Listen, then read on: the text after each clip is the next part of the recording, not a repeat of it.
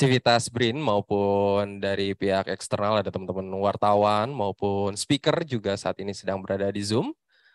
Selamat pagi dan sebentar lagi acara akan segera dimulai. Oleh karena itu mohon perhatiannya sejenak untuk kita memulai kegiatan pada pagi hari ini.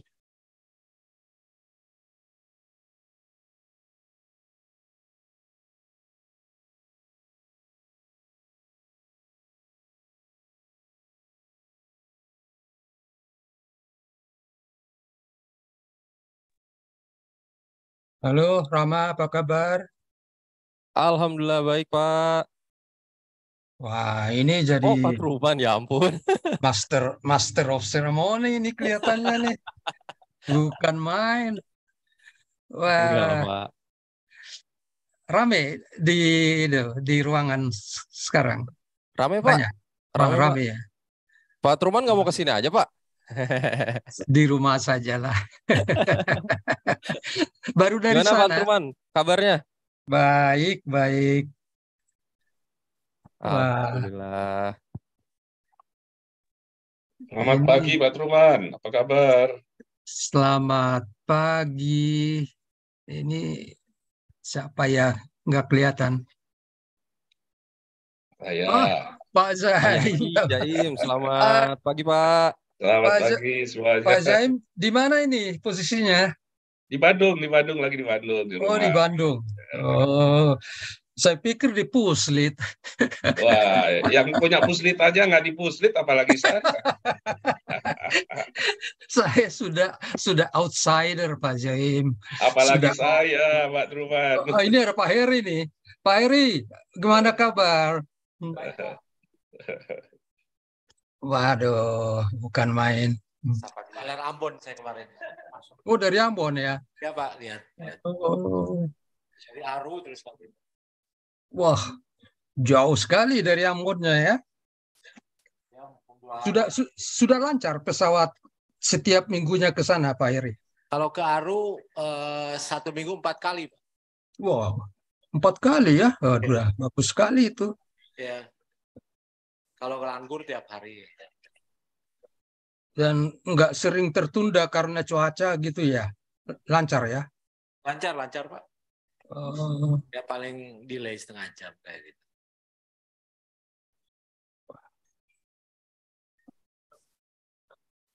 sama Pak Marlon kelihatannya ke sana. Eh, enggak, Oh enggak. ketemu Pak Marlon aja di Ambon. Ya. Acara Dikbud Pak. Oh, Masyarakat adat Aru. iya ya. Ada rumah adatnya juga di sana, Pak. Di Aru. Ke desa yang nggak ketemu rumah adat. Sorry? Tapi Oh, sudah ada gitu. peraturan daerah masyarakat adat. Meeting. Aru. Oh, Menarik kalau punya rumah adat ya, setiap etnik atau subetnik itu punya rumah adat, saya pikir sangat bagus ya. Tapi tidak semua lagi kelihatannya sekarang Iya. punya. Memang. Malah yang kita lihat di ini aja ya, di Ambon aja ada bayi bayi Leo ya. Ah, ya.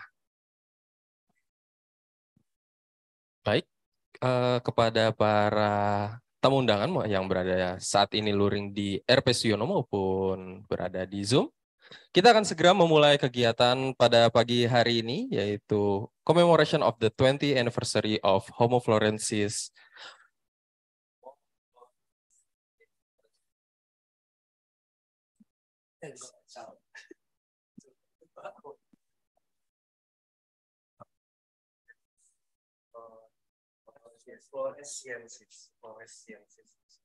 Baik,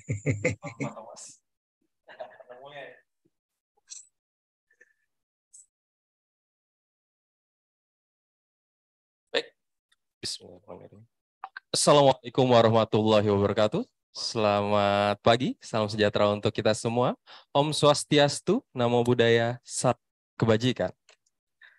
Yang terhormat, Kepala Organisasi Riset Arkeologi Bahasa dan Sastra, Bapak Dr. Heri Jogaswara.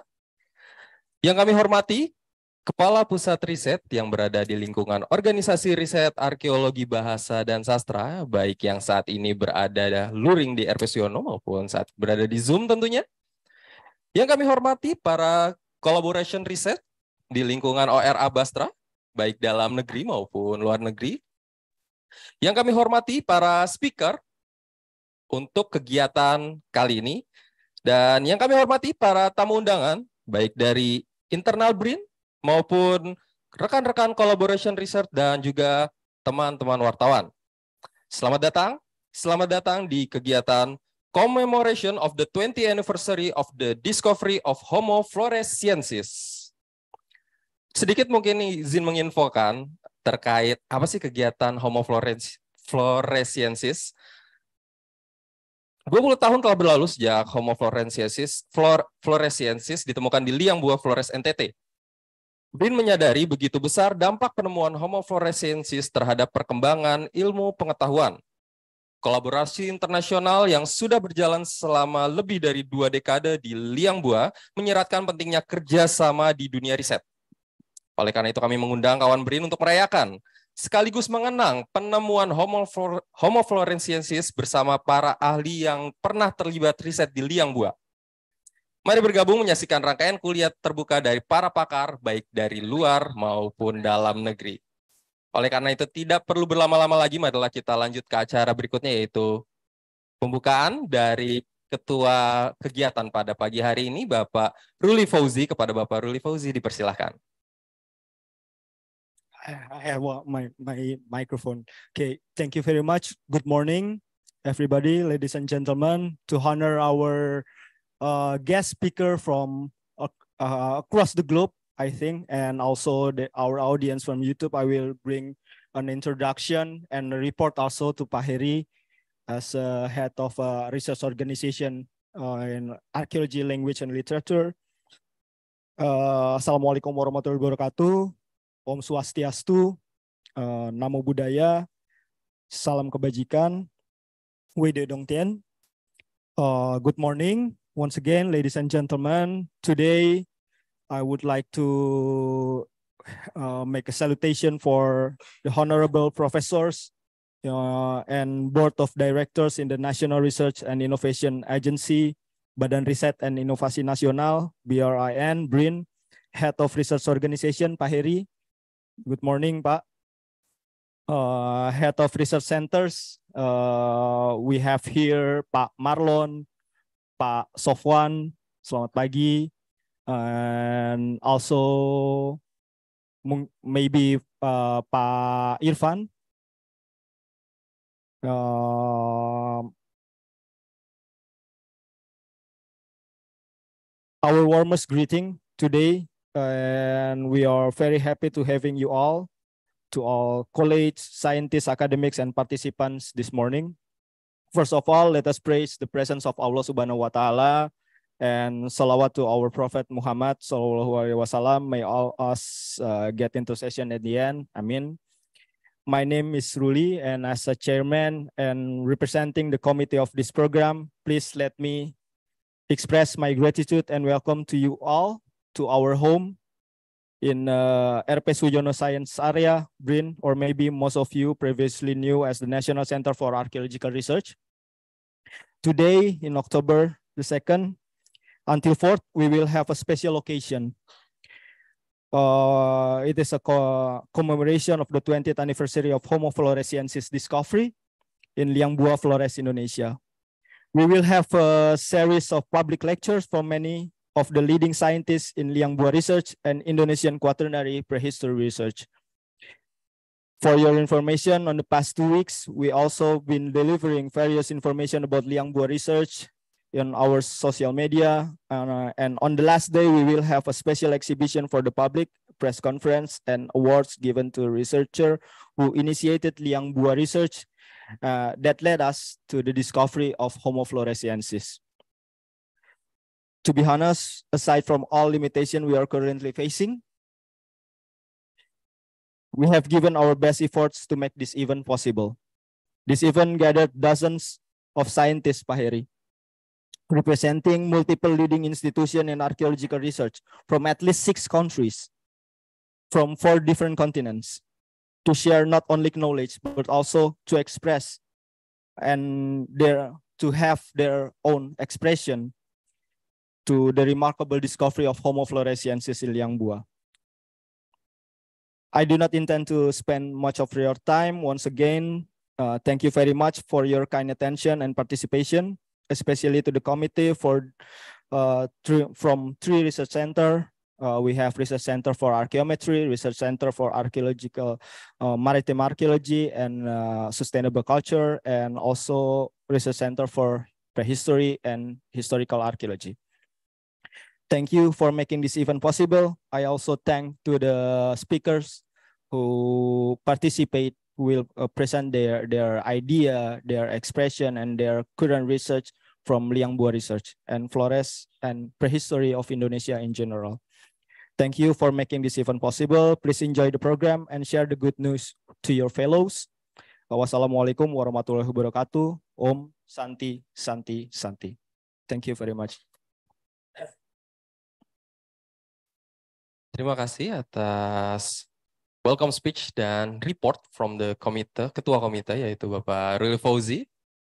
Acara berikutnya marilah kita dengarkan opening speech dari Kepala Pusat Kepala Organisasi Riset Arkeologi Bahasa dan Sastra, Bapak Dr. Heri Jogaswara. Kepada Bapak Heri dipersilakan.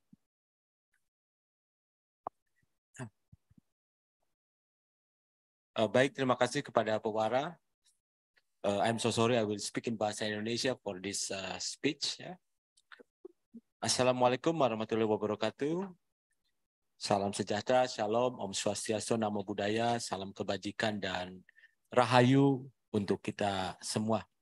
Yang saya hormati para kepala pusat riset di lingkungan uh, arkeologi bahasa dan sastra, kepada para senior dari arkeologi, uh, to all invited speaker for this uh, uh, meeting. Actually, I remember about the uh, saya ingat ya uh, konver, uh, pembicaraan dengan Pak Thomas waktu itu di apa uh, Gunung Kidul ya dengan Pak Ako juga di apa di gedung ini ya dan juga kunjungan ke Sangiran ya waktu itu kemudian juga hasil bincang-bincang ya apakah kemudian kita akan apa memperingati ya 20 tahun temuan dari Homo florescensis yang dari liang buah maaf kalau ada pengucapan yang salah begitu ya. Karena ya waktu itu memang pembicaraannya agak personal ya dengan Pak Ako dengan Pak Thomas gitulah dan pada sisi lain saya orang yang senang sejarah juga. Pembicaraannya waktu itu sebetulnya tidak ada ini tapi begitu kita oh pas tahun 2023 ini adalah tahun di mana apa 20 tahun temuan Homo floresiensis begitu kan? Dan saya kira memperingati sesuatu itu baik adanya. Tapi memperingati sesuatu itu adalah juga momentum begitu ya. Dan saya kira ini momentum yang sangat penting ya bagi uh, kita. Karena kita semua tahu bahwa temuan fluorescensis sangat penting ya dalam riset arkeologi khususnya ketika kita bicara tentang human evolution ya.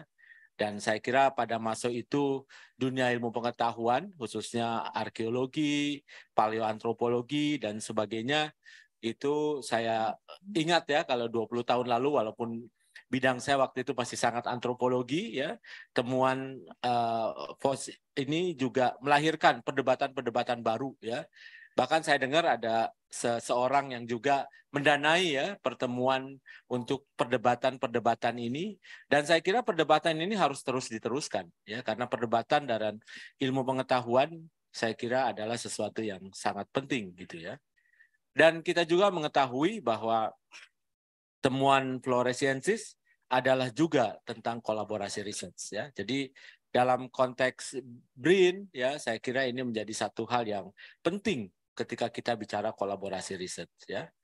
Dan kemudian sel, uh, selain dalam konteks dunia riset ataupun tata kelola kebudayaan ya, tahun 2022 2023 kita memasuki saat-saat yang sangat baru ya di bidang tata kelola kebudayaan munculnya BPK Balai Pelestarian Kebudayaan. Kebetulan saya sudah berkunjung ke beberapa BPK dan juga mendapatkan komitmen-komitmen untuk tetap bekerja sama dengan BRIN. Dan juga dari riset itu sendiri yaitu dengan adanya BRIN begitu ya. Dengan adanya BRIN, maka riset arkeologi di Indonesia itu kemudian khususnya yang ada di BRIN tidak lagi berbasis regional ya. Karena kita semua tahu Arkenas maupun Balar itu sudah terintegrasi dengan BRIN begitu ya. Jadi saya kira semua para peneliti arkeologi yang ada di BRIN adalah sekarang peneliti arkeologi nasional. Artinya bisa melakukan riset di mana di mana saja begitu ya. Saya ada pengalaman kecil kemarin ketika ke Aru begitu, ketika ngobrol dengan salah satu peneliti arkeologi waktu saya undang untuk misalnya riset di wilayah Sulawesi dia bilang, "Eh, itu bukan wilayah saya." Eh, saya bilang itu sudah tidak ada lagi regionalisme seperti itu ya. Jadi semua juga bisa melakukan riset di mana pun. Peneliti dari Papua silahkan untuk melakukan riset di apa di Medan di Aceh begitu ya sepanjang uh, apa topik risetnya sesuai dengan apa uh, keahlian dari yang bersangkutan ya dan riset-riset arkeologi sekarang kemudian menjadi riset-riset yang bersifat sangat kompetitif ya dalam artian semua kegiatan riset itu kemudian harus melalui satu proses ya yang saya kira sebenarnya sudah dimulai pada saat Arkenas yang dulu ya.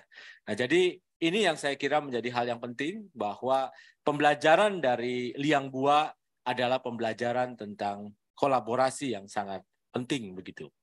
Dan juga dengan masuknya ke Badan Riset dan Inovasi Nasional, maka kemudian riset arkeologi menjadi terkoneksi secara multidisiplin, baik di dalam intra arkeologi sendiri, kita punya tiga pusat riset, arkeologi prasejarah dan sejarah, arkeologi lingkungan maritim budaya berkelanjutan, dan juga arkeometri, dan juga multidisiplin karena juga menjadi bagian dari arkeologi, bahasa, dan sastra, di mana ada tujuh pusat riset. Selain tiga arkeologi, kita punya tiga pusat riset terkait bahasa dan sastra, dan satu pusat riset terkait hasanah dan keagamaan. Dan juga riset-riset semakin terkoneksi nantinya dengan uh, organisasi riset lain yang ada di BRIN ya. Jadi diharapkan teman-teman sekarang uh, apa banyak melakukan riset dengan teman-teman organisasi riset lain karena di sana infrastruktur risetnya bisa menyediakan hal-hal yang mungkin Eh, kita sulit uh, memberikan pengadaannya termasuk hayati lingkungan antarik uh, apa penerbangan dan antariksa ya. Kita sekarang dengan mudah bisa apply untuk menggunakan apa ya drone saya kira sudah sangat biasa ya tentang lidar maupun citra satelit begitu. Dan juga berbagai kampus ya dan kemudian juga lembaga riset independen maupun lembaga lain yang punya uh, concern terhadap riset arkeologi begitu ya. Jadi ekosistem riset sekarang berkembang ya. BRIN tidak bisa sendirian. BRIN harus bekerja sama dengan perguruan tinggi karena itu kalau ada teman-teman dari perguruan tinggi yang ada di sini, saya harapkan kita bisa bekerja sama begitu dan juga dengan Balai Prestasi dan Kebudayaan dan juga dengan BRIDA ya, Badan Riset dan Inovasi Daerah. Kemarin eh, saya ke Bali diskusi dengan tiga kabupaten ya yang sebetulnya punya concern riset terkait uh, arkeologi begitu. Uh, dalam kesempatan yang baik ini, kemudian saya juga ingin mengumumkan adanya metode atau skema baru dari kegiatan riset yang ada di BRIN, yaitu adanya pertama RIM eskavasi. RIM eskavasi itu singkatan dari Riset Inovasi Indonesia Maju. Uh, untuk eskavasi Pak Kepala secara khusus meminta ada dua lokasi yang akan menjadi tempat melakukan eskavasi sepanjang tahun selama lima tahun. Yang pertama yaitu di Bumi Ayu, kita akan mungkin start di awal tahun 2024. Yang kedua adalah di wilayah uh, Bongal dan pantai barat Sumatera. Jadi sistem rim eskavasi ini, para peneliti nanti tidak lagi di lapangan hanya mungkin 20-30 hari, tetapi mungkin minimal sekitar tiga bulan di lapangan yang akan juga disediakan fasilitas untuk tempat tinggal, transportasi, maupun fasilitas laboratorium uh, lapangan ya karena itu kita sedang mempersiapkan dan juga ini akan kolaborasi dengan para pihak yang lain yaitu perguruan tinggi maupun lembaga-lembaga dari luar yang ingin melakukan riset bersama begitu. Jadi uh, sudah bisa diumumkan uh, keberadaan rim eskavasi. Tentu saja hal-hal detailnya sedang kami uh, kerjakan ya, sedang kami bangun begitu. Dan yang kedua juga kita bergembira bahwa di uh, salah satu skema yaitu pusat kolaborasi riset, salah satu skema yang paling kompetitif di BRIN, salah satunya sudah terpilih adalah pusat riset arkeologi Sulawesi.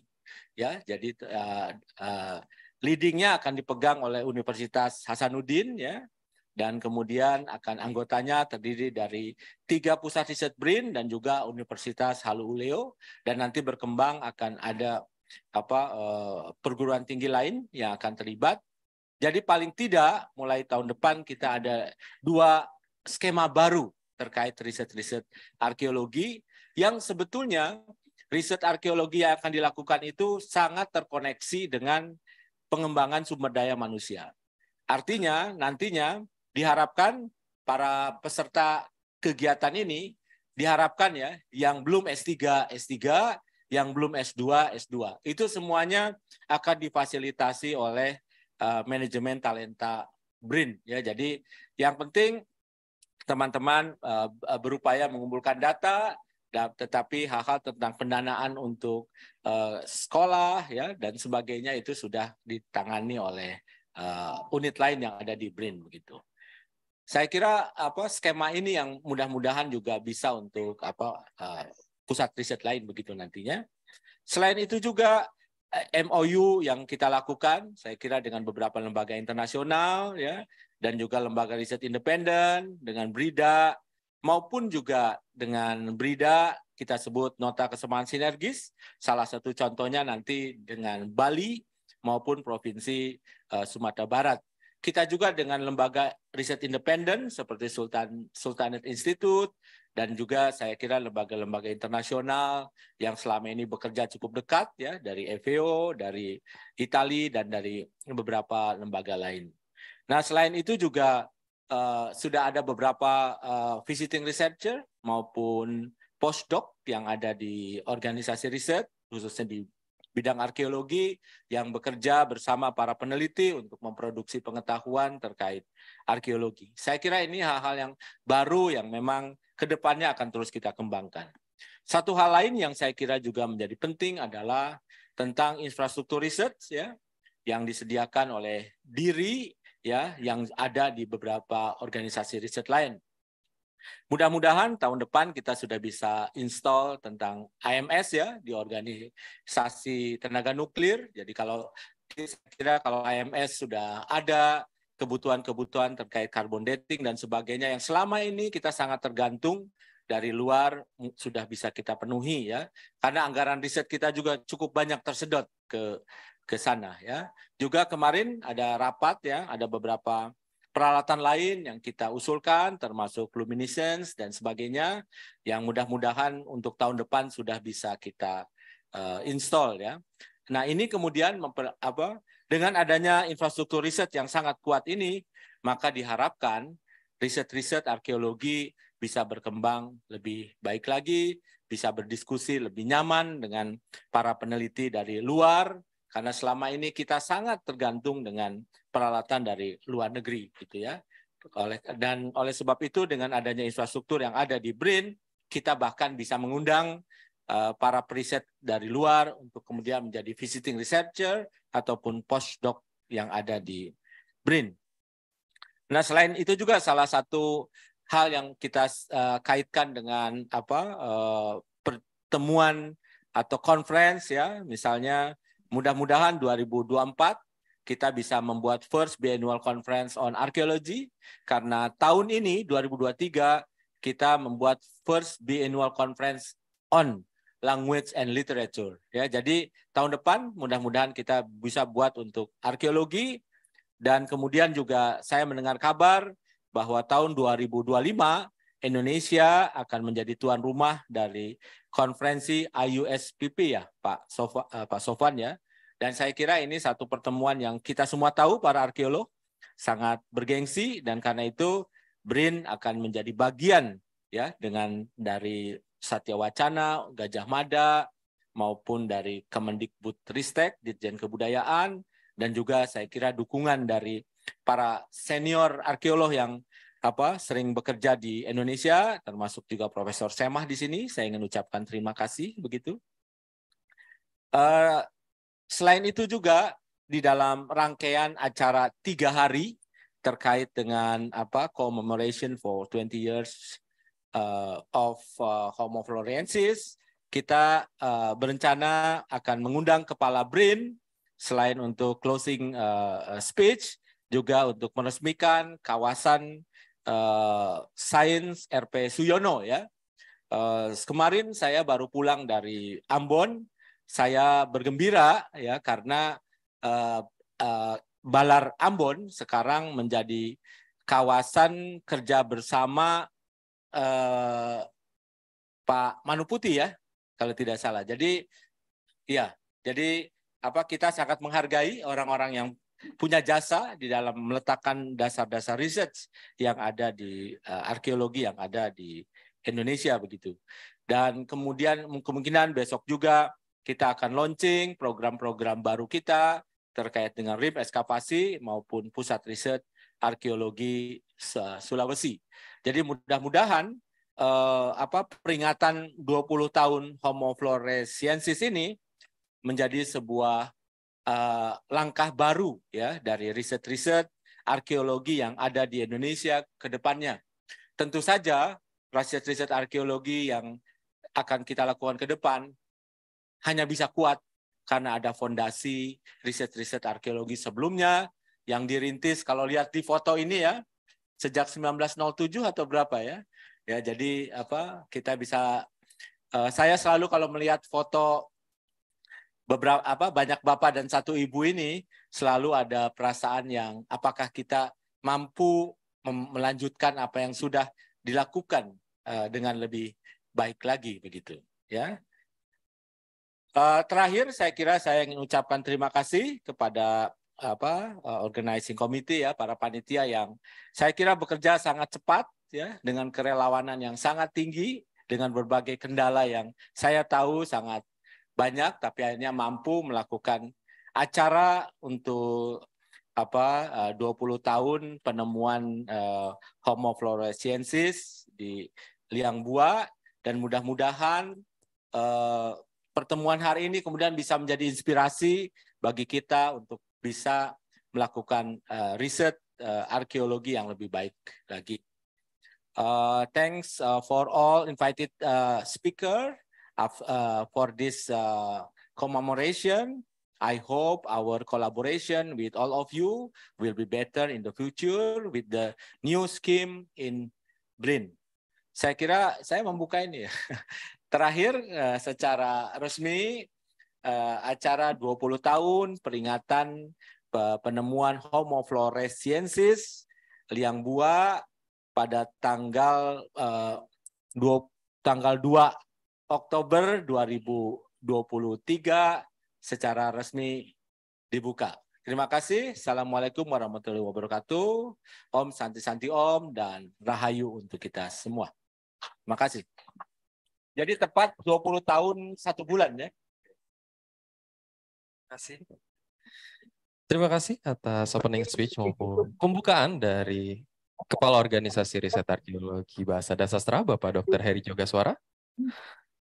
Kepada para undangan maupun para peserta yang saat ini ada di Zoom maupun berada di luring di RP Suyono, marilah kita mulai lecture session pertama yang akan dibuka oleh speakers. Yang pertama ada Bapak Prof. Truman Simanjuntak. Selamat pagi, Prof. Eh, selamat pagi, Rama. Gimana Prof keadaannya? Sehat-sehat? Amin. Sehat, sehat. Alhamdulillah. Berarti udah dua bulan ya terakhir sejak kita bersukaria ke atas hutan. Betul, betul. Dan berikutnya ya speaker yang kedua yaitu ada Prof Yadi Zaim. Selamat pagi Prof. Selamat pagi, apa kabar? Assalamualaikum warahmatullahi wabarakatuh. Gimana Prof ya Zaim keadaannya sehat? Amin. Sehat, alhamdulillah sehat. Alhamdulillah. Oke lah, kayaknya saya nggak perlu berlama-lama lagi karena kegiatan uh, kita langsung mulai saya kegiatan lecture season pertama yang akan dimoderatori oleh salah seorang apa ya murid kali ya salah seorang murid dari Prof Truman maupun Prof Yadi Zem yaitu Mas Ruli Fauzi kepada moderator Mas Ruli Fauzi dipersilahkan. Oke, uh, terima kasih Mas Rama. Apakah suara saya terdengar jelas di ini ya di teman-teman? Terima kasih. Selamat pagi. Salam hormat uh, Prof Truman, Prof Yadi Zaim. Semoga sehat-sehat selalu, Prof. Uh, izinkan saya untuk memandu diskusi pada pagi hari ini. Saya kita akan mulai jadwalnya itu di uh, mulai dengan paparan atau uraian dari Prof. Truman, kemudian akan dilanjutkan oleh Prof uh, Zaim. Uh, dan kita akan membicarakan uh, sedikit mengantar tentang prehistory of Indonesia, tentang prasejarah Indonesia dan tentunya yang tidak kalah menarik uh, dan Indonesia dikenal menjadi laboratorium alami dari studi kuarter yang sangat menarik di Indonesia akan dibawakan oleh Prof Zaim. Mohon izin Prof Zaim, saya uh, beralih ke Prof Truman terlebih dahulu untuk mendengarkan paparan tentang general prehistory of Indonesia. Silakan waktu dan tempat uh, kami persilakan Prof Truman. Baik, terima kasih Mas Ruli. Selamat pagi. Dikit, Mas. Selamat pagi semuanya. Terima kasih kepada organizer, terutama Mas Ruli sama Mas Sowan yang mengundang saya turut bergabung dalam commemoration ini. Bagi saya ini sebuah penghormatan dan dalam kesempatan ini juga saya diminta bicara tentang prasejarah Indonesia. Ya. Dan saya juga melihat, I, I see here in this uh, Zoom, there are some overseas colleagues. Ya. Uh, good morning, everyone. Hope all of you is fine. But I'm so sorry for this occasion. I will not speak in English. I just prepare my talk in Bahasa. Hopefully you will understand what I will be talking. Oke, okay, saya mohon izin dulu membuka sharing ini, sharing PowerPoint.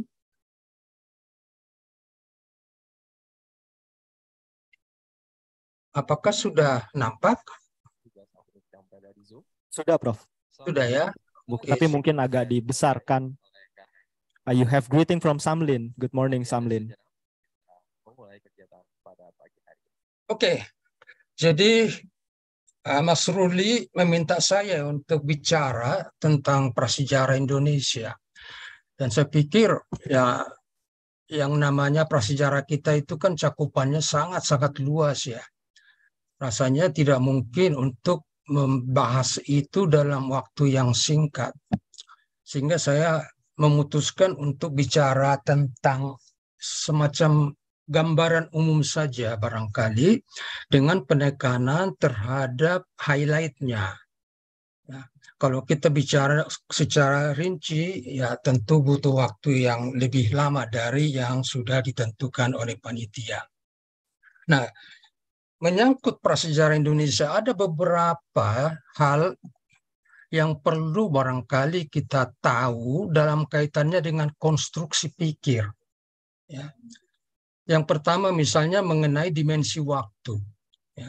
Prasejarah kita itu berlangsung dalam waktu yang sangat-sangat panjang.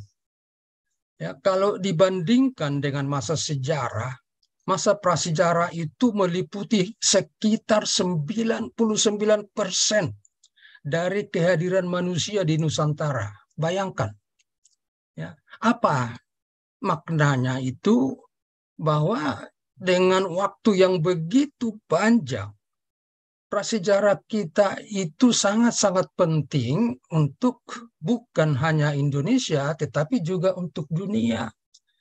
Karena apa? karena tentu mengandung atau kaya dengan tinggalan-tinggalan kehidupan dalam rentang waktu itu.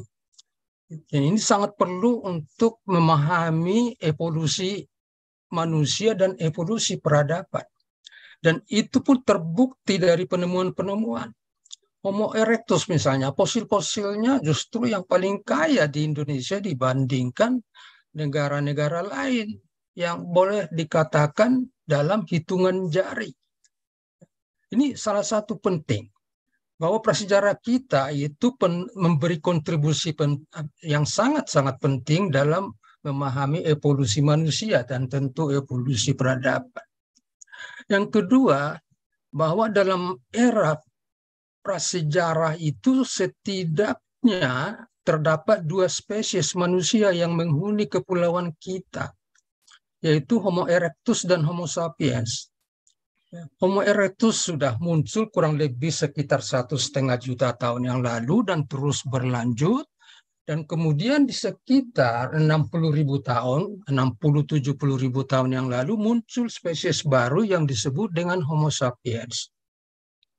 Jadi dua manusia ini terutama sudah menduduki, menghuni, mengeksploitasi kepulauan kita.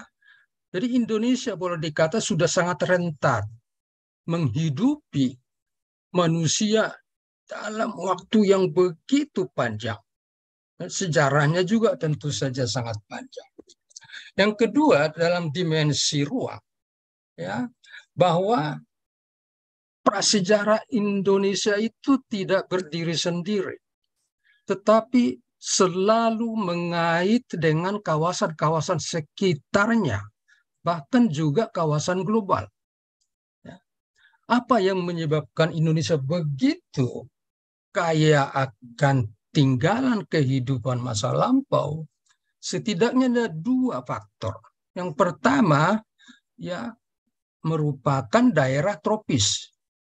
Ya, daerah tropis dengan iklim yang stabil sepanjang tahun berbeda dengan uh, wilayah-wilayah uh, dunia lainnya yang merupakan ya ada daerah kutub selatan atau kutub utara dengan musim-musim yang berbeda-beda. Empat musim, misalnya antara musim dingin dengan musim panas itu kondisinya sangat berbeda.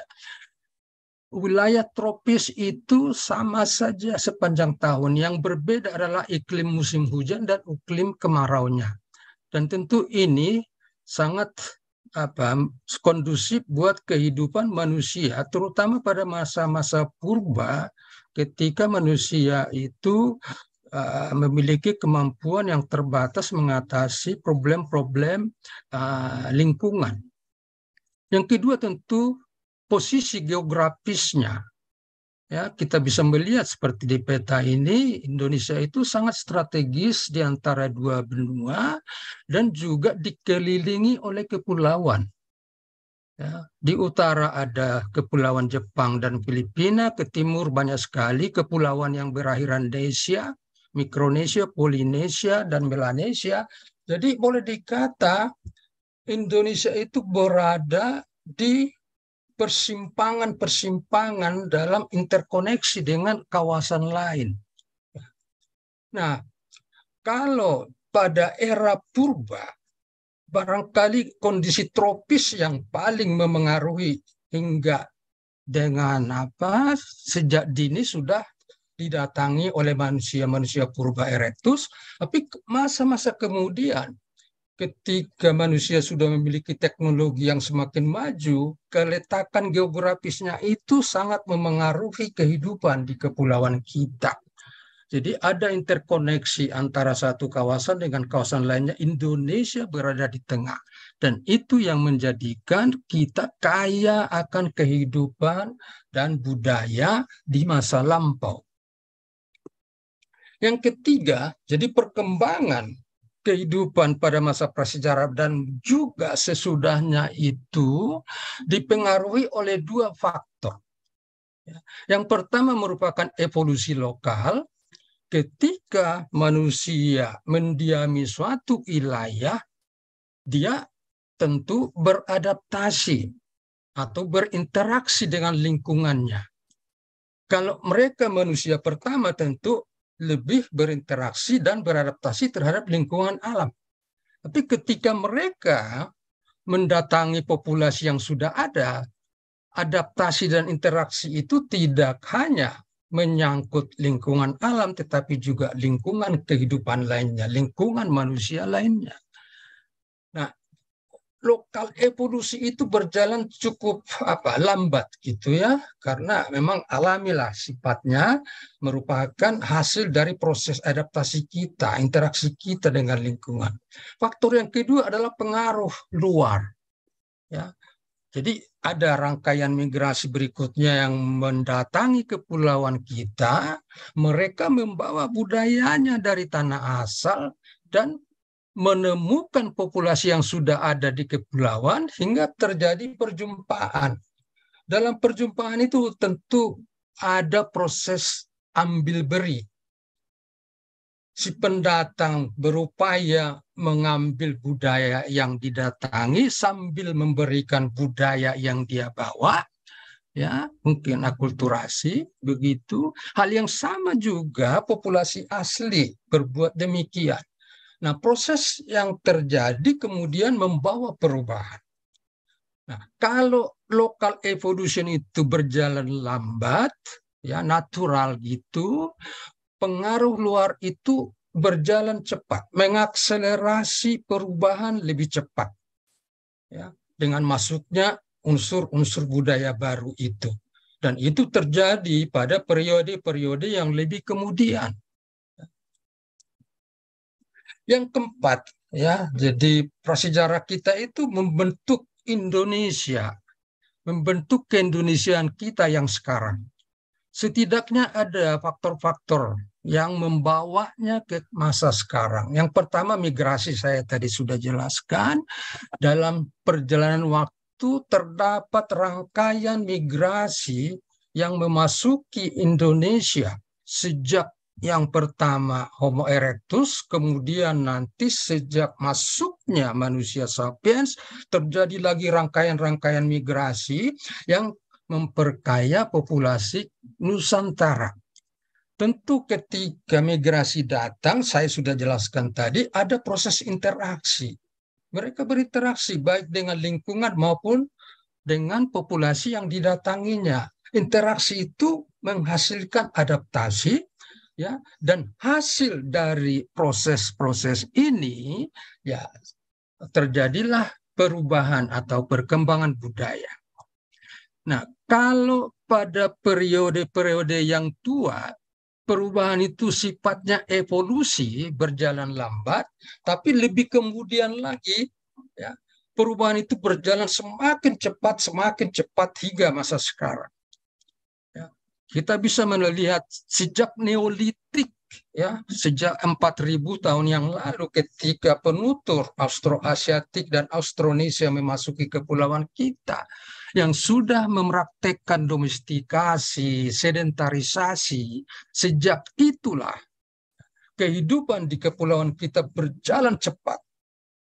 Hanya dengan hitungan ribuan tahun sudah terjadi perubahan-perubahan hingga ke masa sejarah dan sekarang ini perubahan itu boleh dihitung ya bulanan saja. Dalam teknologi terutama komputer itu setiap bulan mengeluarkan seri satu mark apa satu satu marker maaf satu um, jenis pabrikasinya itu tiap bulan sudah mengeluarkan seri dan sebagainya makin cepat makin cepat. Nah proses ini yang mencakup evolusi lokal dan pengaruh-pengaruh luar itulah yang menciptakan Indonesia sekarang dengan dasarnya berada di masa prasejarah. Oke, jadi melalui proses-proses itu ya kita bisa melihat bagaimana perkembangan kehidupan dan budaya itu terjadi. Saya selalu menggunakan model peristiwa besar untuk menjelaskan prasejarah kita, the big events model. Artinya ada peristiwa-peristiwa yang terjadi di kepulauan yang mengakibatkan perubahan yang sangat luas dalam kehidupan. Yang menjadikan kehidupan sebelumnya berbeda dengan kehidupan sekarang. itu sebuah peristiwa besar. Dan terjadinya peristiwa itu menjadi awal termasuknya Nusantara pada periode perkembangan kebudayaan yang baru. Nah, di sini ada tujuh paling tidak peristiwa besar yang mewarnai perjalanan prasejarah Nusantara sejak yang pertama kedatangan Homo erectus sekitar atau mungkin lebih dari satu setengah juta tahun yang lalu. Ya, mereka memasuki Nusantara, membawa budaya dari tanah asal, ya, dengan ciri ya peralatan yang kita kenal sebagai kelompok kapak perimbas penetak. Nah, ini saya masukkan sebagai paleolitik bawah, sebuah periode terawal dari kehidupan manusia di Nusantara. Ini berkembang dalam perjalanan waktu dan kira-kira di sekitar 800 ribu tahun yang lalu ada peristiwa yang terjadi yaitu munculnya budaya yang disebut Asheulian. Ya. The so-called Asheulian culture yang dicirikan oleh antara lain kapak, kapak pembelah, cleaver, dan juga kapak genggam, index. Ya. Nah, masuknya budaya baru ini sementara saya masukkan sebagai awal dari periode yang baru yang disebut sebagai Paleolitik Tengah. Dan kira-kira 60-70 ribu tahun yang lalu masuk migrasi anatomically modern human, manusia modern awal atau manusia anatomi modern. Ya, mereka memasuki Nusantara, kemudian memilih hunian di gua-gua, dan juga melakukan perburuan dan peramuan untuk memenuhi kebutuhan hidupnya. Dan jika pada era Erectus ada sebuah capaian besar ya yang dalam apa kehidupan di Nusantara yaitu kemampuan dari manusia purba itu untuk mengekspresikan alam pikirnya dalam bentuk goresan bermotifkan geometris atau uh, zigzag pada cangkang kerang di mana saudara-saudaranya di bagian lain dunia belum mengenalnya pada masa anatomically modern human ini ada capaian juga yang mendunia yaitu penemuan gambar cadas. Ya, kita tahu semua bahwa di Sulawesi Selatan dan Kalimantan itu para leluhur manusia modern ini sudah mampu mengekspresikan alam pikirnya di sekitar 45.000 40.000 tahun bahkan untuk umur maksimum sampai 50.000 tahun. Di mana pun di bagian dunia lain, leluhur-leluhur penghuni dunia belum mengenal budaya ini, ya gambar cadas ini pada masanya. Nah, manusia modern ini juga melakukan perburuan dengan peralatan-peralatan yang makin maju. Kalau sebelumnya lebih menonjolkan alat-alat dari batu inti yang berukuran besar, mulai periode ini lebih mengutamakan alat-alat serpi, alat-alat yang berukuran kecil. Bahkan menjelang bagian akhir nanti mereka sudah mulai mengenal teknologi peretusan. Meretus serpi untuk mendapatkan bentuk yang lebih bagus dan juga bagian tajaman yang memudahkan penggunaannya. Nah, peristiwa keempat itu adalah akhir zaman es. Ya, kita tahu pada era ini ada kenaikan muka laut yang sangat-sangat drastis. Ya, kata ahli mencapai 120 sampai 140 meter dari permukaan sebelumnya. Dan apa konsekuensinya pada era ini? Terjadi diaspora manusia ke berbagai arah. Dan itu pun ditunjukkan oleh keberadaan situs-situs. Saya sampai S2 juga mau ngambil museum lagi. Makasih mas.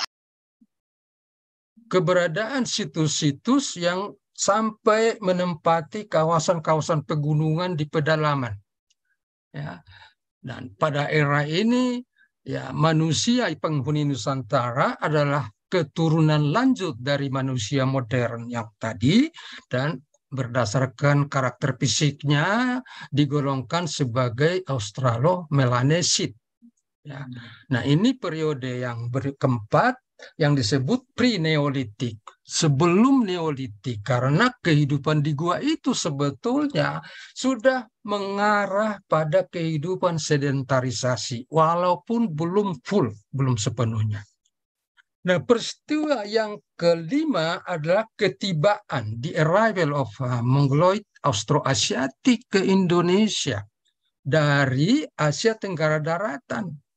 Mereka ini juga memperkenalkan atau membawa budaya Neolitik ke Indonesia yang terutama dicirikan oleh tembikar berhias tali atau berhias tera pada umumnya juga beliung dalam tipe-tipe belincung maupun beliung paruh yang persebarannya luas sampai Malaysia dan Thailand.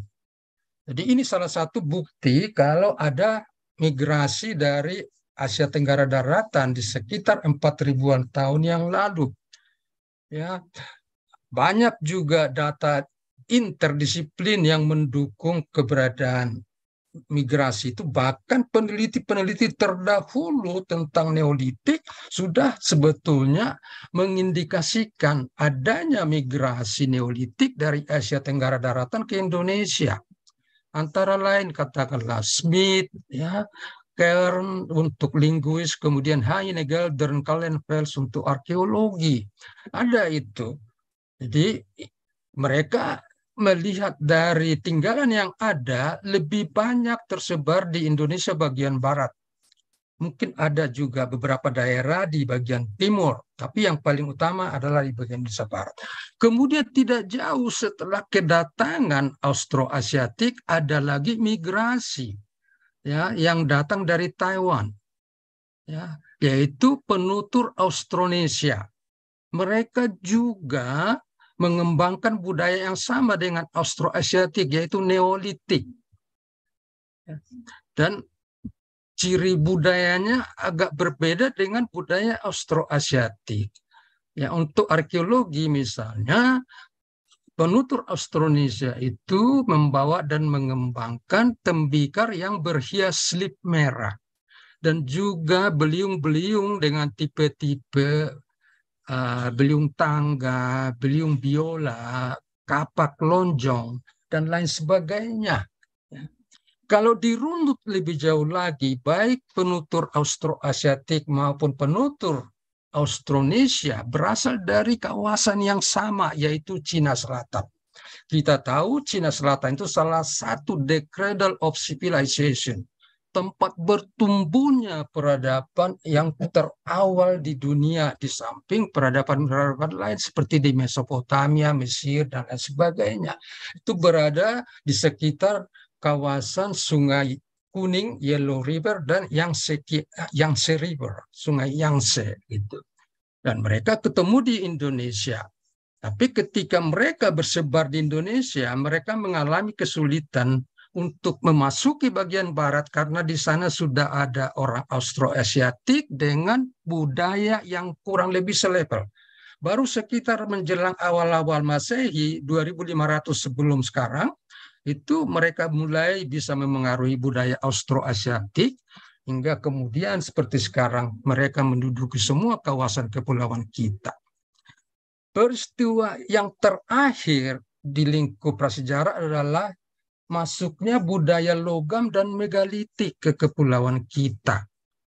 Ya, ini ditandai dengan semakin kompleksnya kehidupan di Nusantara dan ini menjadi suatu periode baru kehidupan di Nusantara yang kita sebut sebagai proto sejarah yang merupakan zaman transisi dari prasejarah untuk memasuki zaman sejarah. Jadi ada tujuh paling tidak peristiwa besar yang terjadi di kepulauan yang membawa kehidupan dan peradaban atau akar peradaban itu berkembang dari yang awal sampai ke makin kompleks di akhir prasejarah. Ini masih terus peristiwa besar terjadi, tapi saya tidak perlu menjelaskan ini lebih detail karena waktu terbatas. Saya hanya ingin mengatakan bahwa ada peristiwa-peristiwa besar yang terjadi dengan masuknya pengaruh-pengaruh luar ya yaitu di antara lain pengaruh Hindu Buddha, pengaruh Islam, pengaruh Barat sampai Indonesia merdeka di abad ke-20 dan terus lagi berlanjut sampai globalisasi di masa sekarang. Antara kemerdekaan dan globalisasi terjadi juga terdapat banyak peristiwa-peristiwa besar. Nah, itu bisa nanti orang-orang sejarawan untuk menjelaskannya. Oke, jadi kalau kembali ke masa prasejarah, setidaknya sudah ada beberapa manusia, ya lapisan manusia penghuni kepulauan kita. Yang pertama tadi sudah kita jelaskan masuknya si Homo erectus, tapi menurut saya ini punah. Ya, mungkin untuk penganut teori multiregional tidak punah. Tapi bisa saja, setiap pendapat boleh-boleh saja. Kemudian masuk anatomically modern human, sapiens yang pertama sekitar atau lebih dari 60 ribu tahun yang lalu, yang kemudian menyebar sampai ke Melanesia Barat, sampai juga ke Australia, yang sekarang menurunkan orang aborigin di sana itu. Jadi pada awalnya sebetulnya kepulauan kita itu dihuni oleh orang-orang Australo-Melanesia kemudian empat ribuan tahun masuk Austroasiatik dan Austronesia yang lambat laun ya Austronesia lebih unggul dalam pelayaran hingga mampu menduduki hampir seluruh kawasan kepulauan kita kecuali Papua bagian dalam yang tetap dihuni oleh Australo-Melanesia. Jadi pada masa prasejarah setidaknya sampai 4000 tahun yang lalu Indonesia memiliki empat lapis populasi. Cuma lapis yang pertama sudah kita tidak lihat lagi, bahkan manusia Austral uh, Austroasiatik itu sudah sudah tidak terlihat secara eksklusif di dalam kehidupan sehari-hari. Tapi penelitian-penelitian perlihatkan bahasa masih ada substraksinya di masa sekarang. Nah, keberadaan populasi Australo-Melanesia, Austronesia, dan Austroasiatik itu didukung oleh data genetika. Gambar ini memperlihatkan kepada kita di Indonesia Barat itu yang dominan adalah penutur Austroasiatik dan kemudian didatangi Austronesia. Sementara kalau kita ke timur, yang dominan adalah Australo-Melanesia dan kemudian Austronesia. Jadi ada gradasi ya dari uh, populasi kita. Mongolit itu yang kuat di bagian barat, baik itu Austronesia maupun Austroasiatik. Australo-Melanesia kuat di bagian timur. Nah, bagian tengah itu zona klinal, zona gradasi peralihan ya antara apa presentasi yang ekstrim dengan yang besar itu. Oke, jadi sekitar 4.000 tahun lalu ketika Neolitik masuk ke Nusantara ini, mulai dari itulah terbentuk genesis etno etnik-etnik di Nusantara.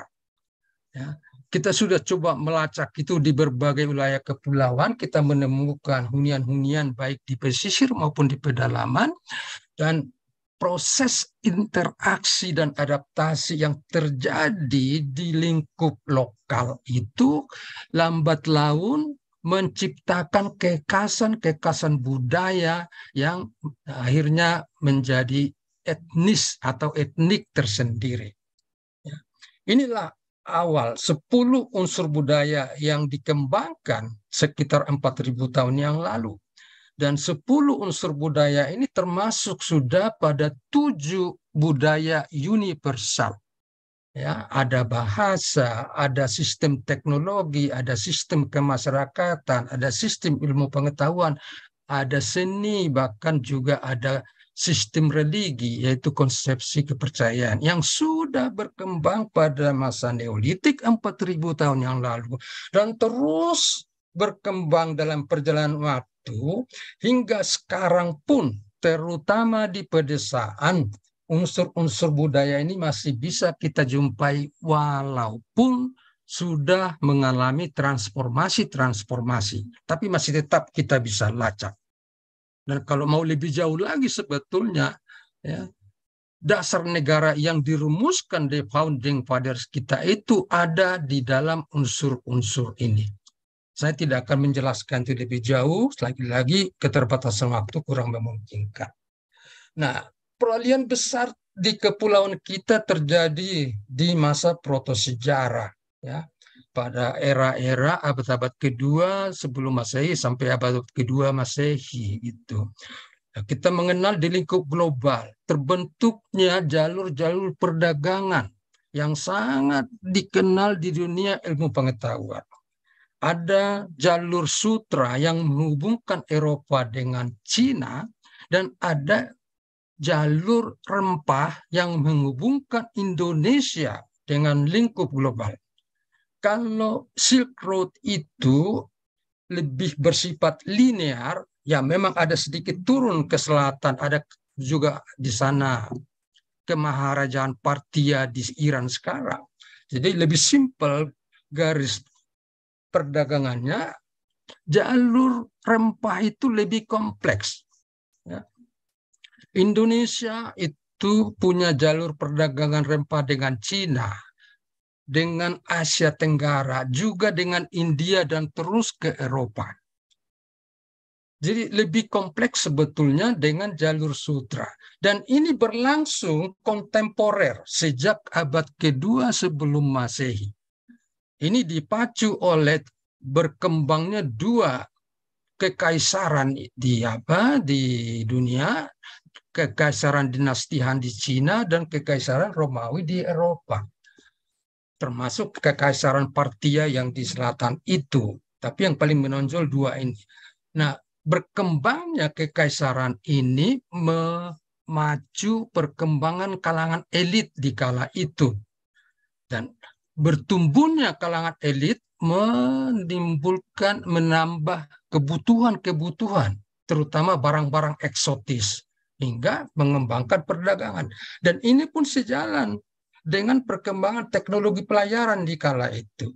Jadi pelayaran mendukung ke, untuk mendapatkan kebutuhan itu berkembanglah perdagangan bersifat global hingga terbentuk apa yang kita kenal sebagai jalur sutra dan jalur rempah. Dan itu terus nanti berkembang sampai masa kolonialisme ya dan sampai sekarang pun tentu masih terus berlanjut. Ya, apa konsekuensinya dalam penghunian kepulauan? Jadi sejak protosejarah itu Nusantara semakin dihuni atau didatangi oleh berbagai suku bangsa. Ya, terutama dari Eropa, Timur Tengah, India, Cina, dan Asia Tenggara. Daratan. Yang lain-lain itu lebih kemudian seperti Amerika, Amerika Latin lebih masa periode yang lebih kemudian maupun Jepang. Dan ini semakin menambah keragaman populasi Nusantara dan juga semakin memperkaya budaya Nusantara. Dan ini salah satu ya jalur perdagangan yang menuju Asia Tenggara daratan ya terutama dengan uh, Vietnam di mana pada masa itu di sana berkembang kebudayaan Dongson yang memproduksi benda-benda dari perunggu. Nah, kita menemukan banyak tinggalan-tinggalan dari apa aktivitas perdagangan itu terutama dalam bentuk nekara bejana maupun kapak-kapak upacara di berbagai pulau mulai dari Sumatera sampai Papua. Jadi ini sebuah jalur perdagangan dendritik. Nah, ini Pak Jaim yang lebih tahu kalau sudah bicara dendritik. Artinya ada jalur utama yang kemudian ada cabang-cabang ke pulau-pulau lain. Ya. Dan ini bagian dari jalur rempah tadi itu. Pedagang datang, ya di antaranya pedagang Austronesia cukup aktif di situ itu membawa barang-barang eksotis dari luar seperti emas, kaca, manik-manik ke kepulauan kita dipertukarkan dengan komoditi lokal. Sebetulnya tidak hanya rempah-rempah, tapi juga di bagian barat itu ada apa namanya kemenyan, ada sandalwood di bagian tengah dan macam-macam. Jadi kita perlu memperluas, ya tentu pasti sudah diperluas pengertian dari jalur rempah itu. Tidak semata menyangkut pala, cengkeh, maupun apa namanya itu yang lain-lainnya itu. Gitu. Jadi inilah awal dari terbentuknya jalur perdagangan sutra. Jadi itulah jadi di masa protosejarah itu kepulauan kita sudah dihuni leluhur yang sudah kompleks kehidupannya. Sudah ada stratifikasi sosial, sudah ada pemimpin-pemimpin lokal di berbagai daerah yang memungkinkan mereka mampu beradaptasi dengan pengaruh-pengaruh yang datang dari luar. Dan kesiapan inilah kompleksitas dengan kesiapan berinteraksi inilah yang memungkinkan Indonesia siap menerima pengaruh Hindu-Buddha di sekitar abad 4 ke-5 Masehi. Dan sejak itu Indonesia memasuki zaman sejarah. Oke, jadi kata akhir dari saya, jadi apa yang kita lihat untuk prasejarah kita, yang pertama kita sudah melihat tadi prasejarah kita sangat-sangat panjang ya dan sangat kaya akan hunian dan itu dipengaruhi oleh faktor iklim dan geografi kepulauan. Yang kedua, dalam perkembangan kehidupan di kepulauan itu yang dimulai dari prasejarah juga sampai ke zaman sejarah, dua agen perubahan menyertai perjalanan itu yaitu evolusi lokal dan pengaruh luar yang terus berlanjut. Kalau di masa awal itu evolusi lokal yang menonjol dan itu yang menyebabkan budaya purba berjalan monoton. Peralatan-peralatan Homo erectus sama di satu setengah juta tahun sampai seratus ribu tahun yang lalu. Hampir sama. Tidak banyak kemajuan. Tapi di masa kemudian ketika masuk pengaruh luar, terjadi akselerasi-akselerasi pengayaan-pengayaan budaya asli hingga menciptakan budaya yang seperti sekarang. Jadi boleh dikata bagian akhir prasejarah itu peletak dasar peradaban kita sekarang ini. Di sinilah pentingnya memahami prasejarah kita. Dan seperti yang saya tulis di sini, prasejarah itu mengajarkan kepada kita siapa kita, siapa, dari mana kita, dan tentu sebagai bangsa mestinya mau ke mana kita. Prasejarah akan memberikan dasar untuk itu. Terima kasih. Hanya itu yang bisa saya sampaikan dalam kesempatan ini. Mohon maaf ada yang kurang pas. Thank you very much, uh, Prof. Truman, for your uh, amazing presentation about the prehistory of Indonesia. Why we put to the audience uh, the prehistory of Indonesia for, for the first uh, presentation because we would like to give a context to all the audience here uh, in uh, RP Suyono Science Area or in Zoom, or I also want to greet our uh, colleagues who watching from YouTube. So kami menempatkan prasejarah Indonesia untuk memberikan konteks, untuk memberikan satu background sebelum kita menyelam lebih jauh uh, melihat apa yang terjadi di Flores khususnya perkembangan kebudayaan Homo erectus dan penemu eh, Homo floresiensis dan uh, bagaimana uh, background lingkungan mereka dan kebudayaan mereka. Sangat menarik Prof, terima kasih. Tepat 30 menit presentasinya. Kita akan segera beralih ke Prof. Zaim. Selamat pagi, Prof. Selamat pagi. Ya, kita sudah menyaksikan tadi Prof, uh, ya. uraian dari Prof. Truman. Ya. Dan kami berharap uh, menyaksikan uraian uh, lebih lanjut dari uh, mengenai pras, uh, mengenai geologi kuarter Indonesia ataupun Flores pada khususnya uh, dari Prof Jaim dan kita tahu pengalaman Prof Jaim. Kita kemarin ketemu di Bandung ya Prof ya. Nostalgia. Ya. apa uh, Prof Zaim menceritakan banyak hal apa yang terjadi apa yang dilakukan di masa lalu oleh kolega-kolega kita oleh guru-guru kita yang bisa dibilang uh, Prof Zaim adalah perintis juga bersama Prof Truman uh, untuk penelitian prasejarah kuarter di Indonesia. Waktu dan tempat uh, kami persilakan kepada Prof Zaim. Uh, silakan Prof.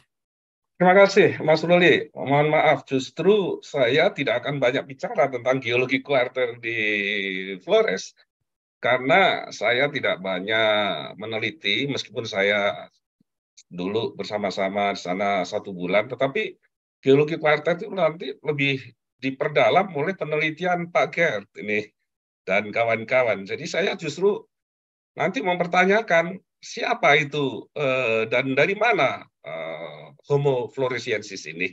Jadi nanti saya akan banyak bicara tentang uh, siapa dan bagaimana Homo floresiensis ini. Uh, ladies and gentlemen, I would like to thank it's honor for me to be here, although via Zoom. And here I saw the Ibu Kira. Uh, how are you, Ibu Kira? And Pak Gert. And I think uh, there's also uh, Pak Sema. Uh, maybe uh, he's here. Pak Sema is my teacher when I was a student in Paris together with uh, Pak Truman. So in this occasion, I would like to speak in Bahasa as Pak Truman also did. And let me uh, share screen.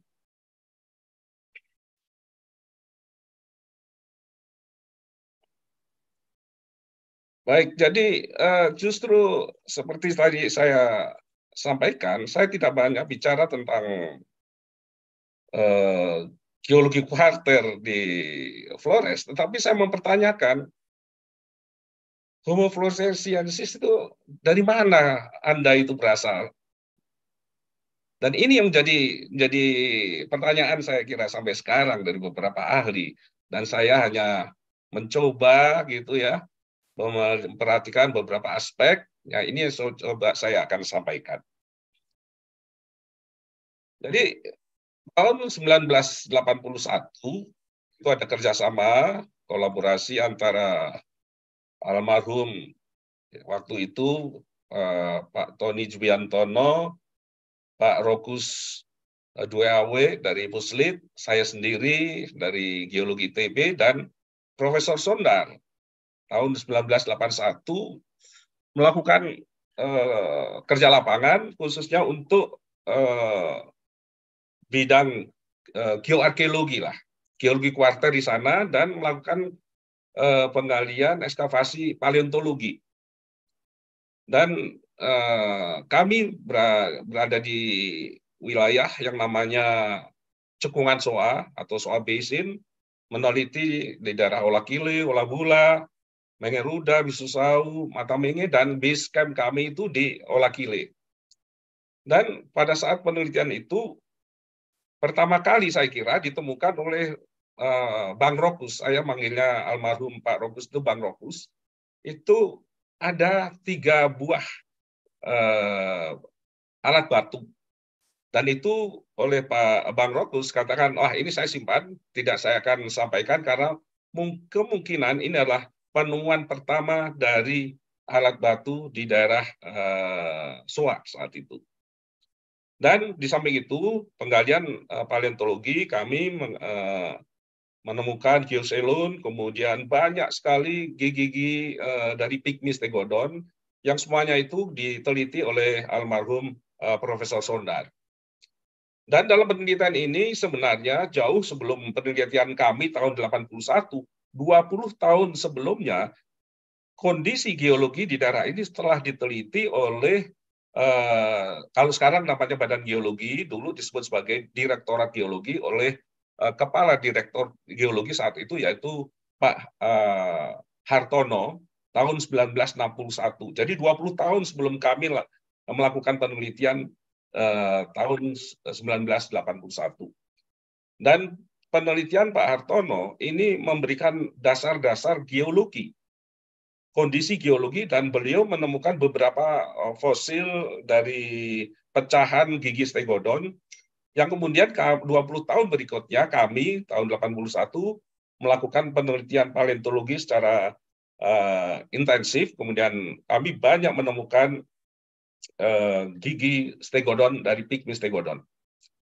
Dan setelah itu 20 tahun berikutnya, tahun 2001, di kerjasama almarhum Profesor Suyono dan almarhum Mike Morwood, yang kemudian pada tahun berikutnya, tahun 2003, eh, kolaborasi dari almarhum Profesor Suyono dan eh, Profesor Mike Morwood itu menghasilkan suatu temuan yang sangat luar biasa yaitu pada saat penggalian di uh, liang buah yang sekarang ini kita peringati bersama. Dan kerangka-kerangka ditemukan, kemudian dipublikasi dan dinyatakan sebagai spesies baru yaitu Homo sapiens. Dan Homo sapiens, uh, maaf, Homo floresiensis. Homo floresiensis ini luar biasa karena merupakan suatu temuan yang sangat spektakuler tentu dalam kaitannya dengan temuan baru spesies dalam kancah dunia paleontologi manusia dan paleoantropologi. Pertanyaannya adalah, se sepenting apa, sesignifikan apa temuan-temuan uh, dari adanya spesies baru floresiensis ini? Nah, untuk menjawab itu, saya akan membawa uh, untuk mengingat temuan-temuman uh, hominin fosil di Indonesia, kita tahu bahwa di Indonesia tadi, tadi sudah disinggung juga oleh uh, Pak Truman bahwa sejak ada Homo erectus dan sampai dengan uh, Homo sapiens. Dan temuan-temuan di Indonesia itu fosil manusia di Indonesia itu dibagi atas dua. Paling tidak saya mengelompokkan dalam dua area, yaitu area di Indonesia bagian barat, yaitu khususnya utamanya di Jawa dan tentu ada beberapa nanti di Sumatera, yaitu di Sangiran, Sambung Macan, dan sebagainya yang sudah sangat terkenal, yaitu semuanya masuk dalam kelompok Homo erectus. Di Wajak, lidah air, itu masuk kelompok Homo sapiens, dan temuan di daerah Sungai Lusi di Jawa Tengah ini masih menimbulkan suatu tanda tanya apakah masuk kelompok ke uh, kelompok Homo erectus atau Homo sapiens. Kalau temuan-temuan semua itu di, dikelompokkan dalam pada posisi uh, dudukannya dalam ruang dan waktu, maka kita akan bisa tempatkan pada posisi seperti ini. Jadi dari mulai kita temukan di Mojokerto, di Sangiran dari mulai umurnya sekitar satu setengah juta tahun yang lalu, kemudian sambung macan, ngandong, dan sebagainya, semuanya masuk dalam kelompok Homo erectus. Dan Homo sapiens itu dari wajah, kemudian saya belum masukkan di sini lidah air, dan tadi apakah Lucy spesimen ini masuk di dalam kelompok Homo sapiens ataupun Homo erectus, tapi di sini saya coba masukkan ke dalam kelompok Homo uh, sapiens. Dan kita tahu bahwa penemuan fosil manusia tidak hanya Indonesia Barat dan inilah temuan yang sangat spektakuler yaitu di uh, Indonesia Timur yaitu di Flores. Dan Flores ini pertama dulu saya kira uh, penulisnya ada di sini yaitu Pak Thomas Thomas ya dan Vandenberg waktu itu mengatakan bahwa menemukan Floresiensis di daerah Matamenge di umurnya sekitar 700 ribu tahun yang lalu.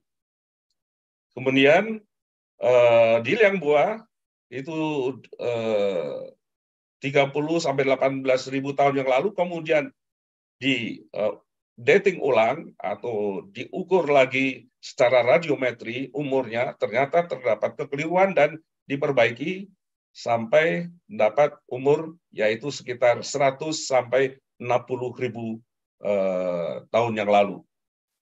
Dan tidak hanya di Indonesia Timur, Di Filipina, yang kalau dikelompokkan masuk ke kelompok Indonesia Timur lah, kita dapat kabar dari temuan adanya suatu eh, rangka beberapa elemen manusia yang mirip dengan yang ditemukan di eh, Flores dengan ukuran secara anatomi yang mirip kecil gitu kemudian dinamakan sebagai Homo luzonensis dan umurnya sekitar 67 ribu uh, yang lalu. Dan umur ini tentu mirip dengan umur yang didapatkan di liang gua. Sehingga Homo floresiensis dan Homo uh, luzonensis ini mempunyai uh, umur yang kurang lebih uh, sama. Kalau ini tadi dikelompokkan, saya kira ini uh, umur dari floresiensis ini itu sudah diperbaiki oleh paper dari Pak Thomas Sutikno dan eh, kawan-kawan. Dan kalau ini dimasukkan dalam di ruang dan waktu, maka kita pada posisi seperti ini. Di SOA, yaitu mata menge, karena fluorescensis kita uh, temukan di mata menge dan uh, liang buah, ini umurnya sekitar 700 ribu sampai yang paling muda itu sekitar 60 uh, ribu tahun yang lalu tadi Kemudian Luzonensis itu sekitar 60 ribu, 67 eh, ribu tahun yang lalu. Dengan demikian maka kalau kita samakan di Filipina itu sebagai bagian katakanlah wilayah timur, kalau Indonesia timur maka kita dapatkan dua kelompok temuan-temuan eh, fosil manusia di Indonesia, yaitu Indonesia bagian barat dari mulai Homo erectus, Homo sapiens, sedangkan di Indonesia timur kita belum temukan Homo erectus yang mempunyai ciri yang sama dengan aring Jawa, melainkan kita dapatkan Homo floresiensis yang umur paling tuanya itu sekitar 700 ribu tahun yang lalu, barangkali coexistent dengan Homo erectus yang hidup di Jawa sekitar 1,5 sampai dengan sekitar 500-600 eh, ribu tahun yang lalu. Dan umur termuda dari floresiensis yang didapatkan di liang gua ini mirip dengan umur yang didapatkan uh, fosil yang mirip yaitu di uh, Filipina yaitu Homo luzonensis. Nah, adanya Homo floresiensis utamanya dan tentu kalau kita kaitkan dengan uh, Homo luzonensis ini memberikan suatu problem di dalam evolusi khususnya dalam asal muasal dan jalur evolusinya. Oleh sebab itu timbul pertanyaan, dari mana sebenarnya mereka ini berasal? Oleh sebab itu maka di dalam topik yang saya sampaikan, ini saya mempertanyakan khususnya tadi adalah fluorescensis, dari mana asalnya? Karena ini dalam rangka memperingati 20 tahun penemuan dari uh, fosil Homo floresiensis. Namun ketika di uh, Filipina uh, dijumpai juga fosil manusia yang umurnya kurang lebih mirip dengan Floresiensis, maka dalam hal ini patut kita pertanyakan dari mana asal uh, keduanya ini. Nah untuk menjawab ini, saya mencoba uh, memahami apa yang disampaikan oleh uh, Liras dan kawan-kawan yang disampaikan pada publikasi tahun 2008, mereka menyimpulkan bahwa mereka meyakini sulit memisahkan Homo floresiensis dengan Homo erectus. Dengan kata lain, bahwa sangat punya kemiripan meskipun uh, tempatnya berbeda, satu Homo erectus hanya dijumpai di Indonesia bagian barat, dan sampai Asia tentunya. Sedangkan Floresiensis hanya dijumpai di uh, wilayah Indonesia Timur, yaitu di Flores. Namun mengingat pada waktu, dan tentu ada ciri-ciri yang anatomi yang lain, maka Liras dan kawan-kawan meyakini bahwa ada hubungan atau sulit memisahkan antara Homo floresiensis dan Homo erectus. Sebaliknya, Liras dan kawan-kawan ini tidak melihat adanya hubungan antara Floresiensis dan Homo sapiens. Oleh sebab itu, ini memberikan implikasi yang meyakini uh, ada hubungan yang erat antara floresiensis dan uh, Homo erectus, namun tidak ada hubungan yang bisa dinyatakan antara floresiensis dan Homo sapiens. Dan kalau kita hubungkan tadi Luzonensis, karena mempunyai umur yang sama kurang lebih dengan Homo floresiensis, dengan ciri-ciri yang juga mirip dengan yang ada di floresiensis, maka sangat mungkin floresiensis dan luzonensis ini berasal dari uh, lebih dekat kekerabatannya dengan Homo erectus dibandingkan dengan Homo sapiens.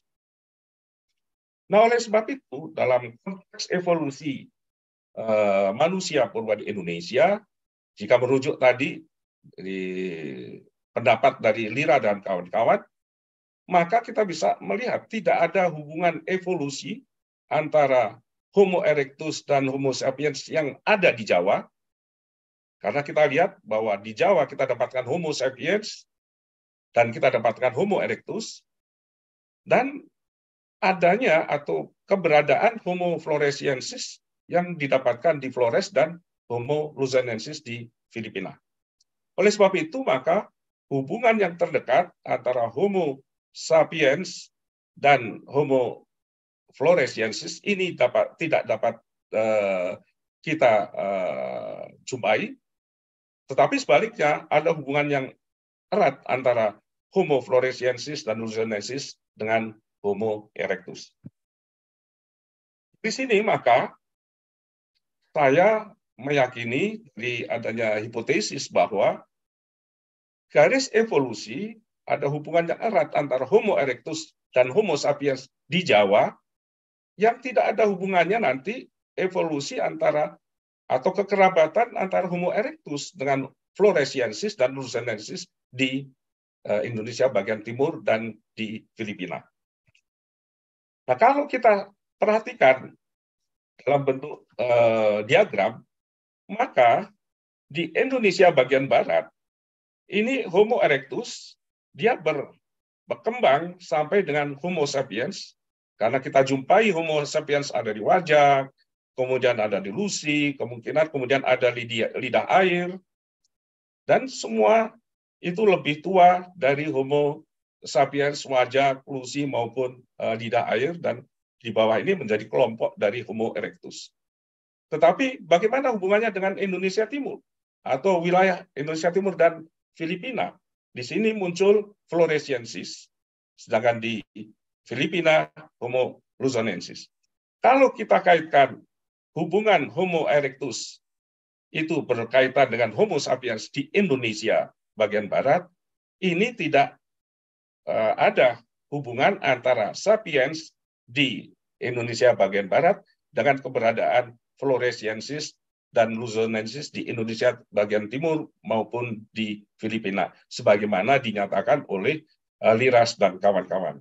Oleh sebab itu, sangat mungkin ada dua jalur di Indonesia bagian barat Homo erectus berkembang ke Homo sapiens dan kemudian Homo erectus bergerak ke arah timur sampai ke daerah Flores mengalami domestifikasi yang endemik di daerah Flores pada umur sekitar mungkin sekitar satu juta atau tujuh ratus ribu tahun melahirkan Homo floresiensis dan sampai dengan sekitar 60 ribu tahun yang lalu uh, floresiensis tetap berada dan uh, Homo luzonensis. Saya kira itu yang saya bisa sampaikan karena uh, ini merupakan suatu kehormatan buat saya untuk hadir di sini meskipun secara online untuk memberikan suatu apa hal yang apa yang bisa saya uh, yakini, yang saya pahami, utamanya mempertanyakan keberadaan dari Homo floresiensis, dari mana asal dan bagaimana arah uh, uh, garis evolusinya. Terima kasih. Saya tutup. Assalamualaikum warahmatullahi wabarakatuh.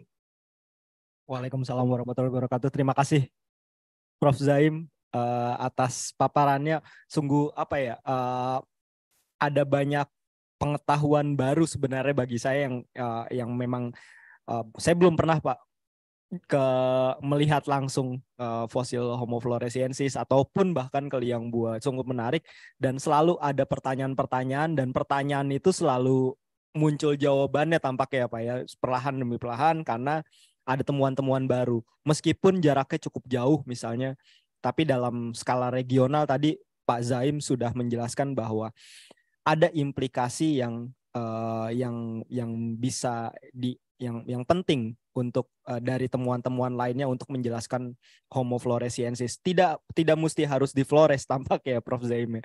Bahkan data dari Filipina pun tadi seperti di diutarakan uh, Homo luzernensis uh, ya bisa bisa memiliki implikasi terhadap pemahaman kita ter, uh, dalam memahami evolusi dari Homo floresiensis. Kita masih punya waktu sedikit sekali jika rekan-rekan di ruangan operasional room, RP Suyono ada pertanyaan ataupun uh, mungkin rekan uh, teknis bisa melihat di YouTube disam, disampaikan saya jika ada pertanyaan karena meeting pada pagi hari ini juga disiarkan secara langsung di YouTube dan di Zoom. Tadi ada salam dari Pak Gert melambaikan tangan. Hello Pak Gert. And Kira also. Good morning Kira. Thank you for participating with us. So we will have actually we will have a lecture also from Pak Gert.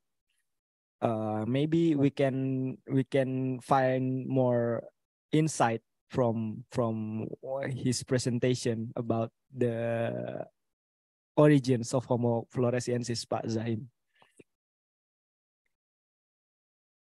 We hope. And may is there any question or comments? Uh, we started a little bit late today, uh, about 15 minutes late. So uh, I think that ah, uh, pass of one. Okay, uh, would you mind to join to us? Pak Sofwan in to activate your camera? Apa, Mas? Oke. Okay. Ya, terima kasih. Mas Ruli atas kesempatannya. Thank you so much.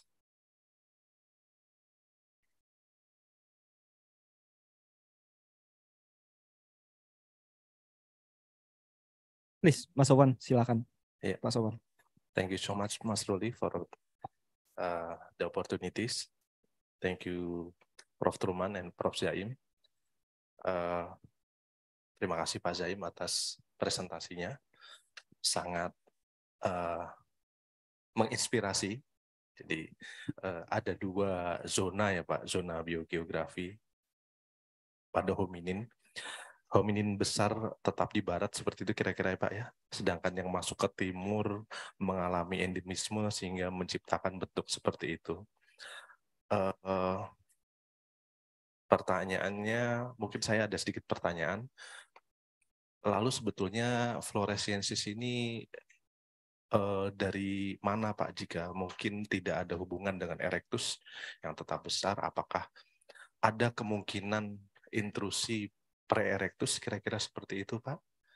Dan eh, kebetulan juga di Luzon, tidak di Kalau tapi di Kagayan juga ada temuan sampai saat ini jejak-jejak aktivitas manusia kita belum tahu seperti apa manusianya.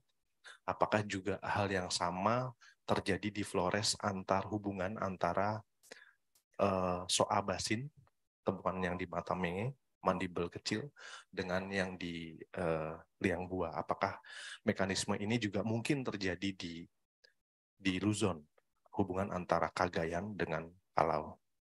Begitu kira-kira Mas Ruli. Terima kasih. Terima kasih Pak Zaim, Prof. Tulan. Oke, terima kasih Pak Sofwan. Uh, saya mempersilahkan pertama Kak, mungkin dari Pak, Pak Zaim dulu, mungkin Pak Sofwan nggak apa ya. Dari Pak Zaim, ada komentar Pak? Bagaimana Pak? Baik, eh, terima kasih Mas Sofyan. Ini pertanyaan yang eh, menarik ya. Eh, di Kagayan itu banyak dijumpai ya fosil-fosil eh, pygmy stegodon yang mirip dijumpai di eh, Sulawesi ya dan juga di eh, uh, Flores dan juga Timor. Saat uh, saat itu saya sedang banyak uh, paham, baca, dan kemudian saya pernah ketemu uh, The Vos yang banyak bekerja di uh, Kagayan.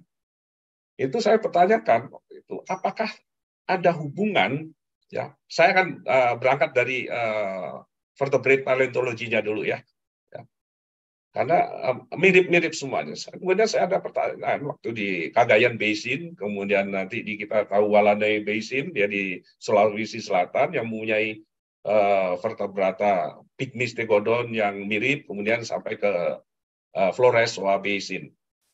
Nah, saya sampai saat itu terpikir apakah ada jalur dari utara ke selatan begitu ya, melihat penyebaran adanya stegodon tadi, Pygmy stegodon. Pertanyaan saya juga, apakah tidak sebaliknya dari selatan ke arah utara begitu? Dan uh, beberapa uh, saya tidak uh, memahami betul karakter atau ciri dari alat batunya. Saya kira nanti Pak Truman ini ada banyak berhubungan dengan teman kita dari Bong Dizon ya. Itu karakter alat batunya, stone toolsnya, mungkin ada kemiripan antara Kagayan yang dijumpai di Kagayan Basin di Sulawesi Selatan dan di Flores. Nah, kalau dua eh, aspek tadi mempunyai kemiripan dan kita sekarang ada bukti bahwa di Flores ada manusianya, meskipun di Kagayan belum ada manusianya dan di Sulawesi Selatan belum ada manusianya fosil dalam arti manusia di sini yang saya maksud. Tetapi di Luzon kita dapatkan itu dengan ciri yang mirip antara Luzonensis dan uh, Floresiensis. Jadi, apakah ada hubungan yang erat dari tiga aspek tadi? Fosil manusianya, artefaknya, alat batunya, dan uh, faunanya. Nah, pertanyaan tadi, apakah ada suatu uh, apa sempalan lah katakanlah gitu ya atau intrusi gitu kan ya, sempalan dari evolusi tadi. Saya melihatnya kalau Homo floresiensis maupun luzonensis itu tidak ada kaitannya dengan Homo erectus yang ada di Jawa, pertanyaannya dari mana dia asal muasalnya? Kalau kita lihat umur dari floresiensis yang paling tua adalah sekitar 700 ribu tahun, itu kan mirip-mirip juga yang kita dapatkan di Jawa yang sekitar 800-700 eh, ribu tahunan sebelum yang paling tua sekitar 1,5 lah begitu. Artinya kalau memang demikian kondisinya ada koeksistensi gitu, yaitu Homo erectus hidup di Indonesia bagian barat atau Jawa dan eh, Floresiensis di eh, Indonesia Timur dalam hal ini di Flores. Kalau tidak ada hubungan antara erectus dan floresiensis. Tetapi artinya kalau demikian, yang tadi ditanyakan asal muasalnya dari mana? Secara lokal atau regional itu kita bisa katakan semacam multi regional kan ya. ya. Uh, evolusi, ada evolusi di barat dan evolusi di Indonesia Timur akan begitu. Tetapi kalau kita lihat bahwa keberadaan Homo erectus di Jawa sudah sekitar 1,5 juta tahun yang lalu, sangat mungkin dia mengembara ke arah timur dan katakanlah eh, terisolasi sampai di Flores, kemudian mengalami eh, pengkerdilan karena lokal environment-nya, kondisi lingkungan di Flores banyak gunung api yang terus meletus karena floresiensis itu dijumpai di endapan-endapan yang berkaitan erat dengan uh, hasil kegiatan gunung api. Nah, apakah uh, demikian konsepnya, ya hipotesisnya, yaitu perjalanan Homo erectus dari Jawa yang mungkin uh, mengembara ke arah timur, kemudian mengalami uh, uh, evolusi endemik di Flores. Kalau demikian maka ada hubungan antara Homo erectus di Jawa dan Floresiensis. Tetapi kalau tidak ada hubungan, berarti ada suatu masa adanya kehidupan yang tersendiri. Dan ini sangat sulit ya karena kita harus cari bukti-bukti yang lebih uh, lanjut yang memang bahwa akan ada evolusi yang tersendiri di Indonesia Timur dan evolusi ya diawali dari fluorescensis yang paling tua nanti dan atau dan Homo erectus yang di barat gitu. Jadi saya kira itu yang saya bisa uh, jawab pertanyaan uh, Mas Ruli. Terima kasih. Terima kasih Pak Zaim. Uh, memang berbagai kemungkinan ya bisa ya. masih terbuka ya Pak Zaim. Tinggal ya. Bagaimana faktanya yang uh, bisa kita dapatkan. Itu Mungkin sebabnya ada... mengapa saya pertanyakan Homo floresiensis dari mana asal Anda itu. Iya betul Pak Zaim. Topik yang sangat menarik pada pagi hari ini. Mungkin Pak Truman dari uh, bisa bisa bergabung Pak memberikan ya semacam pendapat Pak mengenai apa yang diutarakan oleh Pak Sofwan tadi.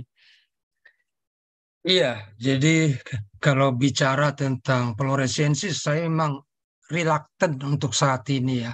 Ada semacam keengganan bicara memberikan pendapat karena apa? Masih terlalu banyak pertanyaan yang meliputi temuan ini. Baik dari segi antropologi apalagi dari segi arkeologi. Saya teringat perdebatan di tahun-tahun 2004 ke atas itu dua pool ini sangat tajam pendapatnya, perbedaannya hingga tidak bertemu.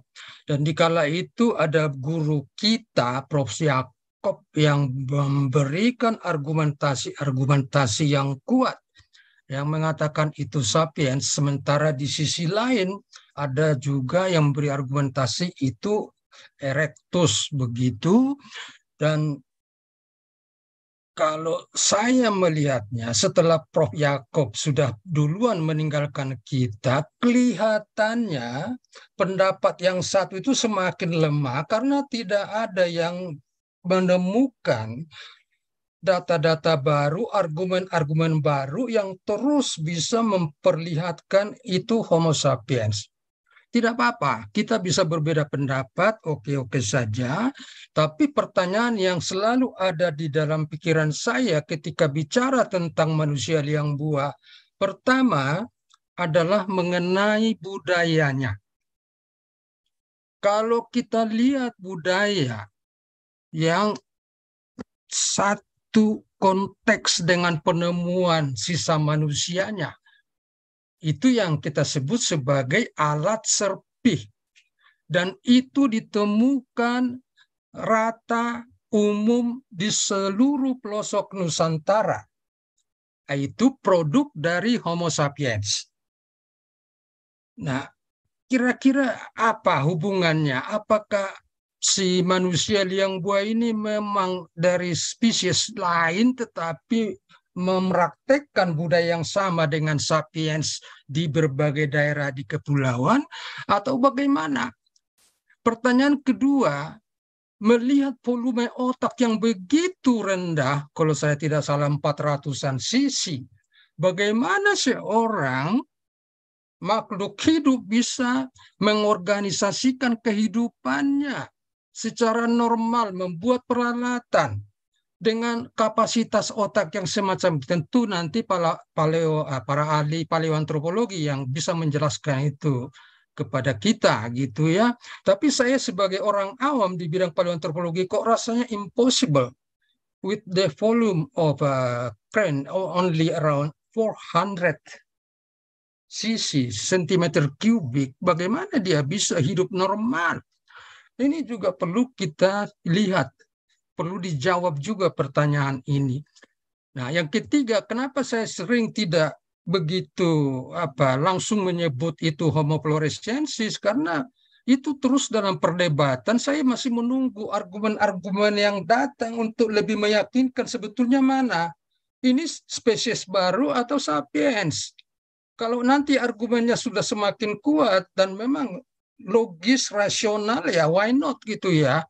Itu penyebabnya. Jadi ini ya, kalau bagi saya sementara ini melihat dari aspek arkeologinya memang ini sapiens. Saya mengikuti guru guru besar saya, tapi boleh saja kita berbeda pendapat. Nah, mengenai apa yang disebutkan Pak Yaim tadi artefak yang sama di di apa eh, Kabalwanian di daerah Luzon sana dengan di Indonesia itu memang terjadi sejak ratusan ribu tahun yang lalu di kawasan Indo uh, Asia Timur dan Asia Selatan, Asia Tenggara. Itu yang disebut sebagai kompleks chopper chopping tool. Ya, kita punya yang disebut Pacitanian, Malaysia Tampanian, kemudian uh, di apa di Cina Cokotienian, ya di Filipina Kebaluanian. Ini adalah kelompok kapak perimbas penetak terlepas dari umurnya apakah sama atau berbeda-beda, tapi ini sebuah kompleks budaya yang berkembang di Asia Timur dan Asia Tenggara pada masa itu yang menjadikan Mobius sampai menarik garis yang disebut Mobius Line yang membedakan assemblage paleolitik di Asia Timur, Asia Tenggara dengan yang ada di Afrika, Eropa maupun India. Tapi dalam kenyataan tidak demikian. Yang namanya kompleks chopper chopping tool itu universal sifatnya. Di Afrika kita kenal sebagai Oldowan. Ya, dan di daerah Eropa juga sama. Jadi sebetulnya yang disebut garis Mobius itu ya perlu ditinjau kembali. Kurang lebih seperti itu. Jadi hal yang wajar kalau ada kesamaan assemblage artefak di Cina, eh, di, di Filipina dengan di Indonesia memang ada kawasan persebaran paleolitik di kala itu di berbagai kawasan yang sangat luas. Ya. Nanti kita ketemukan juga di daerah lain, di Malaysia dan lain sebagainya, sampai di Thailand sana, Pingdoyan itu gitu. Kurang lebih seperti itu Mas Ruli yang bisa saya sampaikan. Jadi saya berharap para ahli ini, paleoantropologi ini tetap mengasah analisisnya semakin tajam untuk semakin meyakinkan apakah penemuan di liang buah itu tergolong spesies baru atau keberlanjutan Homo erectus atau itu hanya sapiens seperti yang disampaikan oleh guru saya. Terima kasih Mas Ruli dengan kesempatan ini. Terima kasih Prof. Truman, uh, Prof. Zaim atas uh, jawabannya dan diskusinya menarik sekali ya. Tapi kita memang saya setuju kita masih butuh beberapa data ya untuk uh, apa ya corroborate uh, the result, corroborates the hypothesis about Homo floresiensis. Uh, semoga Pak Sofwan uh, puas dengan jawabannya. Dan ya kita menanti Pak Sofwan riset-riset selanjutnya terkait dengan Homo floresiensis itu harus tetap di, uh, dijalankan dan memang Flores dan daerah Wallacea eh, satu region yang sangat menarik untuk diselami mengenai sejarah penghunian maupun sejarah lingkungannya. Terima kasih sekali lagi dan salam hormat pada Pak Zaim. Sehat-sehat selalu Pak Zaim. Terima kasih Pak Truman juga sehat-sehat selalu Pak Truman. Terima kasih. Bentar, ya, semoga bisa bertemu kembali Pak Zaim mau Pak Truman. Terima kasih, kasih waktunya. Kita akan beralih ke uh, acara selanjutnya rekan-rekan sekalian, uh, saya harus mengembalikan ini ke MC atau oh ya, oke. Okay. Uh, eh, terima kasih, selamat siang dan uh, saya mohon undur diri. Terima kasih sekali lagi kepada uh, para partisipan yang telah uh, secara sukarela berpartisipasi di dalam acara pada siang hari ini. Waktu dan tempat saya persilahkan kepada Mas Rama. Silakan Pak Rama. Terima kasih Mas Ruli selaku moderator dan terima kasih juga kepada Profesor Truman Simanjuntak dan juga Profesor Yahdi Zaim atas lecture yang telah diberikan tentunya sangat memberikan informasi di pagi hari ini. Di acara berikutnya ini seharusnya ada coffee break. Namun apakah mau langsung dilanjut saja? Langsung dilanjut saja ya ke lecture kedua kalau begitu kita akan lanjut saja ke lecture session kedua. Di sini sudah ada dua orang speaker juga sama seperti tadi. Yang pertama ada Pak Wahyu Sabtomo M. Hum. Selamat pagi Pak Wahyu. Gimana Pak? Sehat Pak? Sudah lama tidak berjumpa sejak saya pertama kali menginjakan kaki di sini. Baik. Untuk yang kedua ada Dr. Semlin yang saat ini berada di uh, Zoom. Good Selamat morning. Uh, morning. Good morning, Mr. Sam. Oke. Ah, I can hear you. oke. Dan moderator untuk kali ini adalah eh, salah seorang eh, peneliti senior tentunya dari arkeologi ada Pak Ako, Pak Jatmiko. Selamat pagi, Pak Jatmiko. Baik, mungkin saya nggak usah berlama-lama lagi ya untuk lecture session kedua akan kita lanjutkan dan akan dimoderatori oleh Bapak Jatmiko. Kepada Pak Jatmiko, dipersilahkan. Baik, terima kasih Mas Rama. Eh, Assalamualaikum warahmatullahi wabarakatuh. Eh, Om Swastiastu, salam sejahtera, namo buddhaya, rahayu. Eh, Selamat siang Bapak-Bapak dan Ibu-Ibu sekalian yang kami hormati. Berbahagia sekali pada hari ini kita bisa memperingati eh, penemuan 20 tahun yang lalu ya spesimen sebuah spesimen dari situs Liang Bua yang disebut Hobbit Homo floresiensis. Baik, eh, khusus untuk eh, maaf saya pakai bahasa Indonesia ya. Mungkin dicampur sedikit ya. Ya, good afternoon ladies and gentlemen and good evening to participant for different time on your country. Good day for you all. Ah, untuk lecture atau pada sesi kedua ini kita akan menampilkan dua orang speaker atau pembicara. Yang pertama yaitu Pak Wahyu Emmanuel Sabtu Wahyu Sabtomo M. Hum. Nah, beliau ini adalah seorang arkeolog juga dan salah satu dari tim dari Buslitar Kernas yang menemukan uh, fosil hobbit di liang buah yang disebut Homo floresiensis. Nah, itu sekitar hmm, 20 tahun yang lalu ya. Jadi pada tahun 2023 tepatnya tanggal 2 September ya. Jadi ini lewat satu bulan. Kemudian yang kedua, pembicara yang kedua yaitu ada Dr. Samlin. Nah, beliau ini adalah sahabat saya juga. Uh, halo Sam, uh, nice to see you. Yeah, he is my best friend and also uh, my teacher. Uh, karena beliau ini Sam ini ahli di bidang uh, litik tool atau artefak batu. Uh, baik, uh, kita pada season yang kedua ini uh, kita punya waktu sekitar satu jam uh, 15 menit sampai jam 12 ya nanti. Jadi mohon nanti mungkin untuk setengah jam setengah jam mungkin dari masing-masing pembicara itu nanti kemudian kita sambung dengan melalui diskusi 15 menit.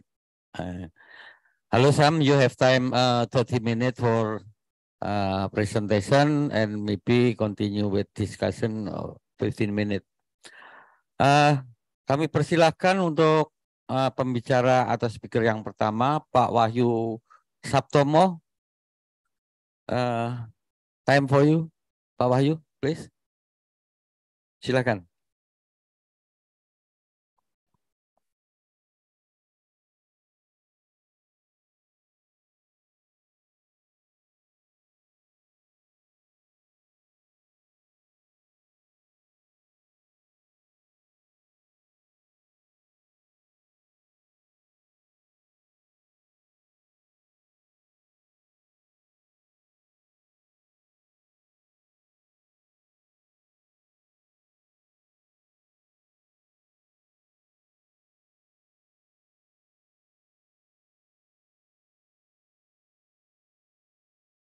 Halo Sam, nice to see you.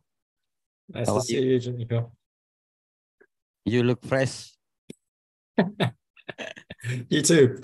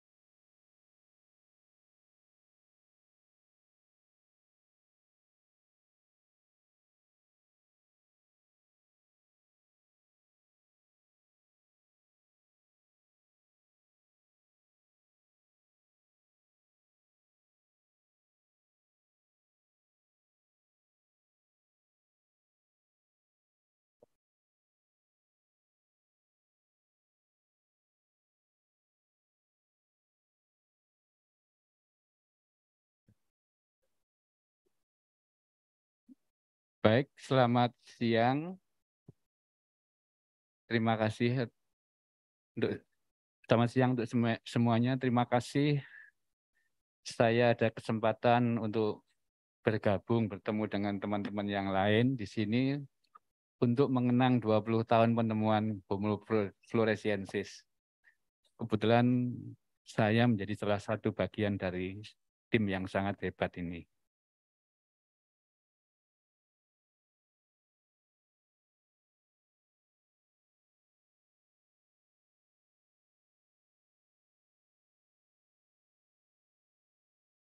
Ya, saya memberi judul 20 tahun pen, 20 tahun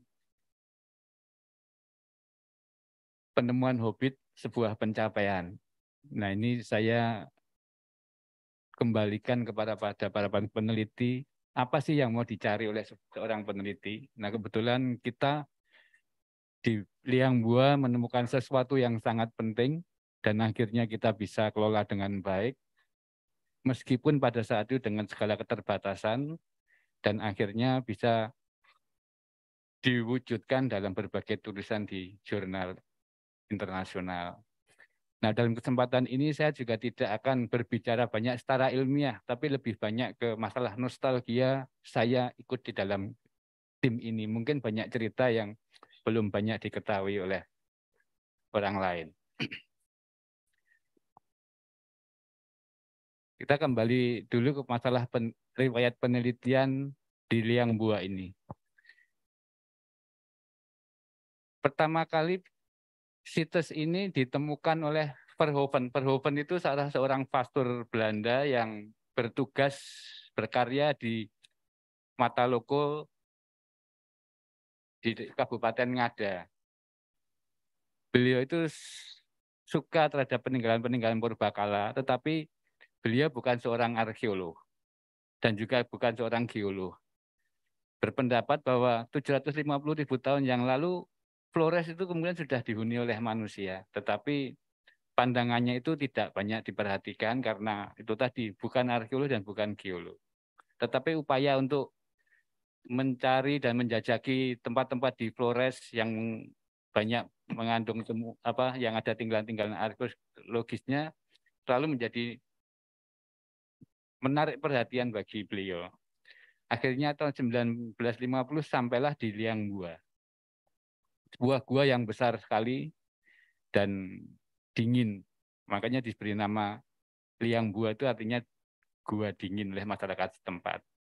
Pada 1950 diadakanlah tes pit di gua itu. Ditemukan beberapa temuan arkeologis yang bisa menjadi indikasi untuk penelitian atau kegiatan-kegiatan selanjutnya. Pada saat itu Pak Rokus, salah satu anggota tim kami, kita belum belum belum belum belum terlibat dalam kegiatan tersebut. Tapi pada tahun 1965 kembali lagi dan melakukan penggalian dengan membuka tiga buah kotak kalau nggak salah satu dua tiga atau empat itu empat itu sudah dengan Pak Rokus dan menemukan tujuh rangka. Pusat Arkeologi Nasional sendiri pada saat itu belum ada. Baru kemudian setelah ada baru 78 sampai 89 mengadakan penelitian di sana di bawah pimpinan Pak Yono. Tetapi berhenti pada kedalaman-kedalaman tertentu seperti misalnya ketemu pasir dan ketemu blok-blok batu kambing. Terus sekitar tahun 2001 Pak Mike Morwood seperti tadi disampaikan oleh Profesor Jaim sedang melakukan penelitian di cekungan soa yang tujuannya juga mencari tentang manusianya yang ada di sana. Tetapi belum belum sempat ketemu-ketemu dan dalam salah satu anggota tim di SOA itu adalah Pak Jatmiko. Akhirnya bertanya Pak Jatmiko, di mana sih ada gua di sini? Akhirnya ditunjukkan Pak Jatmiko ke Gua Liang Bua. Maka dari Jawa sempat mengunjungi liang buah dan akhirnya tahun 2001 dibentuklah kerjasama antara University of New England di mana waktu itu Pak Mike Morwood sebagai salah satu dosen di sana kerjasama dengan Pusdit Arkenas. Itu berlangsung sampai 2004. Dan 2004 Pak Mike Morwood pindah ke Wolonggong, maka dilanjutkan dengan kerjasama dengan Wolonggong sampai tahun 2011. Tahun 2012 sampai 16 kita menjalin kerjasama dengan Smithsonian Institution. Ini suatu institusi yang sangat ber, bergengsi karena temuannya sangat sangat lengkap. Dan waktu itu perwakilan dari Smithsonian adalah Pak Matt Tocheri yang kebetulan membuat tesisnya itu dengan mengambil salah satu bagian tulang rispun ya, pergelangan ya, dari hobbit ini. Akhirnya tertarik dan melakukan kerjasama dengan kita. Waktu itu beliau masih di Smithsonian. Tahun 2017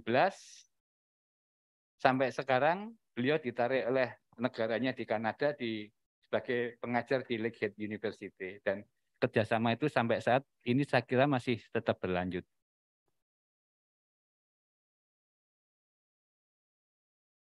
Ini Pastor Verhoeven ketika melakukan penelitian di liang buah.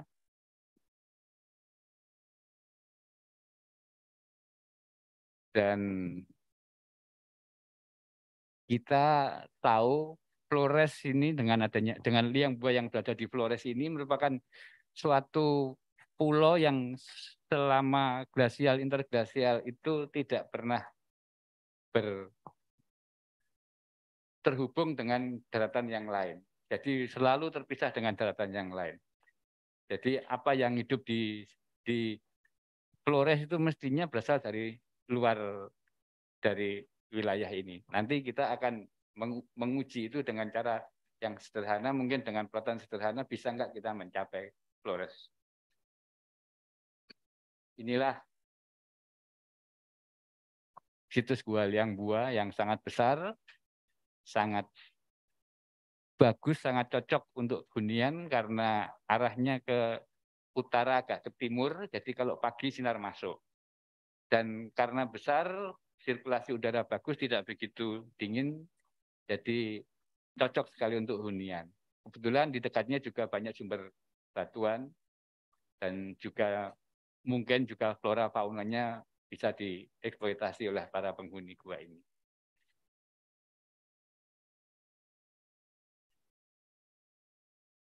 Dengan adanya kerjasama dengan berbagai pihak tadi, penelitian di di liang buah ini kita menerapkan penelitian interdisipliner. Jadi tetap kendali ada di kita, tapi kita juga melibatkan banyak sekali ahli-ahli yang kemungkinan kita butuhkan. Maka dari itu ada ahli geologi, ada ahli DNA, ada ahli paleo environment, ada paleontolog, dan semakin lama semakin berkembang terus sesuai dengan apa yang kita butuhkan. Tapi pada pada awalnya yang ada itu ahli dating dan geolog dan paleontolog. Untuk datingnya waktu itu kita masih menggunakan OSL kalau nggak salah ya. Optically Stimulated Luminescence yang dikembangkan oleh Profesor Bert Robert di Wolonggong. Terus juga kita pakai ESR. Kalau nggak salah Pak Jekering waktu itu Pak teman ya. Sama.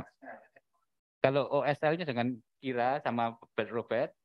Kalau ESR-nya itu dengan Jekering dari kan Kanada. Dari Kanada ya.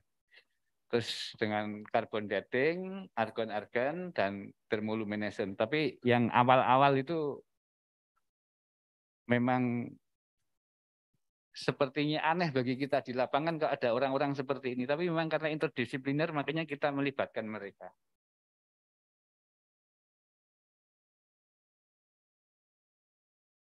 Cara kerjanya pun juga kadang-kadang bagi kita juga sangat ekstrim. Berbeda dengan yang biasa kita lakukan. Mereka masuk keluar gua setiap hari mencari sampel untuk mengetahui mencari sampel-sampel tentang paleoclimate dan kadang-kadang kita itu kalau ambil sampel tidak harus siang hari, tapi karena OSL ini kan sampelnya untuk mengecek kapan terakhir kali lapisan itu kena sinar matahari. Makanya kalau mengambil sampel itu kalau nggak pakai tabung harus dilakukan dalam suasana gelap. Kalau siang ya kita tutup semua kotak itu dengan plastik gelap. Nanti pakai inframerah. Tapi kalau enggak pakai diambil pakai sampai malam hari. Dan kita beberapa kali ngambil sampel sampai tengah malam kita baru pulang. Dan kita bisa bayangkan tahun 2003 dari Liang Bua ke Ruteng itu sekitar 12 kilo, tetapi kadang-kadang harus kita tempuh waktu dua jam karena jalannya sangat jelek. Berbeda dengan sekarang yang sudah sangat memadai. Terus akhir-akhir ini kita juga menggunakan 3D scan. Tapi 2003 belum, tapi ini akhir-akhir ini. Ini saya kira Pak Thomas sedang men-scan salah satu batuan gamping di kedalaman sekitar 6-7 meter ini kalau nggak salah ini. Untuk ambil sampel dating, karena waktu itu Pak Thomas sedang persiapan untuk tesisnya, disertasinya. Ini kita lewati saja, ini ini berkaitan dengan tadi yang sudah kita lakukan dalam penelitian ini dari awal kotak-kotak yang besar itu yang digali zamannya Verhoeven, kemudian diperdalam zamannya Pak Suyono dan Edeng Presiden Arkenas sebelum kerjasama dan kemudian dilanjutkan dengan masa-masa kerjasama. Dan saat ini sudah jauh lebih banyak kotak yang digali. Terus target yang ingin dicapai dalam penelitian ini apa sih? Waktu itu komandan lapangnya kan Pak Thomas. Pokoknya kita cari hunian awal. Penghunian awal di situs Liang Bua. Berarti kita harus mencari temuan sampai sedalam mungkin. Efeknya yaitu tadi kita menggali kota itu sampai betul-betul kota itu steril. Kalau sampai 7 meter belum steril, kita gali terus sampai kita menemukan lapisan steril.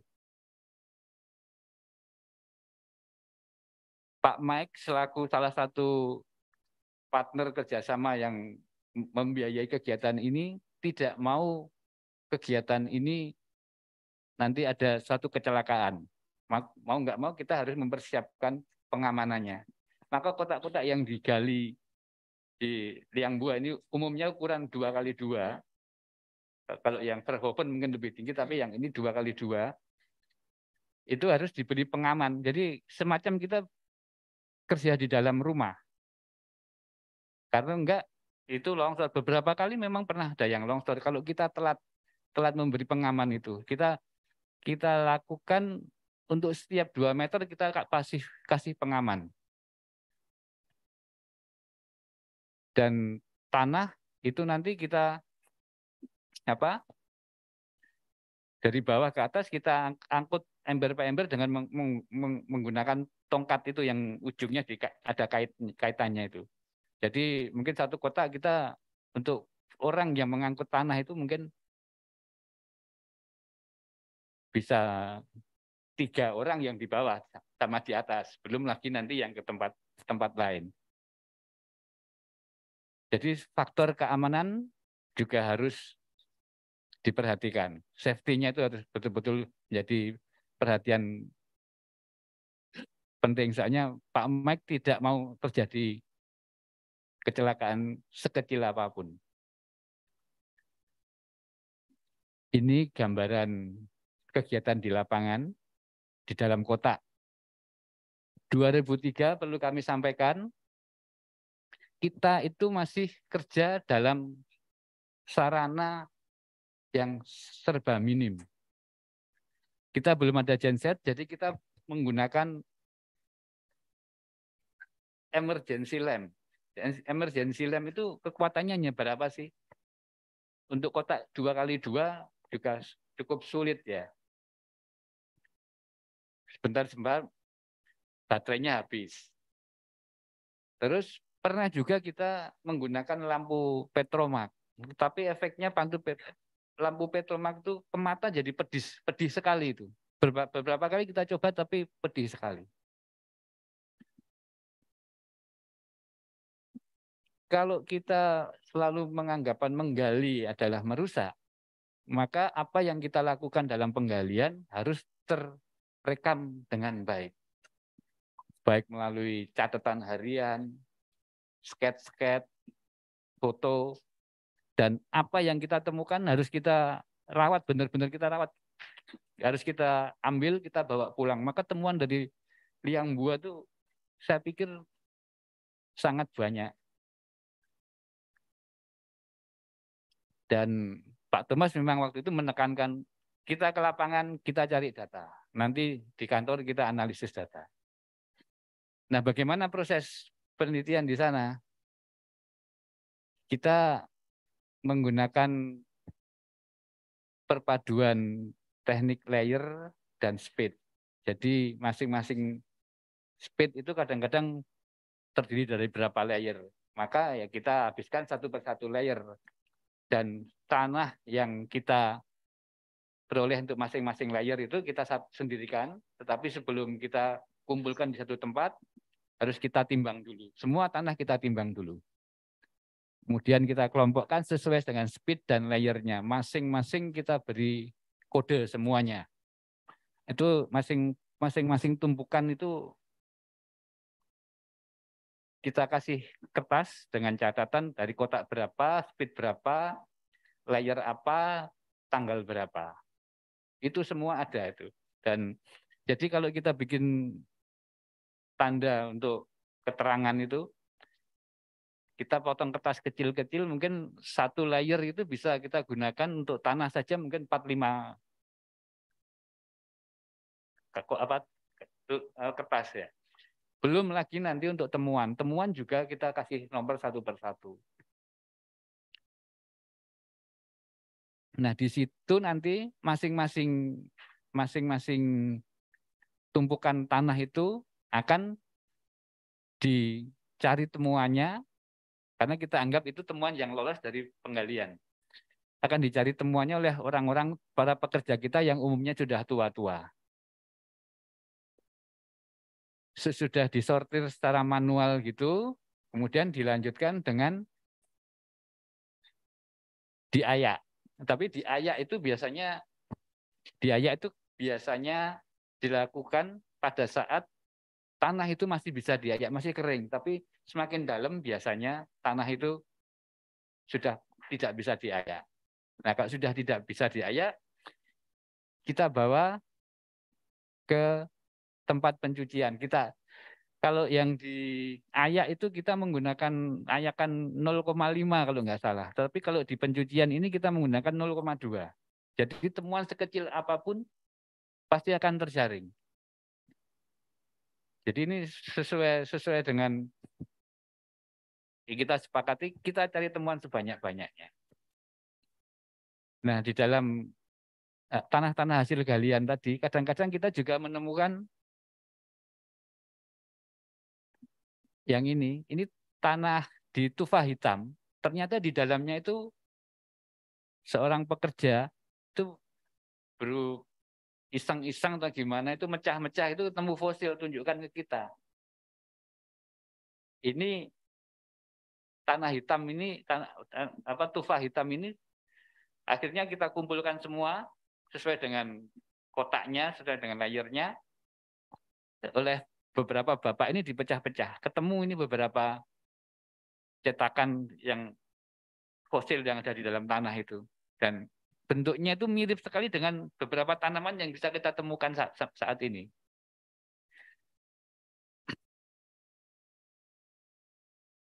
Kita kembali lagi tadi ke proses pencarian temuan ya. Nah, terus gimana kita menangani temuan di dalam kota?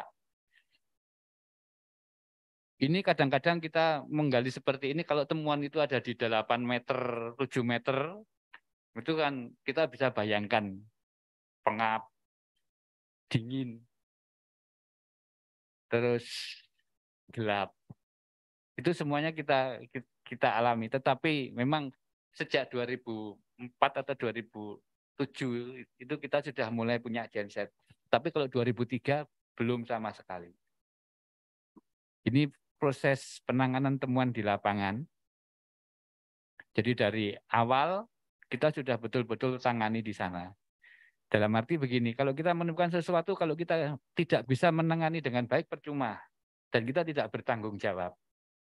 Inilah yang dilakukan di tengah, di, di, di, di, di dalam kotak gali. Kadang-kadang ada temuan yang sangat rapuh. Kalau rapuh, kita nggak mungkin bisa angkat, pasti pecah. Makanya kita cari strategi, kita angkat dengan tanahnya. Nanti kita bawa ke hotel, baru kita bersihkan pelan-pelan. Nah ini kegiatan di hotel. Temuan seperti ini kan nggak mungkin kita bisa uraikan di, di tadi di lapangan habis waktunya makanya kita bawa dengan tanahnya malam kita kerja di hotel Pak Thomas itu sama Pak Rokus kadang-kadang saya juga bantu untuk nemenin selalu menyediakan waktu untuk melakukan penanganan temuan ini baik untuk menampakkan kemudian juga mengkonservasi, kadang-kadang dikasih pengeras. Waktu itu kita belum pakai paraloid, tapi pakai apa Pak teman? Pakai rodoplas yang encer. Waktu itu kita belum kenal paraloid. Ada juga seorang tenaga lokal yang kita ajari untuk melakukan konservasi secara sederhana ini. Kemudian kalau semuanya sudah kita tangani dengan baik, kita kan harus membawa pulang ke Jakarta. Kita lakukan packing. Pokoknya temuan harus selamat sampai Jakarta. Nah, kenapa saya menyampaikan ini? Ini saatnya sangat berkaitan dengan, erat dengan pada saat tanggal 2 September 2003 waktu kita menemukan ini. Ini detik-detik kita menemukan fluorescensis. Ini ada di sektor 7, kotak yang kebetulan waktu itu saya tangani pada kedalaman hampir 6 meter. Kita menemukan pertama itu bagian kepalanya, tapi karena sebelumnya jarang ada temuan, digali agak cepat, begitu ada temuan ini pas kena di bagian atas kepala ini. Makanya ada ada agak luka sedikit itu. Tapi habis itu mulai ditampakkan, ditampakkan. Terus terus saya sampaikan juga pada saat penemuan ini Pak Thomas itu sedang tidak ada di lapangan. Baru demam dia. Saya tidak pernah punya pengalaman untuk menangani temuan seperti ini. Tetapi saya tahu bahwa ini temuan sangat penting.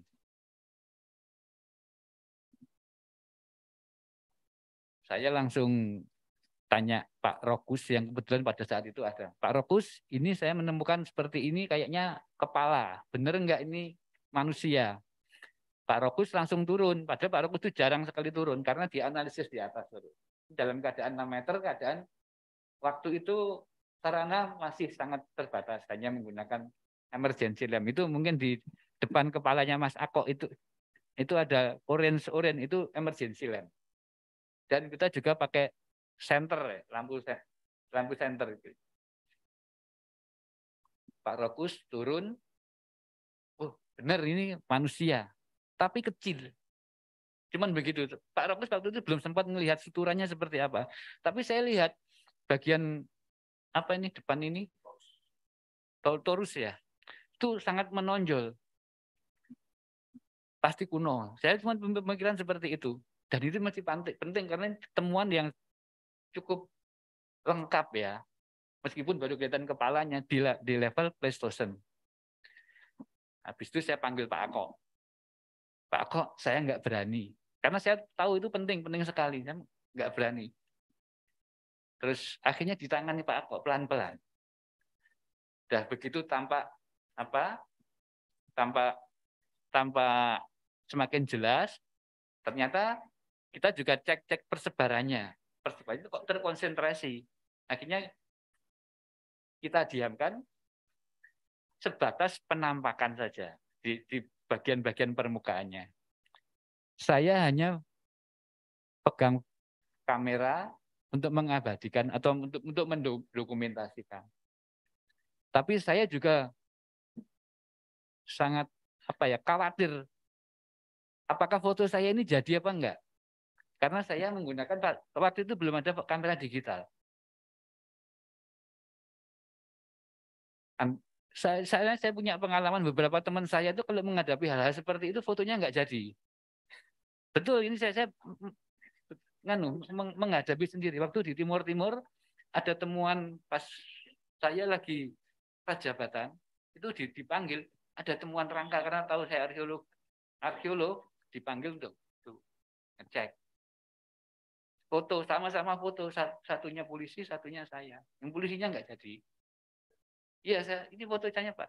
Fotomu mana? Gitu. Wah saya nggak jadi mas. Ya karena kadang-kadang itu nervous kalau udah seperti itu. Untung jadi. Tapi waktu itu saya begitu pulang dari lapangan itu sekitar jam 6 kalau nggak salah ya. Langsung ke kota Ruteng rencananya untuk mencucikan ini. Karena pengen tahu hasilnya jadi apa enggak ternyata sampai di Ruteng tokonya tutup. Udah pulang ke hotel. Di hotel sudah di, di di lapangan itu di jalan itu saya bilang sama Pak Ako nanti Pak Thomas diceritain apa enggak ya? Pak besok suruh datang aja gitu. Sampai seperti itu waktu itu. Akhirnya kita nggak tahan jam 9 malam. Itu akhirnya kita ngomong kita nemukan ini. Kaget dia. Padahal dia demam. Nah, habis itu dia nggak bisa tidur pagi. Iya. Pagi-pagi udah hanya berangkat gitu. Tapi waktu itu ya tetap tetap saja kita nunggu jemputan jemputannya nggak kayak sekarang on time enggak tunggu jam sekian datang sekian. Tapi kebetulan saat itu bisa agak pagi.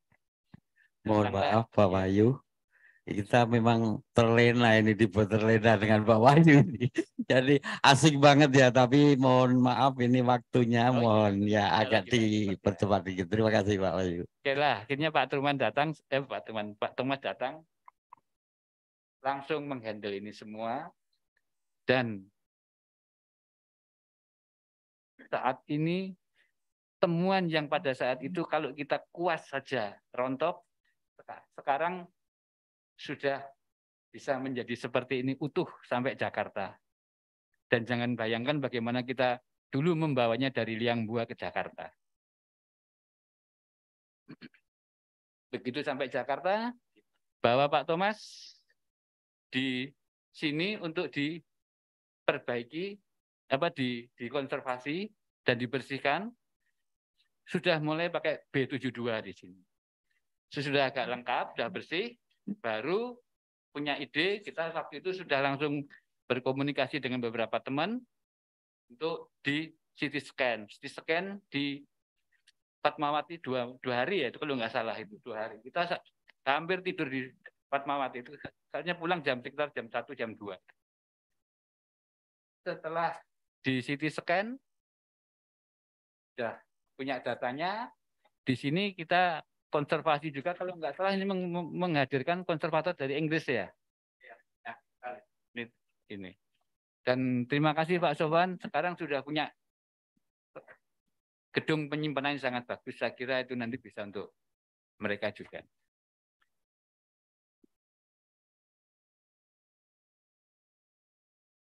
Nah, secara umum hasil yang dicapai saya kira sudah banyak yang tahu tentang liang buah. Salah yang pertama itu stratigrafi yang ini kemudian menjadi bahan bahan disertasinya Pak Pak Thomas.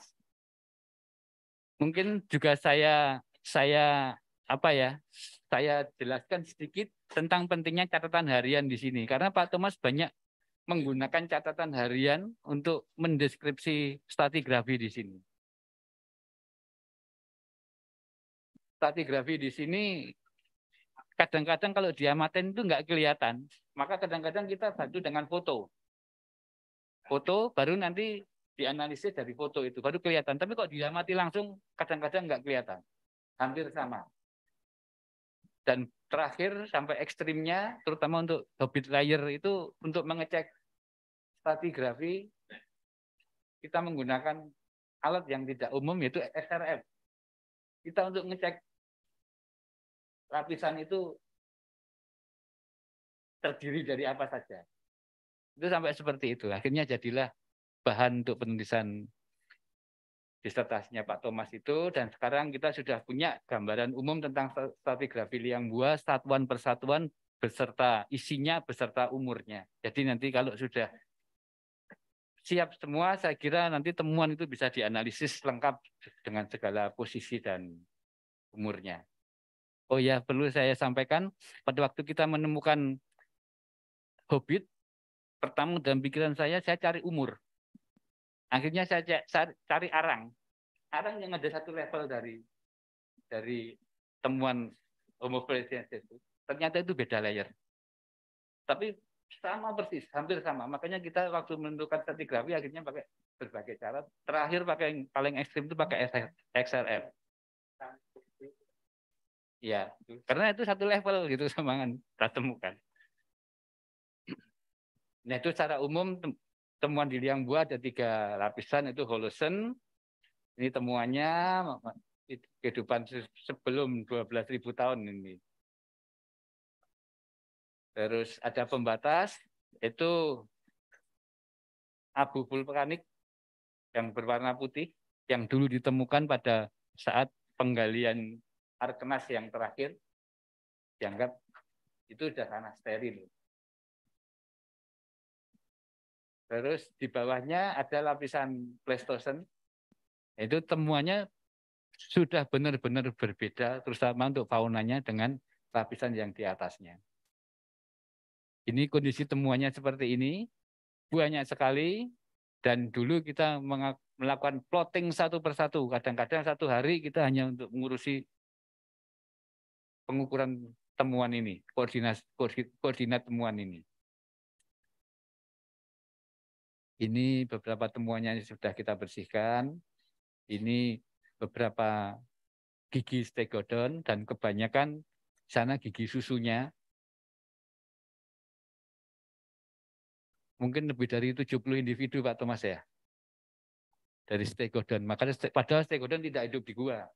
Jadi ini kemungkinan besar menjadi salah satu makanan favorit para penghuni gua pada saat itu, terutama di Hobbit Layer ini.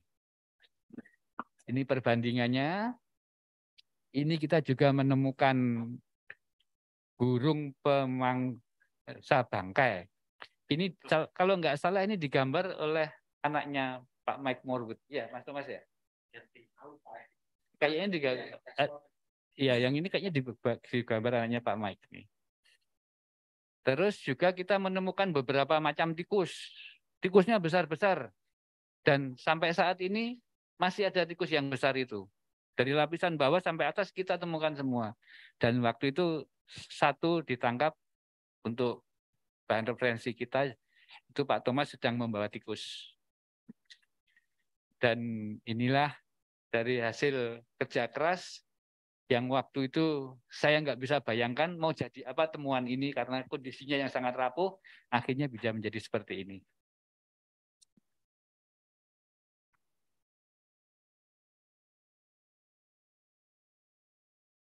Ini sesudah kita temukan ini, kita kontak dengan National Geographic. Tahun 2004, kita melakukan uji coba. Tadi saya sampaikan bahwa Flores tidak pernah bergabung dengan daratan-daratan yang lain. Makanya kita mau mencoba dengan alat sederhana kita bisa nggak mencapai Flores. Akhirnya kita dari Sape menggunakan rakit dari bambu nyebrang ke Komodo, ke Pulau Komodo. Berangkat dari jam sekitar jam 6 pagi dengan 10 orang tapi tengah jalan juga ada pergantian. Kita ada beberapa kru yang lain yang ada di kapal yang lain untuk bergantian. Kita memerlukan waktu sekitar 11 11 setengah jam. Sebetulnya bisa bisa bisa lebih cepat. Cuman waktu di tengah pas siang-siang itu ada arus, jadi tarik lagi, baru ke, kemudian agak melengkung, baru nyebrang lagi. Kalau bisa lurus itu mungkin lebih cepat, tapi karena ada arus itu menjadi sekitar 11 sampai 11 setengah jam. Nah, setelah itu kita ada terbitan pertama kali di Nature, kemudian jadi juga menjadi cover National Geographic Indonesia yang pertama. Sesudah 2004, kita di lapangan sibuknya setengah mati. Karena kita setiap ke lapangan, tamu itu datang dari mana-mana. Baik dari yang pengen lihat, terus dari jurnalis, dan yang pengen bikin, bikin film. Itu banyak sekali. Jadi kita sampai bagi-bagi tugas untuk itu. Dan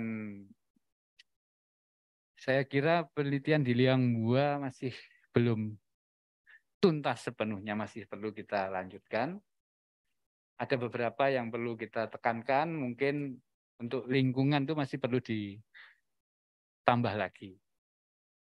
Dan khususnya untuk pollen sampai saat ini masih sangat minim. Mungkin bisa dikembangkan nanti Pak Kapus. Dan penggunaan teknologi modern saya kira sangat membantu untuk mengungkap misteri liang buah ini supaya lebih banyak informasi yang bisa diperoleh. Juga kita perlu adanya situs-situs tambahan sebagai situs pembanding. Mungkin bisa di sekitar Manggarai Barat atau di sisi utaranya. Dan waktu kita masih di Debikbud, kalau nggak salah kita juga pernah berkomunikasi dengan Dijen Kebudayaan untuk sebuah museum di sana. Itu sudah ada proposalnya kalau nggak salah. Bahkan mereka sudah bikin studi kelayakan. Kalau bisa dikembangkan, untuk tidak lanjuti, saya kira itu bagus sekali. Biar nanti informasi itu juga bisa dimanfaatkan. Jadi makna dari keberadaan situs tiang buah itu bisa bermanfaat bagi banyak orang. Dan satu lagi yang tadi masih di diperdebatkan, dipertanyakan banyak orang, siapa sih Hobbit itu?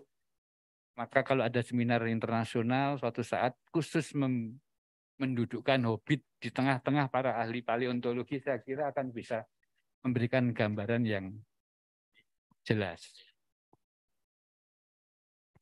Mohon maaf Pak Wahyu, ya, udah melebihi 10 menit ini.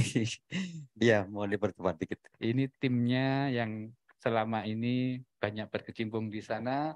Cuman terus terang jarang sekali kita bisa lengkap. Itu ada Pak Rokus, Pak Thomas, Pak Jatmiko, almarhum Pak Suyono, saya almarhum Pak Mike dan Pak Triwasisto. Dan terakhir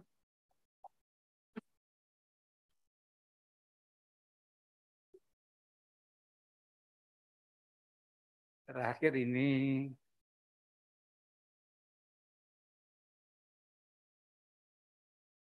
Ini Pak Yono sudah dipanggil 2011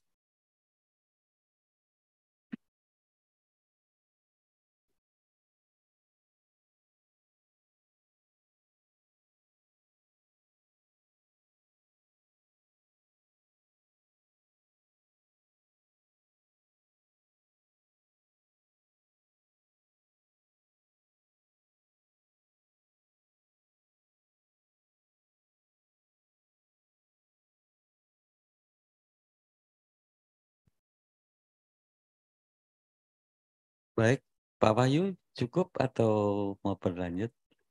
Iya, barangkali ini menjadi terharu karena Pak Wahyu sebagai pelaku mengingat dari kesan-kesan dari apa ya dari beliau-beliau perintis-perintis ada Pak Suyono, ada Pak Mike Murwood dan Pak Rokus yang sudah mendahului kita semuanya. Jadi mungkin Pak Wahyu menjadi sedikit terharu ya. Baik, terima kasih Pak Wahyu atas uh, apa ya kita menjadi apa ya terlena di buat ceritanya Pak Wahyu. Memang menarik sekali dan luar biasa. Barangkali uh, sedikit aplaus ya buat Pak Wahyu ya. Aduh, saya juga ikut terharu Terima kasih sekali lagi Pak Wahyu. Uh, ya waktu sudah molor sedikit, tapi nggak apa-apa karena memang kita sangat terkesan dengan ceritanya Pak Wahyu itu yang dibuat terlena betul-betul itu. Baik, kita menginjak uh, pembicara selanjutnya, uh, second speaker, yaitu uh, Dr. Samlin. Ya, untuk ini waktu kami persilakan. Nah, Sam, halo Sam. Are you ready? Hello, I'm ready. Okay, yeah, time for you, Sam. Yeah, please, yeah, okay. Everyone see that? Is it the right screen? Okay, yeah. Yeah. All right, uh, selamat siang. Uh, good day, everyone, and directors, professors, and colleagues and friends in the room. Um, so I want to first by thanking the organizing committee for inviting me to present some of uh, our recent work on the stone artifacts at Liang Bua. And of course, the work that I'm presenting now um, is sort of an overview and update, and it's the product of many people. So uh, it's not just uh, my work alone. So I want to take this chance to acknowledge Pat Thomas, Pat Japmiko, Pat Wayu, and Pat Matthew for inviting me to the project and also uh, the colleagues that uh, at Brin um, for making all the research uh, possible. Okay. Um, so in the presentations we've heard so far already in the morning, we had already had two excellent presentations by the two professors on the homo, uh, human evolution context of Liang Boa. Um, I'll, so I won't spend too much time on this, but the main point I want to make is in the broader context, in this part of the world, Southeast Asia, it's a very interesting place uh, to study human evolution. Um, now it's quite clear that we have multiple ancient hominins in this region before 50,000 years ago. We have Neanderthals and Denisovans in the mainland. We have clear evidence of Homo erectus, new evidence of Homo luzonensis, and of course Homo floresiensis in South Island, Southeast Asia. And we also have these unknown hominins represented by the hominin teeth remains in Sulawesi and the Soa Basin. So what's interesting is that uh, all these evidence for these ancient hominins seem to disappear by about 50,000 years ago. And uh, just before that time, we see the arrival of modern humans or um, Homo sapiens, and uh, including recent work by Kara Westaway and her colleagues. Now we have uh, evidence for early modern humans in this part of the world as early as 86,000 years ago. And of course, we have evidence from Australia uh, indicating that modern humans crossed the Wallace, uh, Wallace line um, and arrived into Australia by 65,000 years ago. If we then consider the various sites in eastern Indonesia, it seems to indicate that modern humans became well established in this island region by 50 to 40,000 years ago. And what's interesting is that we see the disappearance around this time of the other various ancient hominins. So, of course, the discussion debate concerns why this happened. Why did our species uh, persisted and survived while the other ancient humans disappeared? And some of these discussions tend to revolve around adaptation and the technology of our species. Perhaps modern humans had technological advancements that allowed us to outcompete these early hominins, while increasing more, uh, increasingly more studies tend to focus on the social element of our species, the way we organize our societies, the way we negotiate and maintain social relationships that perhaps allowed our species an edge to outcompete these other um, ancient hominins, especially in new environments, um, such as the, uh, the, the, environment that they may have encountered uh, in this part of the world, this maritime um, environment. And so from an archaeological point of view, what kind of evidence do we have uh, for these different uh, hypotheses? Of course, technological advancements, we can look at material culture, we can think about open ocean crossing, the fact that they cross uh, Wallace's lines into Australia, but also from a social aspect, we have uh, the direct evidence of rock art. Of, uh, we have now these amazing rock art in Sulawesi dated to uh, 45, 46,000 years ago. But from an archaeological point of view, um, perhaps we can think about the trade and exchange of objects, how the distance that people can travel. So that's the sort of perspective I want to take into so thinking about the archaeology at Liangbua and the stone artifact sequence. And in fact, Liangbua is the perfect case study for investigating this question because it has a relatively long archaeological sequence that dates from 190,000 years ago to the recent past. And more importantly, this is probably what makes Liangbua unique and the most valuable for understanding this, for answering this question, is that we have the hominin turnover of two hominin taxa represented at a single site. So on the right, we have the stratigraphic sequence of Liangbua, and Pak Wahyu already um, mentioned uh, the stratigraphy at the site. So here, just roughly at the bottom of the sequence, we have evidence for uh, Homo floresiensis from 190,000 to about 50,000 years ago. Then from 46,000 years ago onwards, we have modern human, um, the, the record for modern human. So this is a really valuable case for us to compare the archaeology and the behavior of two hominin taxas at a single location. And the third reason why this is such a perfect place to study uh, from a stone artifact point of view is that it has an abundance of stone artifact remains made by both hominin species. So I want to go back a bit um, to provide some background. Um, of course, stone artifacts is one of the main archaeological evidence for interpreting uh, the behaviors and adaptation of early humans. Um, and of course, we see stone artifacts being featured as an important piece of evidence for the discussion of the cognitive and cultural capacities of Homo floresiensis at Liangbua. And we can see that in the initial uh, report by Mike Moore and colleagues, they already mentioned uh, the kind of stone artifacts they found at Liangbua, and they mentioned a few advanced types of stone artifacts, uh, including blades, as you can see at the top right, these elongated pieces, um, these retouch uh, perforators. They call them perforators, these retouch points. And you can see this really amazing 3D model uh, made by Mark Moore. And if you're interested in seeing some of these models, you can head to his Twitter account. He also has a website called the Museum of Stone Tools. And they have, he made a lot of amazing models uh, that you can have a look. Um, so coming back, these uh, retouch points, we also have uh, what was described as microblades and burin cores. These terms, these types have always been associated with modern humans and some of the more recent ancient humans like the Neanderthals elsewhere in Eurasia. So the fact that these artifacts were described at Liangbua was used as evidence to suggest that the Homo floresiensis were relatively modern in terms of their cognitive capacity and their technological skills, that they're able to produce these implements similar to what we see uh, elsewhere with modern humans, uh, especially in Africa and, and Western Europe.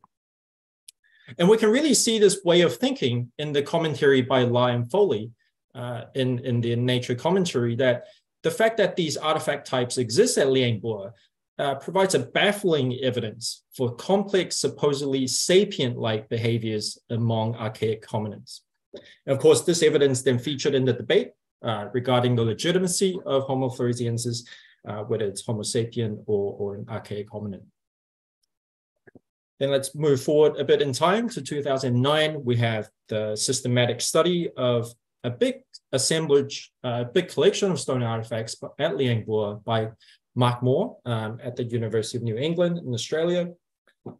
And what was quite surprising um, was that his analysis indicated no clear change in the way these stone tools were manufactured over time at Liangbua.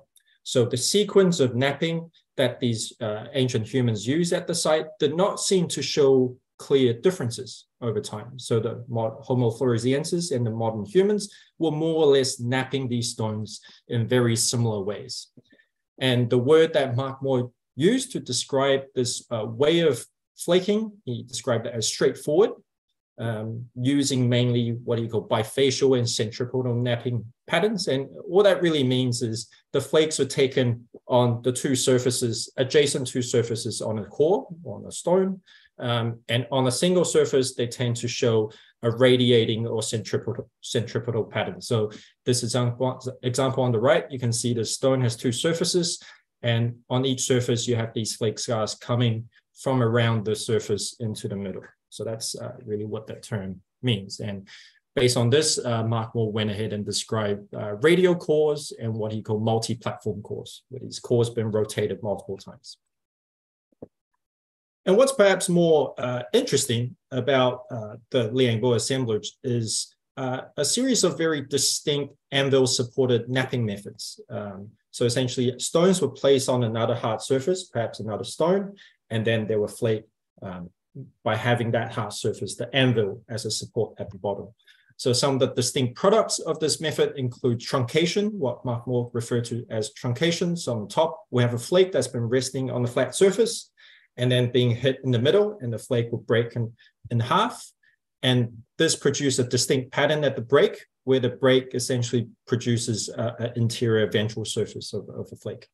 Um, and of course, uh, there's another technique, what Mark Moore referred to as uh, bipolar. So a flake being placed on an anvil and then being struck along the edge. So we have these battering marks along the flakes.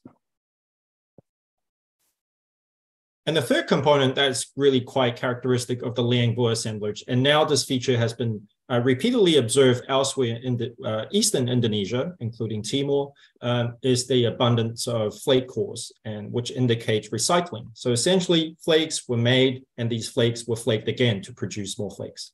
And here, so you can see these flakes, they have secondary flake marks being taken off the ventral surface of these flakes.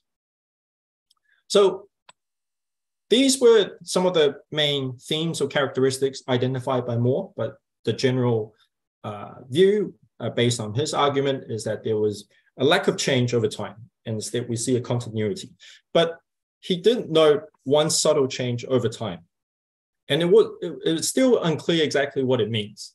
Um, he showed that the Homo sapiens at the site tend to rely more on freehand napping. So that simply means that the stone were held in the hand and being worked uh, with rather than being placed on some kind of anvil support.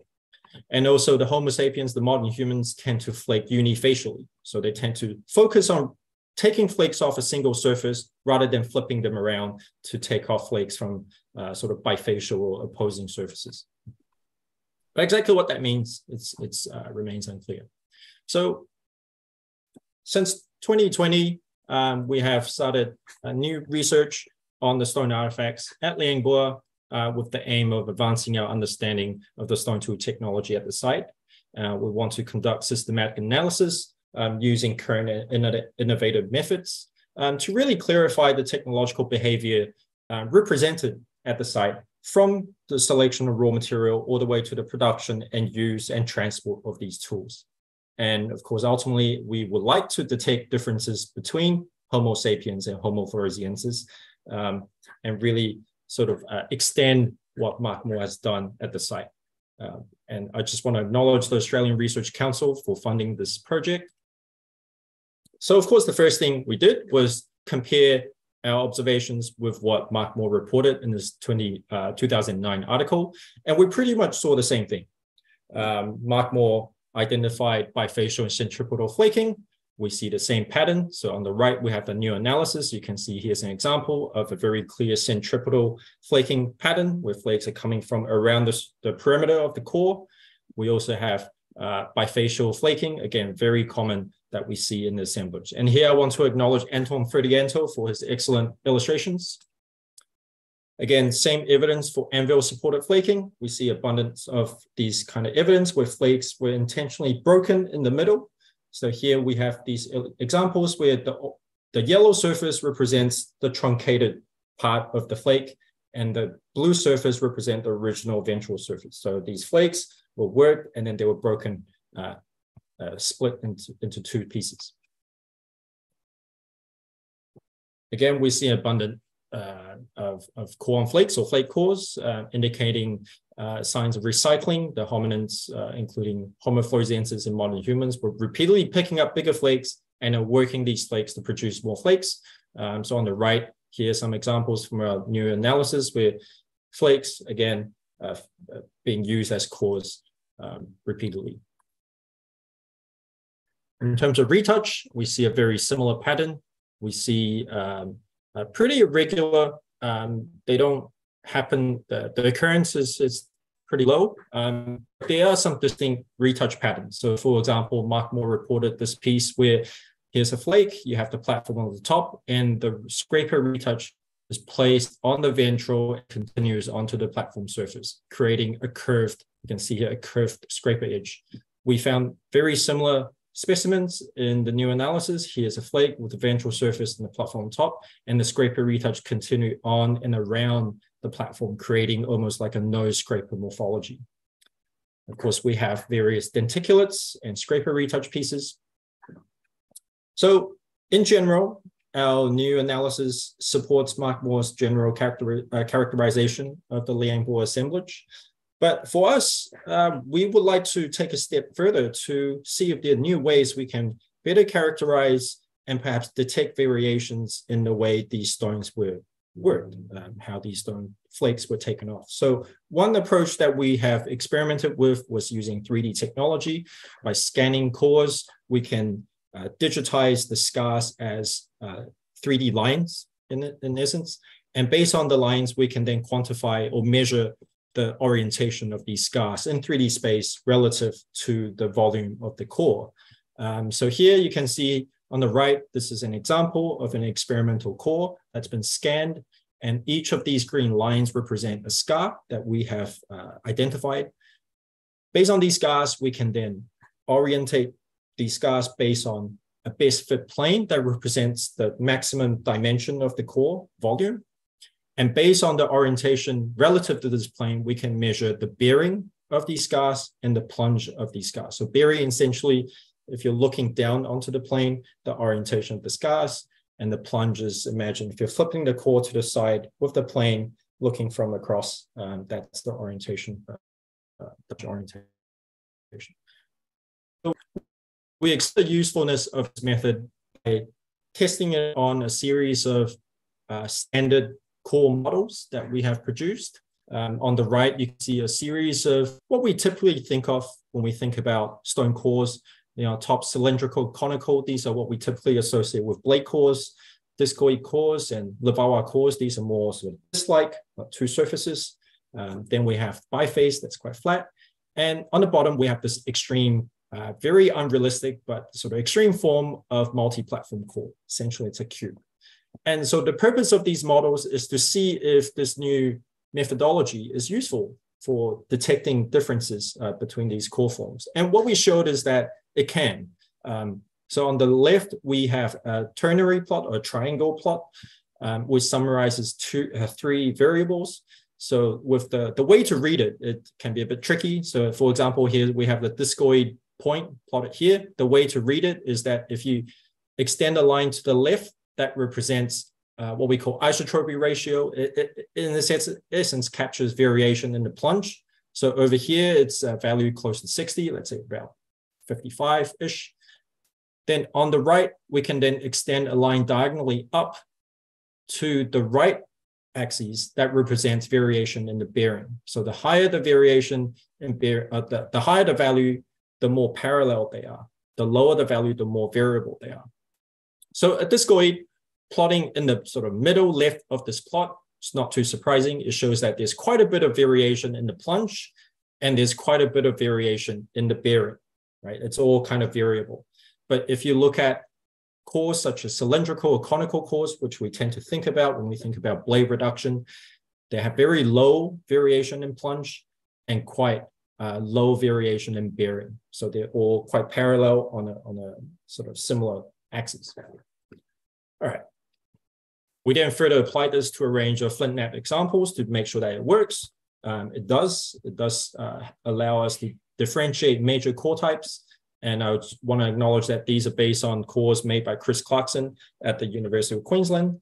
Um, and what's quite interesting is we apply this technique on a series of multi-platform cores. And for those of you who study stone artifacts, multi-platform core is a category we use when we don't know how, what to call it, right? It's something that it doesn't, it's not defined by any uh, particular reduction sequence or shape. It's simply a way to capture uh, cores that have a lot of platforms. And not surprisingly, our results show quite varied results because they don't tend to share similar reduction sequences or sequence uh, shapes. But what this tells us is that this approach perhaps can allow us to uh, detect variations in these core types, such as multi-platform cores, that can be quite difficult to analyze if we're simply using a typological or technological approach. So what we did was we applied this approach to a, a pretty small sample of Liang Boer cores um, a small sample because uh, that's what we have on hand um, uh, with the 3D models. And what we showed was there was no clear difference in the variation of the scar bearings, but there is a significant, significant difference in the plunge variation. So just put it simply, Homo cores have scars that are more variable in their plunge angle. What does that mean? We can further then correlate this measure with the number of core rotations. So when an encounter the number of times the core has been rotated by looking at the platforms, they correlate those two measures. So what it indicates is that Homo floresiensis, they tend to rotate their cores more often. And hence, every rotation creates a very a different plunge angle. So then what does that mean? We then looked at the intensity of these core reductions. And by using a measure, what we call scar uh, density index, it's simply, it's a measure of the number of scars per unit surface area of the core. And what it looks like is that on average, Homo floresiensis cores have more scars. They get, they get, uh, they, they will reduce more often uh, with, with more flakes taken off. So our, our sort of preliminary results, of course, we have a small sample size, but so far our results support the observation by Mark Moore and colleagues in 2009. Homo uh, sapiens at Liang Boer relied more on unifacial flaking, indicating that they tend not to rotate the platforms as much. So when they're napping, they tend to follow the same reduction direction from the same place. Right? They don't seem to flip the core around so much. Homo floresiensis, on the other hand, tend to rotate their cores and nap them from different platforms and from different angles. So what could this mean?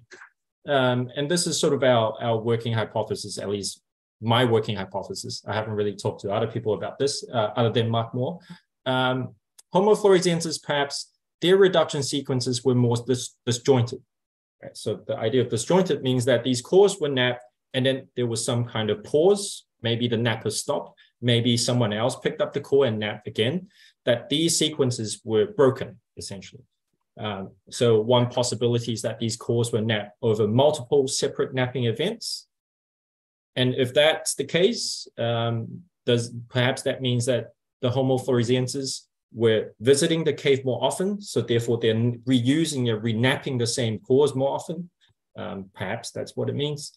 Um, the other possibility, and this is the part we're sort of excited about is that maybe they were using Homo floresiensis, maybe they were using techniques that doesn't quite allow continuous unifacial flaking. So imagine if you put a core on an anvil and you're striking it, we're limited uh, to how many rotations we can really do, right? If you put something on an anvil and you strike it, if you want to flip it, you have to change completely to a different angle.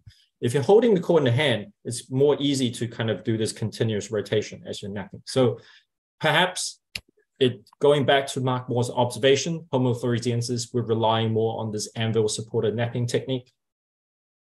And why is that interesting? Um, I'll talk about that a bit more. Um, in terms of future work in this uh, part of our research, of course, we want to expand our sample size of the 3D scan cores, and, and we're currently doing that. Um, we want to do more stone napping experiments to investigate this anvil support technique. You know, how does it constrain core rotation and how reliable can we identify this technique archaeologically? Or do they always leave markers that we can reliably identify? Um, so that's some questions we're asking.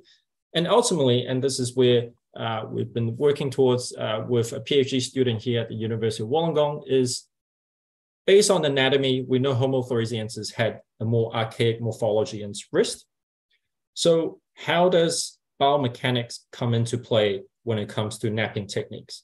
If this more greater reliance on anvil support napping is true, does it have something to do with the fact that Homo floresiensis had a more archaic wrist that constrain perhaps constrain their ability uh, to carry out freehand napping? So these are things that uh, we are working on, and we have a student here using some of the motion sensing technology um, to, to try to think about how to do these experiments to help us better understand the biomechanical constraints on these napping techniques. Right. Right. Um, so that's the first half of my talk. Um, the, the remaining part of my talk, it's actually, uh, I've presented this already last year at the IPPA. So I apologize to those of you who have seen this already. Um, uh, but I'll, yeah, so sorry uh, for, for the duplication. Um, but this is the second part of our, our research effort, really to try to refine our understanding and characterization of the raw materials uh, at Liang Bua uh, for stone tool production, and then further thinking about how this might help us understand or interpret um, the behaviors of these hominins on the landscape in terms of the, the way they move, in terms of the way they procure resources. So at Liang Bua, um, we have two dominant raw material types. Um, they're described as silicified tuff. You can see this kind of greenish blue kind of stone. And we have another raw material described as chert, that's sort of this white beige colored rock. In terms of proportion, and uh, thanks to data um, recorded by Pat Jamiko, um, Pak Thomas and colleagues published a, a, paper in 2018 summarizing this pattern that Homo floresiensis assemblages tend to be dominated by silicified tuff, this kind of greenish blue rock, right? It goes from 64 to 70%. As we move into the modern human assemblages, that proportion dropped and we see a rise in the use of these chert, this beige white kind of rock. So there are a few possible explanations. You know, could it be that these two kinds of stones have different availability on the landscape? And because the two hominins were, were using the landscape differently, they ended up procuring different uh, proportions of these two rock types. Could it be that they have different flaking quality, that modern humans favored material that are more easily to nap? Um, or could it be for functional mechanical reasons that these two stone types function, they perform differently uh, when we're using them as tools? So to investigate these example, uh, these explanations, um, we carried out uh, a field survey around the site um, where we tried to locate um, mainly the chert, um, because silicified tuff, it's been well documented that they occur naturally in the river Wairachang um, outside of the cave. And what we did was, um, of course, on the on the left, these are uh, the silicified tuff. They are found along the river as river gravels, and they're quite abundant in various sizes. And we also identified the beige chert um, north of Liang Bua um, on both sides of the river. So the next thing we did was uh, we want to make sure that these raw materials we've collected, they do indeed correspond to the archaeological materials. Visually, they look very similar. Right? Visually on the left, these samples we got from the river, they have this bluish green color. They're similar to the artifacts. The chert we found, they are similar in color, and they also have these banded pattern um, which I'll explain a bit more why that is. Um, to further confirm this, we use a portable XRF um, to compare the raw material samples and a sample of stone artifacts, and they do indeed show a very good agreement um, in some of the, the elements that we looked at. So if we go back to some of these explanations we've proposed, availability is no clear difference from our survey. They're both available locally right? The silicified tuff exists in the river. It's about 200 meters away from the cave. The chert, it's also not far away, 500, 600 meters away, also exists in abundance at these, these sources. So there's no clear changes. Uh, there's no evidence to suggest that this availability changed over time. Um, the river is always probably, it's quite a, quite a big drainage. Um, and these, these chert, they're clearly eroding out from some kind of institute uh, outcrop um, based on the cortex. And of course, from the artifacts at this point, we have no evidence to suggest these two stones will work uh, differently in any major way. There's sometimes some differences in the intensity of reduction, but in general, they're not in the same way. So then the next possible explanation is flaking quality. Does one flake better than the other? If we look at the chert first, so here are some of the, the samples we collected. They're abundant in foraminifera and algal materials under the microscope. Um, the overall matrix is this really fine-grained quartz matrix.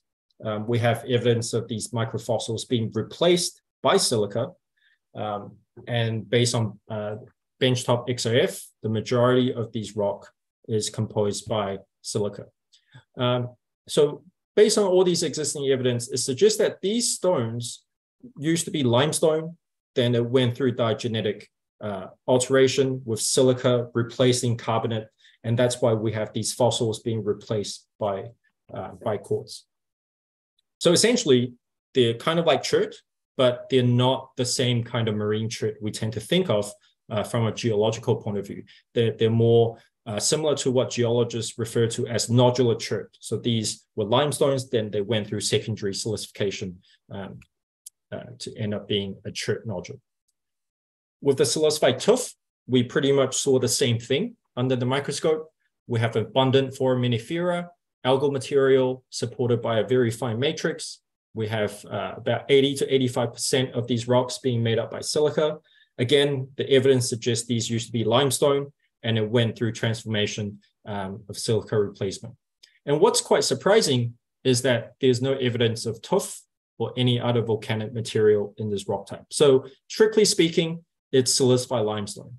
Um, or if we use the geological term, it's nodular chert. So based on analysis, both raw materials are geologically similar.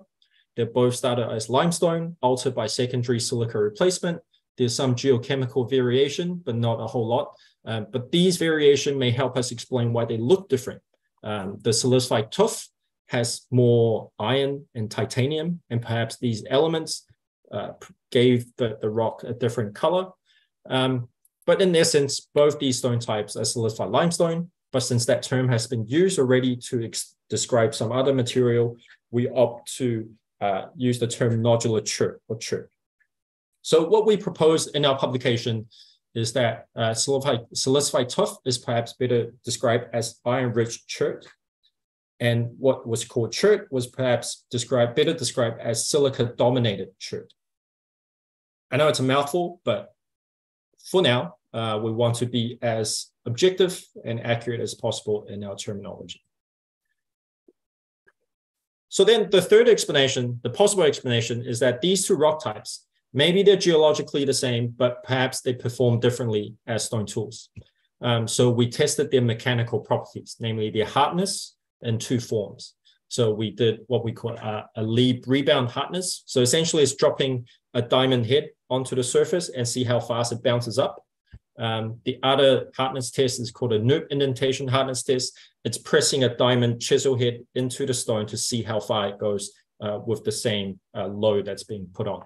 Um, our sample size is small, but we did some uh, bootstrapping comparison, and there is no statistical difference in our results, even though the, the density does differ. So the iron-rich chert is denser than the sil silica-dominated chert, um, but in terms of their hardness, there's no clear difference. Um, so we infer that this lack of difference, suggesting there's uh, limited evidence to think that they would perform differently as tools. So there's no obvious difference in the quality or availability. Yep. Hello. Yeah. I'm, Am I over time? Yeah. Two minutes more, I think. Okay, I'll zoom through the rest. Okay. Okay. All right. So just very quickly, um, there's no clear explanation for why we have this change uh, from quality availability. So based on some other previous hypotheses, um, proposed by Sutikna and colleagues is that perhaps the modern humans had uh, a greater territory size, or perhaps they're more mobile, so they can gather rocks from further away. Um, so we did a computer model um, to test this, and I won't go into detail. I'll just quickly zoom through this model. Basically, we ran uh, some uh, agent-based model, and I've talked about this in the IPPA presentation. I'm happy to explain this more. Uh, you can send me an email, but essentially we wrote a simple computer simulation to test whether having a bigger territory size can increase the proportion of one raw material over the other. So I'll just quickly go through the results. What we basically showed is that residential movement, so how far uh, these foragers move, cannot explain the pattern that we see. If they have a bigger territory size, it would actually cause more of the chert to move farther away from the river. Um, instead, what was needed is we need the foragers, so the modern humans, we need them to have a bigger daily foraging range. So if they can search uh, a bigger area during the daily foraging activity, they can systematically increase uh, the uptake of these chert resources around the river. Um, so all in all, um, our model, uh, it's not a real thing, it's not a real model, but we think it's useful because it helps us clarify some of these, these assumptions and explanations. Um, right now, our working hypothesis is that perhaps Homo sapiens had a larger daily foraging range. Um, we don't know why, but that's a possible explanation. And the second hypothesis is that if the Homo floresiensis had a smaller foraging range, perhaps they uh, use the cave more often or more repeatedly. And, and that would go back to our core rotation data, showing that these cores will work more, more intensively. Um, all right, last slide. Okay, so I just want to say we've come a long way since 20, uh, 2003. Um, our research progress has been impacted by the pandemic, but we are moving, looking ahead and moving ahead by resuming fieldwork and more analysis. Thank you very much.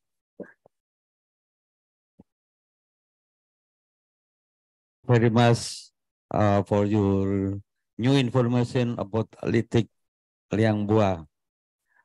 Oke, okay, uh, kita sudah melebihi batas waktu, tapi saya mohon izin kepada panitia mungkin satu pertanyaan ya bisa ini atau dua boleh ini jadi ini sudah batas waktunya sudah melewati 10 menit. Jadi mohon izin Mbak Tia, oke kalau diperbolehkan. Ya mungkin any question? Ada yang mau bertanya mungkin tentang perkembangan analisis? Ya, mungkin Pak Fadlan ya silakan Pak Fadlan. Ya.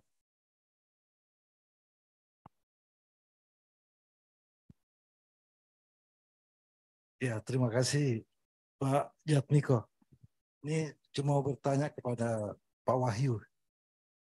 Teknik ekskavasinya, kita tahu bahwa di daerah Gua Gamping itu penyebarannya itu kan melebar terus semakin ke bawah. Itu temuan-temuan tengkorak itu di kedalaman 6 meter apakah itu langsung atau ada boulder atau singkapan yang harus ditembus atau gimana? Itu aja Mas Pak Wahyu. Terima kasih. Iya, terima kasih Pak Fadlan atas pertanyaannya. Mungkin yang dimaksud stratigrafi atau gimana nih? Ya, ada ini. Jadi diluskan dulu ya, pertanyaannya. Ekskavasi kan, terus kita ketemu bedrock gitu ya. Itu itu biasa di dalam uh, ekskavasi gua. Uh. Apakah di kotak itu bedrocknya itu dihancurin terus tembus ke bawah atau gimana? Oh, begitu. Iya, terima ya, untuk teknik model ekskavasi. Silakan Pak Bayu.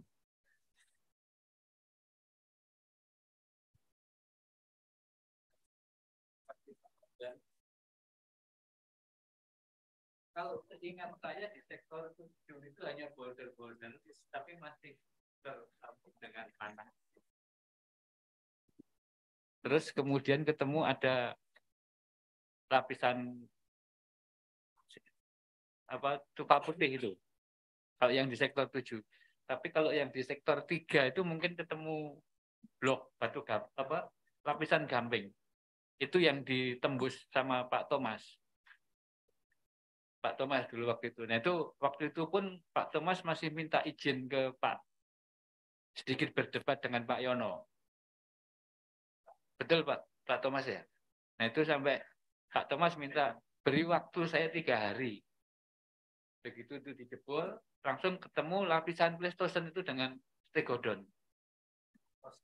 ya itu di sektor tiga kalau nggak salah nah akhirnya berkembang terus pokoknya kejar terus sampai steril. Nah, salah satu sterilnya yang kita temukan itu di sektor satu. Itu kita ketemukan itu di bawah di bawah apa ya lelehan gamping gitu ya. Tapi di bawahnya ada ada tanah yang terus nembus ke bawah. Kita gali di sektor satu itu sampai 7 meter, 9 meter. Itu di bawahnya itu lapisan kayak lano gitu. Tapi itu sangat bahaya. Kalau sudah berapa hari itu dia mulai retak-retak karena mengandung air. Kan di belakang gua itu kan kadang-kadang rembes ada kalau musim hujan. Akhirnya kita juga takut untuk masuk ke situ. Saya kira informasinya demikian. Mungkin Pak Thomas kalau mau menambahkan lagi monggo.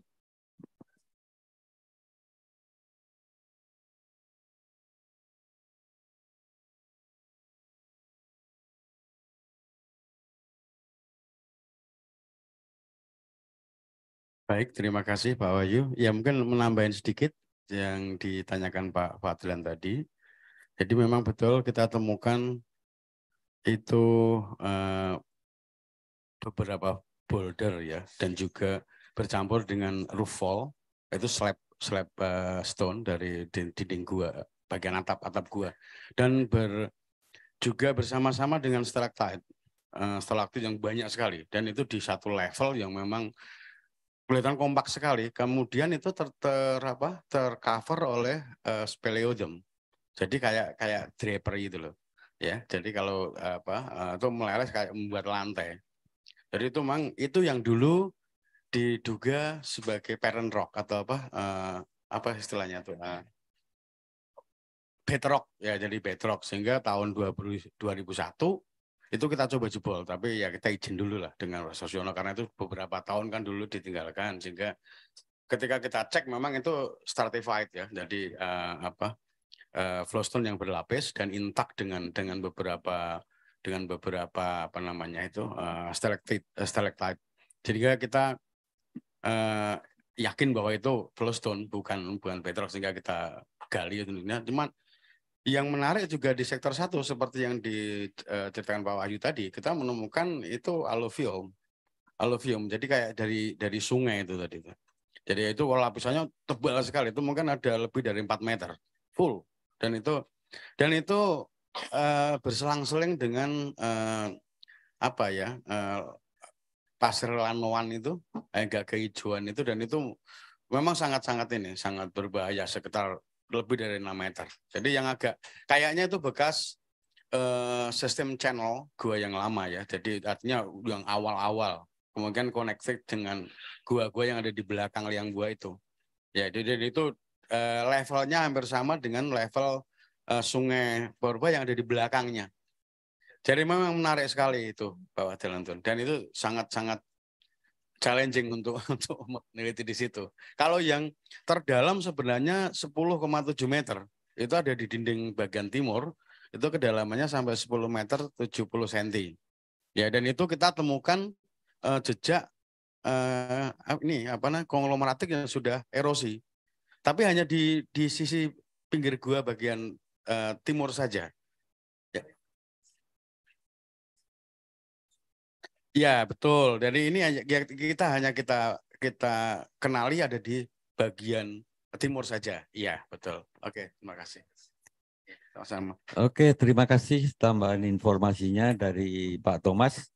Ya saya mau izin panitia satu pertanyaan lagi ya. Mungkin ini ada konsep uh, analisis atau model terbaru yang dikembangkan uh, Pak Samlin tadi melalui konsep atau model analisis alat litik melalui 3D scan dan isotrop gabungan.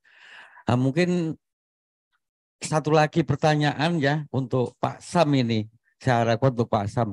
Mungkin Mami ingin ini kalau tertarik nanti ya ada lagi kalau tidak ada lagi saya kembalikan kembali. Oh, I, I do have one question for Sam. Oke. Okay. Uh, ini Chairman, please, Pak Ruli, ya. Yeah. Sorry, I. Uh, hello, how are you, Pak Sam?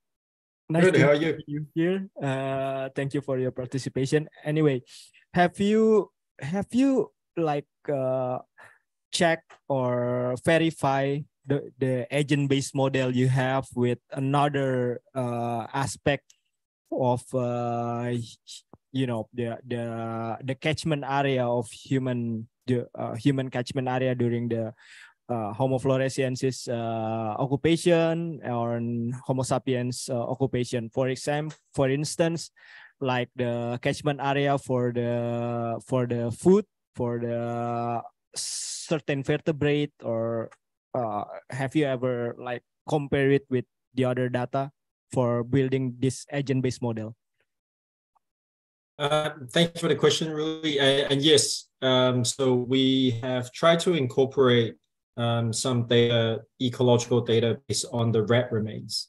And what was quite interesting is right away we faced um, uncertainties or questions about our assumptions. Um, so, for example, uh, the main question we had was with stone tools, we can assume that when hominins encounter raw materials, they would take some with them. And as they move away, they would use the raw material up and slowly throw them away. But we don't know how it works with uh, animals, for example. If they hunted rats, um, do they carry these rats far away? Do they eat them right there? Um, how far do they take them? So again, these models are useful because it challenges us to think about the assumptions we are making in our interpretation. And right now, from the model that uh, I've built, um, it looks like if we don't, if we assume the rats, if hominins catch these rats, but they don't take the rats far away, the rat remains represents the ecological background of that area, right? Because the rats are not being taken too far away. So in that case, the, the fauna remain or the rat assemblage is reflecting a different aspects of the hominid behavior, right? So with stone tools, we can see transport, we can see long distance movement because they get transported. Um, but with other resources, um, that's the challenge we're facing. And so uh, yes, we, we're trying to, um, to to incorporate these elements, but um, the more we add, the more assumptions we're making, and the more assumptions we're making, the more dangerous it becomes um, in, in over interpreting our results. Does that explain? Uh, does yes. that question? Okay, thank you. So yeah, but it it is it is it did inter it does interesting because uh you know that this uh I I never wonder the first time is uh the, the first one is uh about the confirmation for the raw material. You know like there is a different kind different kind of material. And this those two types of material i believe they you can you can found it in Wairachang uh Wairachang river right? The silicified tuff which is now we can say it's chert.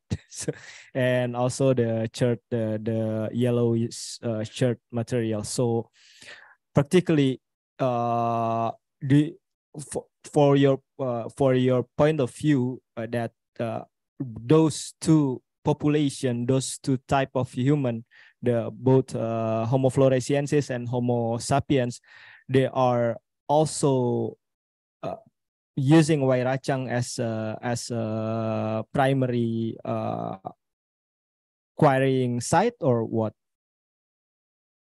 Uh, yeah, I, I think so. Um, I think with you know the stone being a really good quality stone to use to make stone tools. It's very easy to nap. It creates very sharp edges. And in the Wairachang, they exist in abundance. You have big boulders to numerous cobbles. So um, I don't see any reason why people would not use that as the main uh, quarry. And and, the, and as um, Park Thomas um, and colleagues wrote in their 2018 paper, there's no reason to think that the exposure of these stones in the river may have changed a lot over time um, because this is one of the a major drainage. So it seemed to be a reliable resource over time.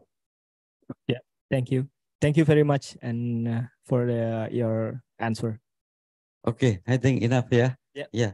Maybe one question from Pak Thomas. Izin ke panitia, mungkin satu pertanyaan lagi sebelum kami kembalikan. Mari silakan Pak Thomas. Oh, terima kasih Pak Pak Jatmiko. Sebenarnya nggak bertanya. Yeah, I just want to say thank you Sam with your your great effort to develop the Liang Bua uh, analysis. And and also in the uh, and your involvement in this and the seminars. It's really really very very good and very thank you very much for your your coming. And I, I have the not question actually what to say. Uh, so like uh, like my hopes. Oh, I wonder in the future if you can do it. First, related with the with your with our uh, recent analysis, related with the with the core because it is very important to be able to follow up in the future. For example, is the there's indication that the the the difference between the uh, hobbit layer, stone artifact, and modern human. It's uh, mean that in the hobbit layers indicated less preference, less preference, uh, the way how the uh, they nap the cores. Uh, for instance, like they can nap uh, uh, wherever they want without considering con considering on the specific angle. While in modern humans, neighbors were able to more efficiently and economically exploit core uh, volume, perhaps through adjusting the hammer uh, striking angle and during napping, something like that. Is it, is it possible in the future that we can include like uh, cognition studies, something like that. What what, what Mark Moore did uh, many years ago, I think. It is just just I wonder if we in the future we're able to to incorporate the the other studies like cognition and, and something like that. Thank you, Sam, and again, uh, thank you to Pak Jatmiko. You want comment, Sam? Yeah, um, yeah. Hi, Thomas. Um, thank you for inviting me, and, okay. and thank you again for including me in, in your amazing uh, research project, Liang Bua. Um, I was just talking to Mark Moore not that long ago about this um, because we're talking about this difference that it seems like in the Hobbit layers, the cores were turned more often um, and they were napped more often. And so it's possible that modern humans were more able, more effective at creating a, a surface to continuously exploit the core to make more flakes. And what Mark Moore mentioned was from a cognitive study is that if we're doing something, we we sort of our, our mind has a way of linking, connecting our actions with our consequence, right? Uh, but if we stop, it's hard to return back. Uh, so it's possible that uh, maybe modern humans have a beta uh, cognitive capacity of recognizing or continuing that that mode of napping, perhaps. Um, well, and, and, you know, I, I I don't have a background in cognitive studies, so I don't want to uh, say anything stupid. Um, but perhaps there is something about the way the the napping sequence is maintained and continued, and I think that's uh, I, I think that's a really fascinating topic. Um, but it's not, I'm no expert in it. So we definitely need to um, talk to other people about that. Uh, thank you, Sam. Ya, baik Bapak-Bapak dan Ibu-Ibu sekalian yang kami hormati, karena waktu batas waktu sudah melebihi, saya mohon maaf kepada panitia atas nama pribadi. Saya mohon uh, untuk uh, sebagai pembawa acara ya, moderator, saya kurang lebihnya mohon maaf dan sebelum kami kembalikan kepada panitia, mungkin kita buat applause buat kedua pembicara ini ya. Terima kasih. Wassalamualaikum warahmatullahi wabarakatuh. Waktu dan tempat kami kembalikan kepada panitia. Baik, terima kasih kepada moderator. Ada Pak Ako, kemudian speakers, para speakers ada Pak Wahyu dan juga Mr. Sam. Thank you.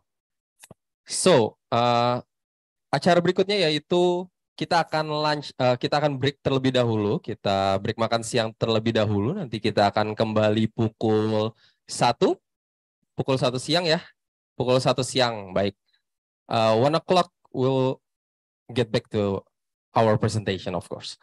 Thank you and sampai jumpa nanti pukul satu. Terima kasih.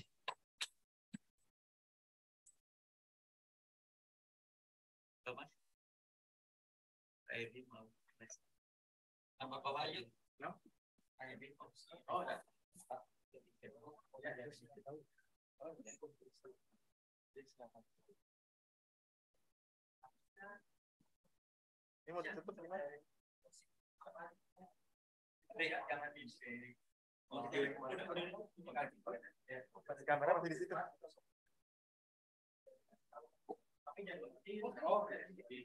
Kamera masih di situ. Enggak, kasurnya di kameranya di yang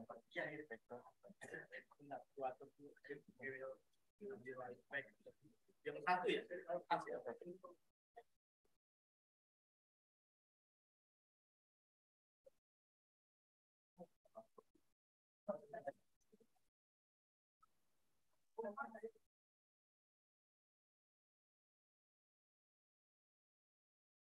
Yang kamu merasakan? por todo bien.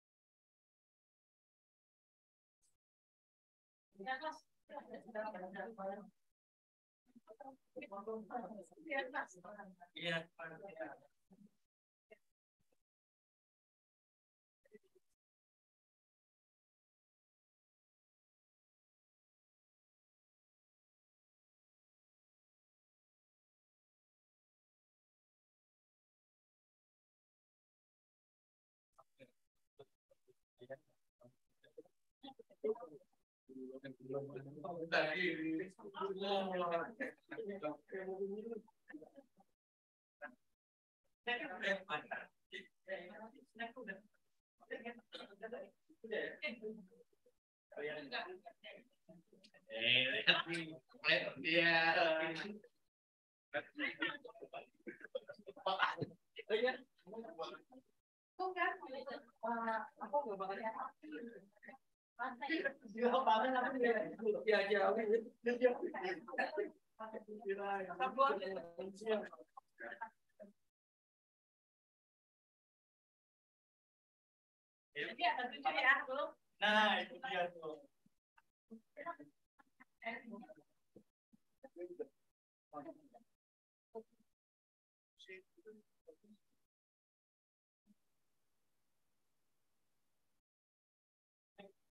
Terima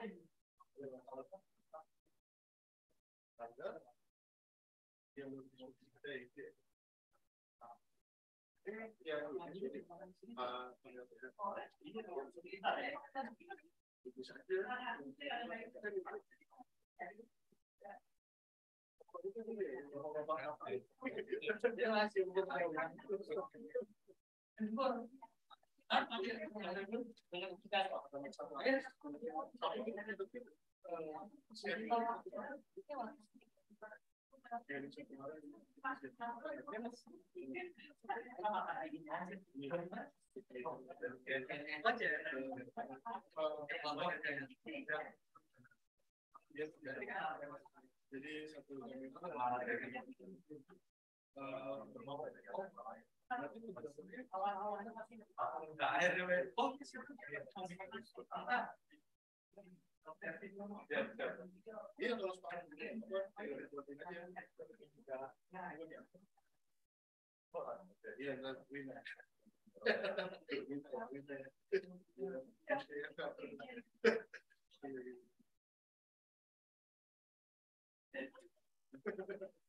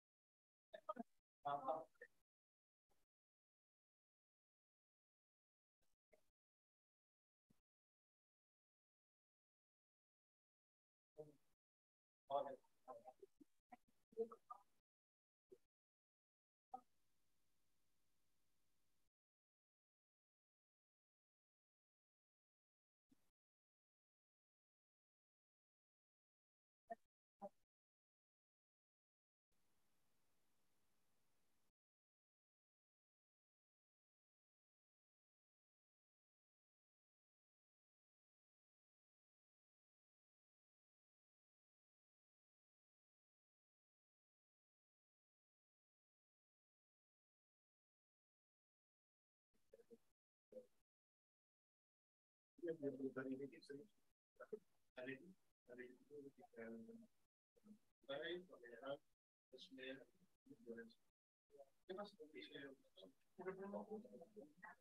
la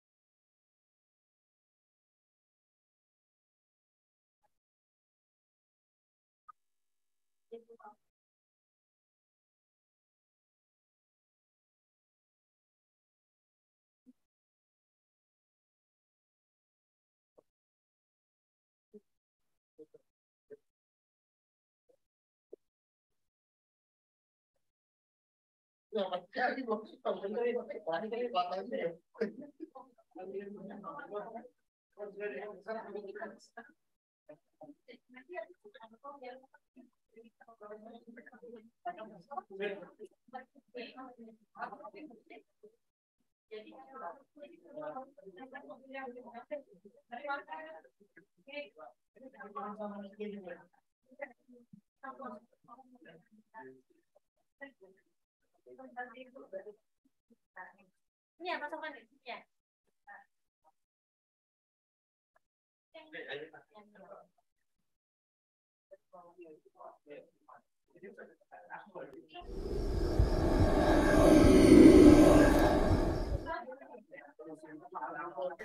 Liang Boa berasal dari bahasa daerah Manggarai yang berarti goa yang dingin.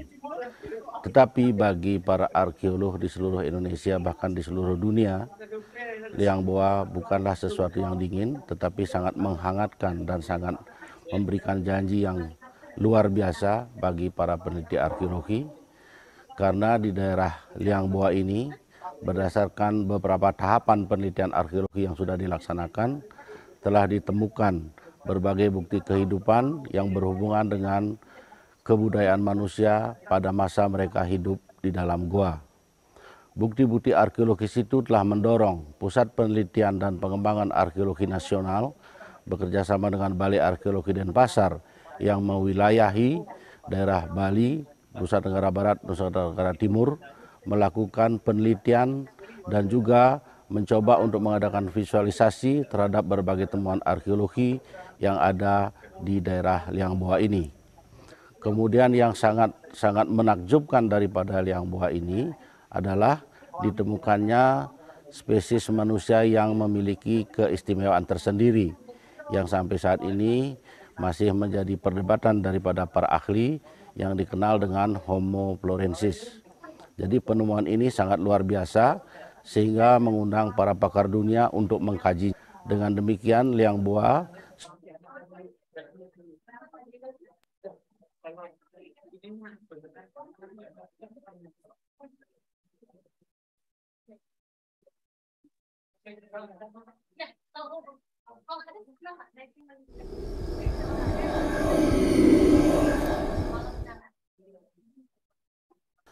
Liang Boa berasal dari bahasa daerah Manggarai yang berarti goa yang dingin. Tetapi bagi para arkeolog di seluruh Indonesia bahkan di seluruh dunia, liang boa bukanlah sesuatu yang dingin tetapi sangat menghangatkan dan sangat memberikan janji yang luar biasa bagi para peneliti arkeologi karena di daerah Liang Boa ini berdasarkan beberapa tahapan penelitian arkeologi yang sudah dilaksanakan telah ditemukan berbagai bukti kehidupan yang berhubungan dengan kebudayaan manusia pada masa mereka hidup di dalam gua. Bukti-bukti arkeologis itu telah mendorong Pusat Penelitian dan Pengembangan Arkeologi Nasional bekerjasama dengan Balai Arkeologi Denpasar yang mewilayahi daerah Bali, Nusa Tenggara Barat, Nusa Tenggara Timur melakukan penelitian dan juga mencoba untuk mengadakan visualisasi terhadap berbagai temuan arkeologi yang ada di daerah Liang Bua ini. Kemudian yang sangat sangat menakjubkan daripada Liang Bua ini adalah ditemukannya spesies manusia yang memiliki keistimewaan tersendiri yang sampai saat ini masih menjadi perdebatan daripada para ahli yang dikenal dengan Homo florensis. Jadi penemuan ini sangat luar biasa sehingga mengundang para pakar dunia untuk mengkaji. Dengan demikian liang buah sebenarnya memiliki potensi yang sangat luar biasa di dalam kita mengkaji kehidupan manusia purba sehingga liang buah ini menjadi satu situs yang sangat penting dilihat dari segi arkeologi pada umumnya dan juga bagi mereka-mereka para ahli yang memiliki keinginan atau minat untuk mengkaji berbagai kehidupan manusia di dalam goa. Jadi dengan demikian situs Liang Bua ini adalah sesuatu yang sangat luar biasa yang di masa-masa yang akan datang tentu saja masih perlu diadakan penelitian-penelitian yang lebih lanjut.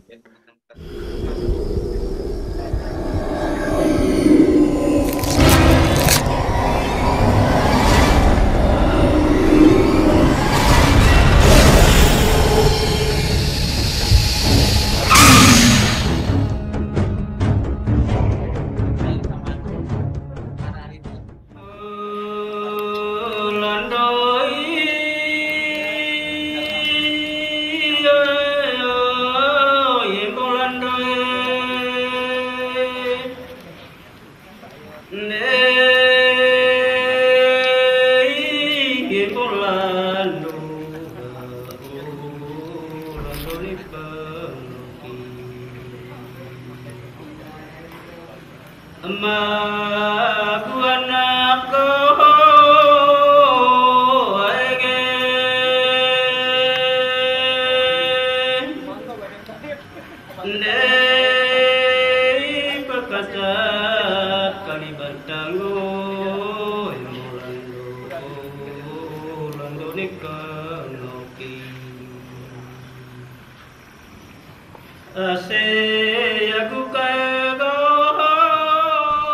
Bua terletak di daerah perbukitan Kapur di wilayah Kabupaten Manggarai, Flores.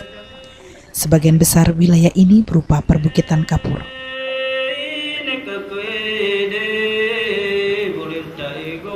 Tetapi daerah ini cukup subur.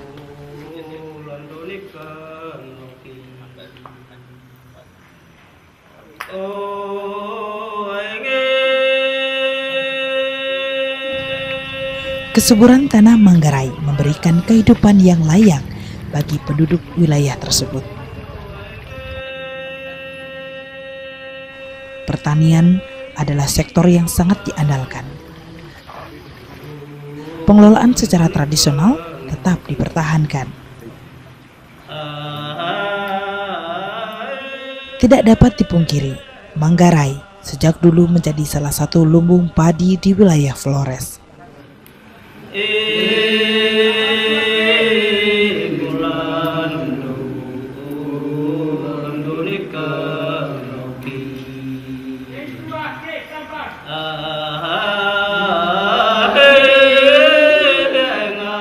Lodok adalah penyebutan lokal untuk sistem pembagian tanah ulayatnya. Karena itu sawah lodok sering disebut juga dengan sawah ulayat atau sawah lingkung.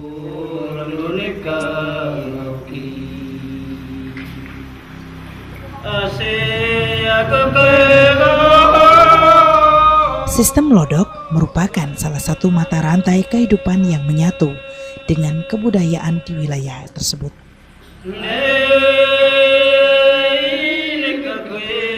Penyatuan itu ditunjukkan dengan adanya sistem atau aturan khusus sebagai suatu kesepakatan bersama oleh seluruh komunitas di wilayah itu dalam upaya penyediaan lahan sawah sebagai media pemenuhan kebutuhan pangan. Tanah-tanah adat atau lingko dibagi kepada warga dengan sistem lodok. Cara membaginya dimulai dari teno di pusat lingko. Di pusat lingko inilah ditanam sebatang kayu yang disebut dengan teno merupakan pusat lingkaran tanah lingko. Dari teno ditarik garis batas lurus atau jari-jari yang disebut dengan langgang atau batas tanah sampai ke batas terluar tanah lingko yang disebut dengan cicing. Dari sinilah lalu menghasilkan sawah dengan kenampakan yang sangat unik seperti sarang lapa-lapa.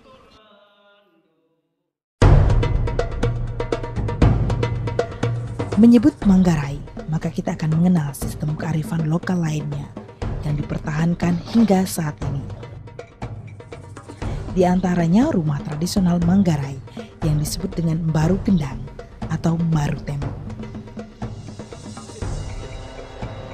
Bentuknya menyerupai seperti kerucut yang terbuat dari rerumputan kering.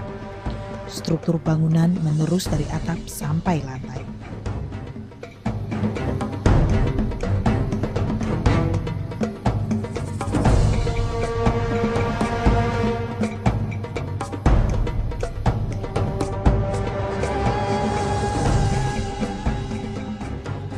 Samping memiliki budaya dan sumber daya alam yang menarik, Manggarai memiliki potensi sumber daya arkeologi yang mengagumkan.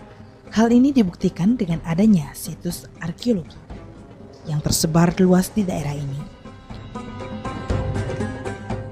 Situs tersebut terletak di daerah Liangbua, Kecamatan Ruteng, Kabupaten Manggarai atau sekitar 14 km ke arah utara kota Ruteng pada ketinggian 500 meter di atas permukaan laut.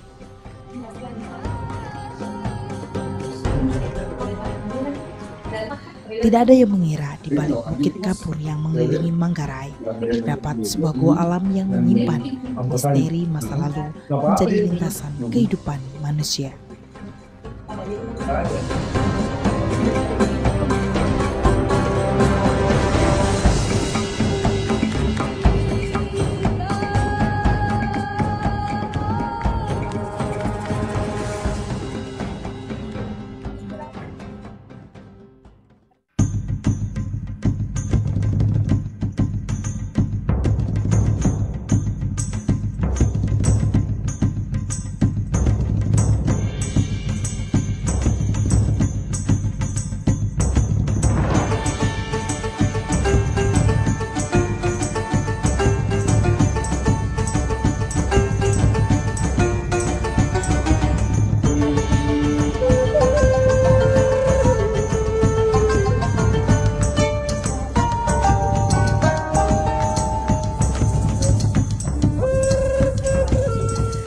Situs Lianghua sangat ideal untuk pemukiman masa prasejarah dengan memiliki ukuran panjang sekitar 50 meter, lebar sekitar 40 meter, dan tinggi atap bagian dalam 25 meter.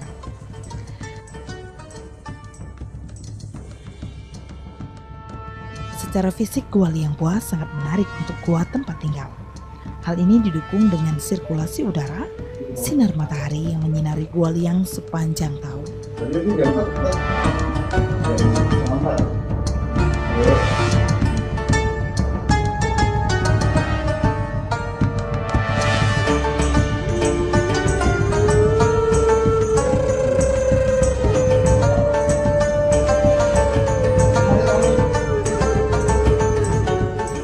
samping itu kondisi alam di sekitar wilayah ini yang menyediakan sumber daya yang sangat dibutuhkan manusia tinggal di Gua.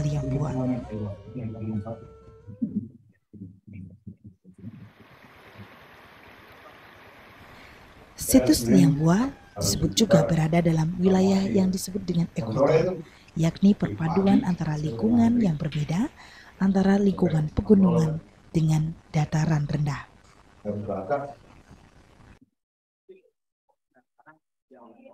Karena terletaknya pada posisi yang perbatasan tersebut sangat memungkinkan berbagai makhluk hidup khususnya binatang dan tanaman yang ada di daerah yang lebih tinggi itu juga bisa hidup dengan baik di sini bercampur dengan berbagai jenis tanaman maupun binatang dari lingkungan yang berada pada dataran rendah.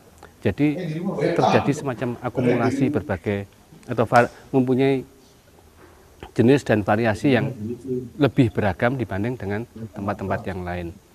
Di samping itu, lokasi dari gua ini yang dekat dengan sungai, yang mungkin sekarang sungainya sekitar 200 meter dari lokasi gua ini, itu Sungai Weracang dan Wemulu. Di sungai itu tersedia berbagai jenis batuan yang pada masa prasejarah batuan-batuan tersebut biasa digunakan sebagai bahan untuk membuat alat. Jadi kalau kita gabungkan jadi dari gua yang cocok untuk lokasi hunian juga lokasi ini menawarkan sumber daya sumber daya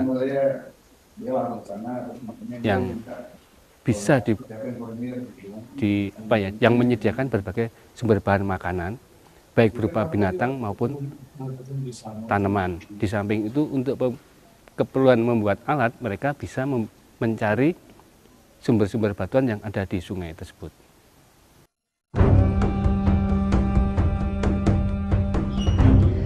Penelitian liang buah pertama kali dilakukan oleh Tim Verhoeven, misionaris yang mengajar di Seminari Matoluko Ngada pada tahun 1965. Ketika berkunjung ke Liang Buah, gua tersebut digunakan anak-anak di sekitar Liang Buah untuk sekolah. Hasil penelitian Theodorus Verhoeven menggambarkan bahwa liang buah mengandung jejak masa lalu yang dibuktikan dengan ditemukannya sejumlah kuburan manusia yang berasosiasi dengan artefak dan tembikar.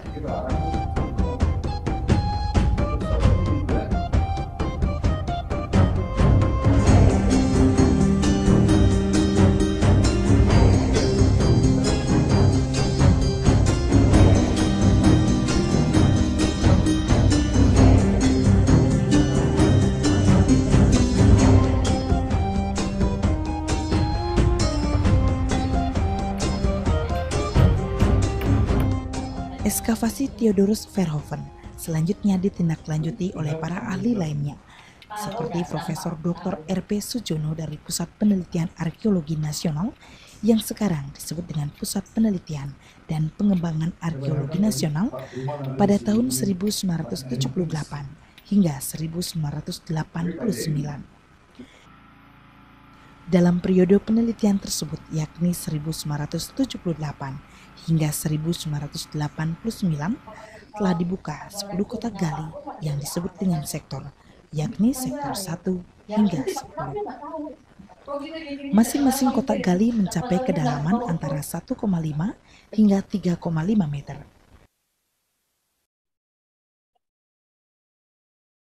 Berdasarkan hasil penelitian dari periode ini, diketahui bahwa liang buah mengandung tinggalan arkeologis yang sangat padat berasal dari masa Holosen, berasal dari kurun waktu sekitar 10.000 tahun yang lalu hingga 400 tahun yang lalu.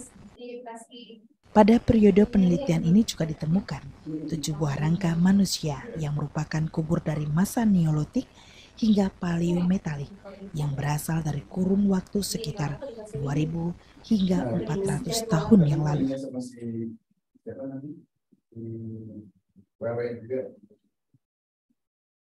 Pada masing-masing kubur manusia tersebut, pada umumnya disertakan pula bekal kubur yang antara lain gerabah, yakni benda tanah liat yang dibakar, seperti periuk dan kendi, beliung adalah alat batu yang menyerupai kapak yang sudah diasah dan dialuskan permukaannya. Di antara benda bekal kubur yang paling menarik adalah temuan kapak perunggu yang diduga merupakan bentuk awal kapak corong perunggu. Kapak perunggu jenis ini merupakan satu-satunya yang ditemukan di liang dan juga di Indonesia.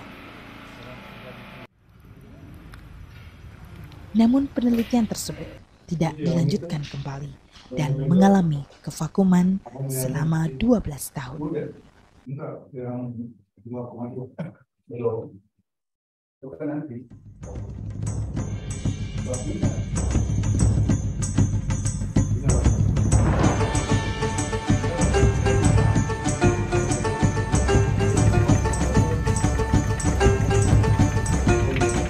Setelah mengalami kevakuman sejak penelitian terakhir tahun 1989, maka mulai tahun 2001 diadakan penelitian kembali di situs Lianghua.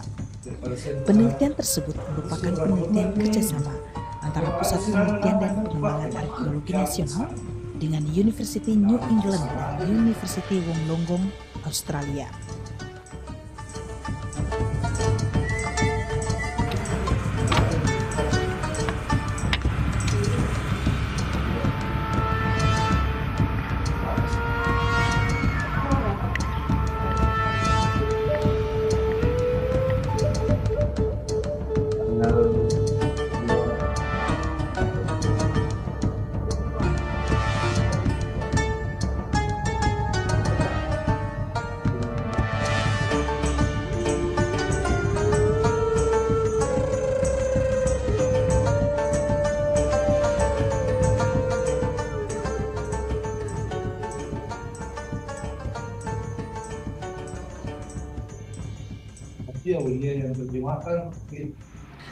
Penelitian kerjasama ini merupakan penelitian yang multidimensional dan interdisipliner yang melibatkan berbagai ahli dalam berbagai disiplin ilmu. Jadi tidak hanya arkeologi, akan tetapi juga disiplin ilmu lain yang terkait misalnya geologi, geomorfologi, geokronologi, paleontologi, paleoantropologi, panilogi, dan sebagainya.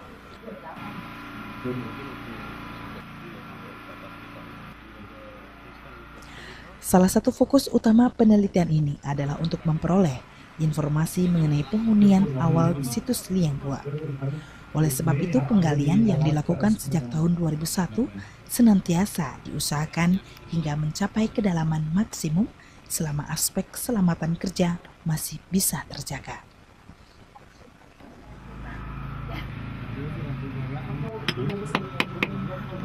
Bermula dari tujuan kami pada penelitian yang kita lanjutkan pada tahun 2001, yang salah satu sasaran utamanya adalah mencari kehidupan awal di gua ini, maka beberapa kotak yang dulu pernah digali pada era 78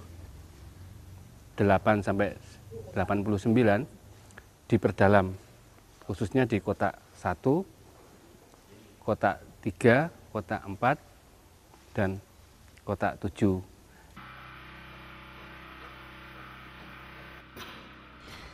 Kegiatan penggalian sejak tahun 2001 akhirnya memperoleh hasil sesuai dengan yang diharapkan, yaitu ditemukannya jejak-jejak penghunian di situs Liangbuah yang berasal dari masa yang lebih tua, yakni dari masa Pleistosen.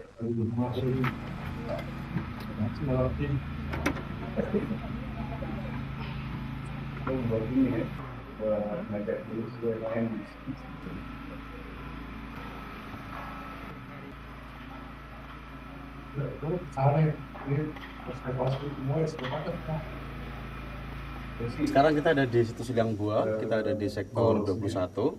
Dan ini sekitar kita sudah masuk di lapisan Holocene. Kita mulai lapisan Holocene mulai dari sini. Jadi sini ada flowstone atau sering disebut sinter. Jadi dari pengendapan apa kalsium karbonat dari tetesan dari apa atap gua. Umur yang kita peroleh di sini sekitar 9.600 tahun yang lalu. Dan ini berasal dari kehidupan masa manusia modern atau Homo sapien ke atas ini. Dan ini kita peroleh dari masa atau fase yang sering disebut Mesolitik yang dengan ciri khasnya dengan alat-alat apa serpih dan sebagainya. Kemudian sampai ke atas ini, ini adalah fase-fase mulai Neolitik ketika orang udah mulai mengenal wadah dari tembikar dan yang disebut tembikar. Ini kita peroleh umur sekitar 3000 tahun yang lalu. Kemudian di lapisan paling atas ini, ini adalah dari fase paleometalik atau masa logam awal yang berasal di liang buah ini kita dating sekitar 500 tahun yang lalu. Jadi ini adalah urut-urutan dari eh, masa uh, Holocene. Jadi mulai dari sekitar 9000 tahun sampai 0 tahun. Jadi ini ini sangat lengkap sekali. Kemudian di bawahnya ini di ini adalah abu abu vulkanik dari letusan gunung api. Ini ada dua fase. Ini yang pertama, terus ini yang kedua. Tapi yang pertama ini ada beberapa kali dan kemudian dierosi oleh air, oleh endapan air, kemudian diendapkan lagi sehingga ber, berlapis-lapis semacam ini. Ini adalah uh, abu vulkanik ini perbatasan antara lapisan dari Pleistosen dan lapisan yang berasal dari masa Holocene. Ya. Yang ini, umur yang kita peroleh dari letusan abu vulkanik ini sekitar 17.000 tahun yang lalu. Jadi ini kita ini adalah batas antara Pleistosen yang ada di bawahnya ini dan Holocene yang ada di atasnya abu vulkanik ini. Masing-masing lapisan ini kadangkala kan ada ada terjadi proses pembentukan uh, flowstone atau sering disebut sinter yang tipis-tipis semacam ini. Ini membuktikan bahwa di sini aktivitasnya berkurang. Artinya kemungkinan ketika manusia tidak beraktivitas secara aktif di gua ini.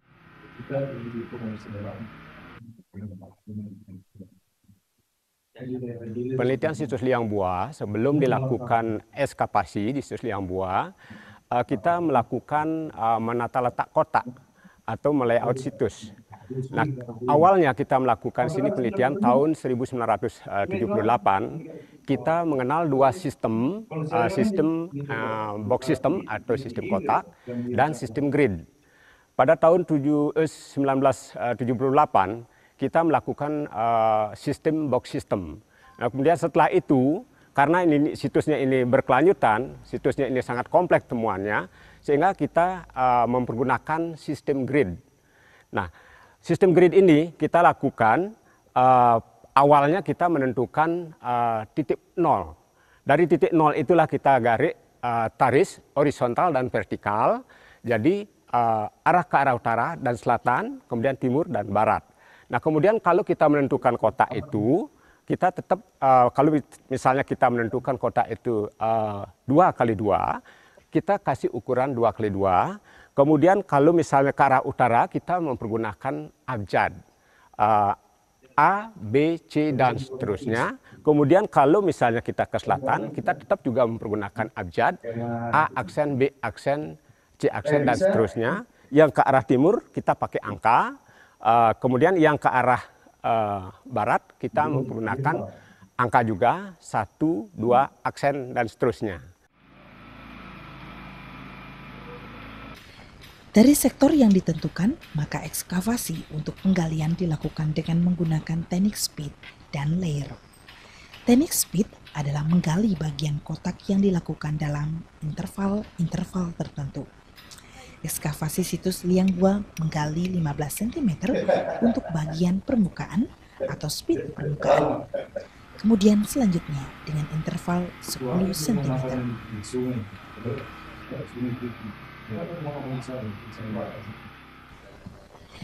Layer adalah lapisan yang bersifat kompleks, sehingga tanah yang ada di setiap layer di sini harus dikenal dengan baik. Hal ini mengingat gua liang buah mempunyai karakteristik yang tidak merata. Selain itu pada masa Pleistosen, Sungai Wairacang beberapa kali mengerupsi lapisan asli sehingga pada bagian-bagian sudut-sudut gua ditemukan cekungan atau dana kecil, maka diperlukan kecermatan dalam melakukan penggalian. Teknik seperti itu sudah kami lakukan sejak tahun 2001 dan terus kita tingkatkan atau kita sempurnakan hingga saat ini. Kemudian setelah tanah-tanah yang kita kumpulkan berdasarkan sektornya, berdasarkan speed dan berdasarkan layernya, di situ kita nanti akan menugaskan beberapa orang tertentu yang sudah kita latih selama ini untuk melakukan pencarian temuan secara kasar dengan tangan langsung.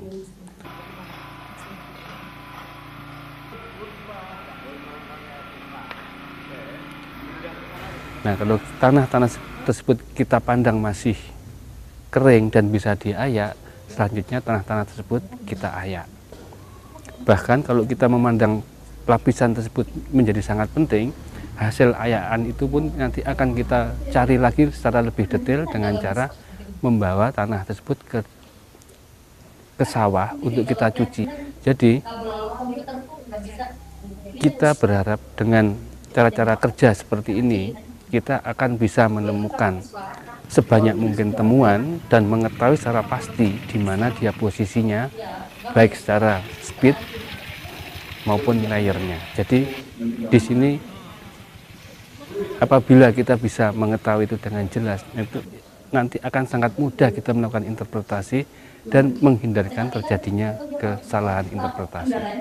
Saya kira cara-cara seperti ini merupakan cara yang sebetulnya bukan baru, tetapi kita berupaya untuk menerapkannya secara benar. ya.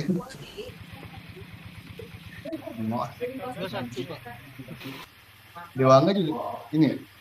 dua satu dua dua tiga Enggak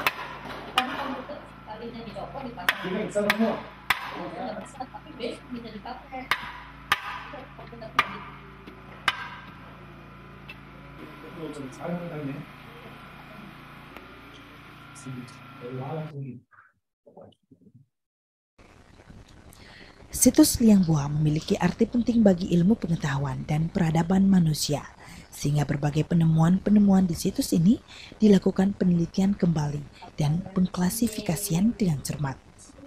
Eh, Bapak-bapak, ibu-ibu, kita akan memulai session kedua sebentar lagi. Jadi dalam tiga menit.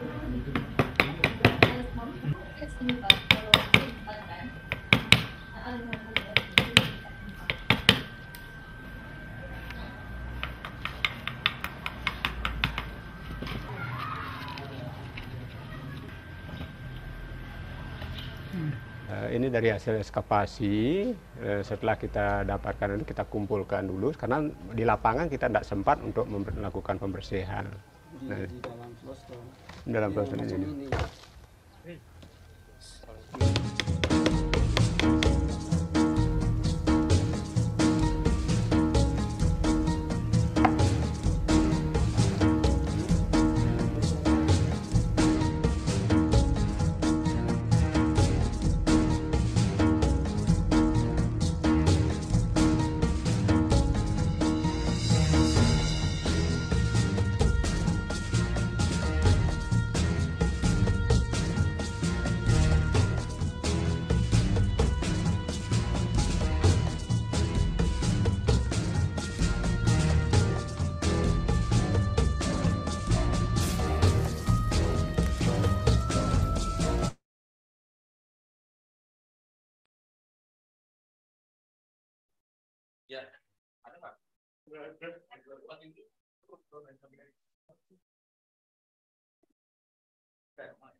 pakai zoom lu sendiri?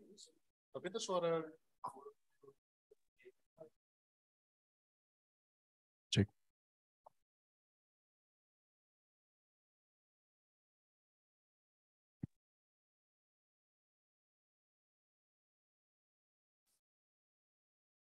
Cek, cek.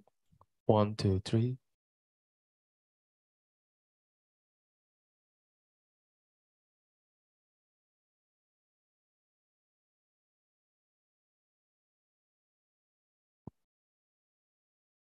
Assalamualaikum warahmatullahi wabarakatuh. Selamat siang, salam sejahtera untuk kita semua. Om Swastiastu, Namo Buddhaya, Salam Kebajikan. Selamat datang, selamat datang kembali di kegiatan hari ini tentunya. Kita akan lanjut ke season berikutnya. Kok season sih? Mohon maaf, ke lecture season ketiga yang akan dipandu, dimoderatori oleh salah seorang dari peneliti dari Pusat Riset Arkeometri ada Mas Niko Alamsyah dengan speaker di antaranya yang pertama ada Dr. Gert Vandenberg. Uh, good afternoon, Dr. Gert. Yes. Hello, present. Hello. Good afternoon. I got that. Can you hear me? And the second is uh, Dr. Haneke. Is it in Zoom meeting room right now? Iya, selamat siang. Present. Selamat siang. Oke, mungkin kita langsung saja masuk ke sesi berikutnya yang akan dimoderatori oleh Mas Niko Alamsyah. Kepada Mas Niko, dipersilahkan.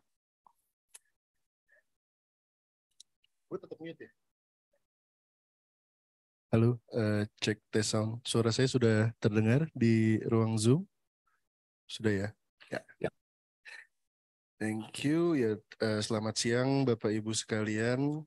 Uh, untuk lecture session yang ketiga ini, saya akan menjadi moderator. Uh, mungkin saya akan coba untuk mengantarkan sesi ini dengan sedikit bahasa Inggris karena pem presenter kita uh, dua-duanya uh, berbahasa Inggris. So uh, I'm Nico. Uh, I will lead the this uh, lecture session, and in this session, uh, actually we supposed to have uh, three speakers, but unfortunately, uh, for some reason, one of our speaker, uh, Dr. Grace uh, Fitch, uh, cannot make it today, but don't worry because uh, her session will be switched uh, to tomorrow, uh, almost in the same time in the afternoon session. And here for today's session, in this session we have Dr. Gert, as introduced earlier by uh, Rama, and also we have Dr. Hanneke Meyer. Hello, Gert and Hanneke. Glad to see you again. Yeah, Glad to be here. thank you for the I hope invitation. are doing well. Uh, and first of all, thank you for your willingness and for your time to give the presentation today. Uh, Of course. uh, yeah, before we begin, uh, perhaps I would like to uh, give a brief introduction uh, to the audience uh, from you. So Gert and Hanneke work at Liangbo for many years, and their main focus uh, are on the faunal assemblage. And not only at Liangbua, Gert and Hanneke also conduct uh, research at Asua Basins. And today, uh, we will have Gert to present about the stegodon. Correct me if I'm wrong, Gert. Yeah, well, a little bit about Homo floresiensis as well, but uh, I will talk a lot about stegodons. Yeah, thanks. And Hanneke, I bet you're talking about the bird things. Yep, betul. Okay, uh, so uh, I will give the floor to our first uh, speaker, Gert, please. Okay, I'll share my screen.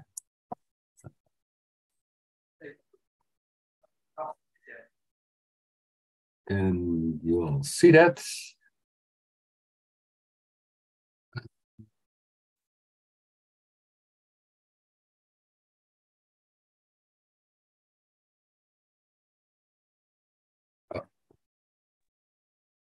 Yes, we could see it, Bert. Gert. Yeah, I, I was getting rid of uh, some clogging on my screen. so yeah, um, uh, uh, siang, Masi. Um, yeah, I, I, I uh, would like to thank first the organizing committee uh, Thomas and Pa uh, Ruli to uh, invite me as a speaker uh, on this 20 years of Homo floresiensis um, commemoration. And um, yeah, I will be talking a bit about old and new data and how our views of the fauna evolution on Flores have changed over time. And um, well, I'm presenting this uh, presentation, but uh, as you can see, I have put a big et al because this is um, the work of um, a lot of uh, colleagues and teamwork. And uh, in the end, I'll, um, I'll um, show that a bit more. But uh, I also would like to um, acknowledge the Darawal people as the traditional custodians of the lands on which the University of Wollongong, where I work, uh, resides. And I would also like to acknowledge the Ngada and the Nagakeo people on Flores as the custodians of the lands on which the research presented here was conducted. So I'm talking about the Soa Basin here. Uh, I pay my respects to indigenous elders, past and present, and acknowledge their continued spiritual and cultural connection to their country. Okay, so um, in this talk, I will present, uh, like I said, some old data, and we will start uh, with the beginning, and it has already um, been said this morning by uh, Professor Zaim and, and uh, a very important person in uh, the initial research on Flores was uh, the priest Theo Verhoeven, who was uh, teaching Latin at the uh, Mataloco Seminary, uh, south of the Soa Basin, and he um, he visited many sites on Flores during the holidays with students, including uh, Almarhum uh, Barocus uh, Dua Abe. And um, yeah, he he discovered many sites, and he um, based on based on his his discoveries, we are now still working at sites that were initially uh, found by uh. So um, he carried out test excavations at uh, but also at Matemenge and other nearby sites in the Soa Basin. And in 1970, uh, in a joint publication with uh, the archaeologist Maringer, he um, concluded that simple Paleolithic stone artifacts were present in the same sandstone layers together with the remains of an extinct elephant called Stegodon. And because Stegodon was known from um, the Pleistocene uh, of Java at the time, they concluded that uh, the stone tools were probably made by uh, Soloman, uh, now known as uh, Homo erectus soloensis. And uh, yeah, some, somehow uh, Soloman would have uh, crossed the sea to uh, reach Flores during the, the late Pleistocene. But um, yeah, his re their results were published in in German language, um, and um, also because maybe because of the difficult character, um, he had a lot of clashes with uh, prominent archaeologists at the time. So these results were largely ignored for uh, the following decade. Now, this is um, a photo I took in uh, the museum in Lero in East Flores, and it's um, excuses for the, the poor quality of the, the photo, but is what you see here is a naive painting by one of the students there at the seminary who interpreted the prehistory on Flores based on Verhoeven's findings. So you can see um, a group of people here and um, they're butchering uh, Stegodon, tusks here. Of course, there's a volcano in the background and then uh, in the front, there are some people engaged in uh, what looks like uh, they're making a slingshot. Um, I'm not sure if that's the, the right word, but someone to uh, throw stones um, with uh, a rope. And then in the background here, there is a person actually um, throwing uh, a stone to an animal. Um, doesn't look like a stegodon here. Looks more like a dog. Um, But yeah, apart from the dog and uh, the spring, the slingshots, for which there are no no evidence to date, uh, it is a pretty good reconstruction. And note that at the time that this reconstruction was made, there were no fossils of Komodo dragons yet found uh, on Flores. Otherwise, I'm sure that dog would have been Komodo dragon there, uh, threatening um, these early inhabitants of Flores. Um, also, because at the time of the making of this painting, uh, there was no evidence about the maker of the stone tools that Verhoeven had described, and the artist and also Verhoeven assumed that the hominins um, he depicted here were descendants um, of what we now call Homo erectus, at the time known by its numerous fossils uh, from Sangiram uh, Java. But um, yeah, what, what becomes clear when looking at this picture is that when trying to make sense of human evolution, um, one must consider the full picture. Humans don't evolve in isolation from their environments. You have to look at the flora, the fauna on which the humans depend for their livelihood, and um, and also um, environmental changes, climate change uh, over time uh, that may affect the fauna and the vegetation. So what I want to do here is present the evidence on uh, the fossils of animals that are associated with stone artifacts on Flores and uh, the hominin fossils in Liambua and uh, in the Soa Basin. And I will focus uh, mostly on uh, these elephant-like animals called stegodons. And one thing I want to, what I hope to make clear is that as, as scientists, we always uh, have to be open-minded when uh, new data and arguments emerge that overturn our previous viewpoints or interpretations. So um, yeah, we have to, sometimes we have to concede that we were wrong.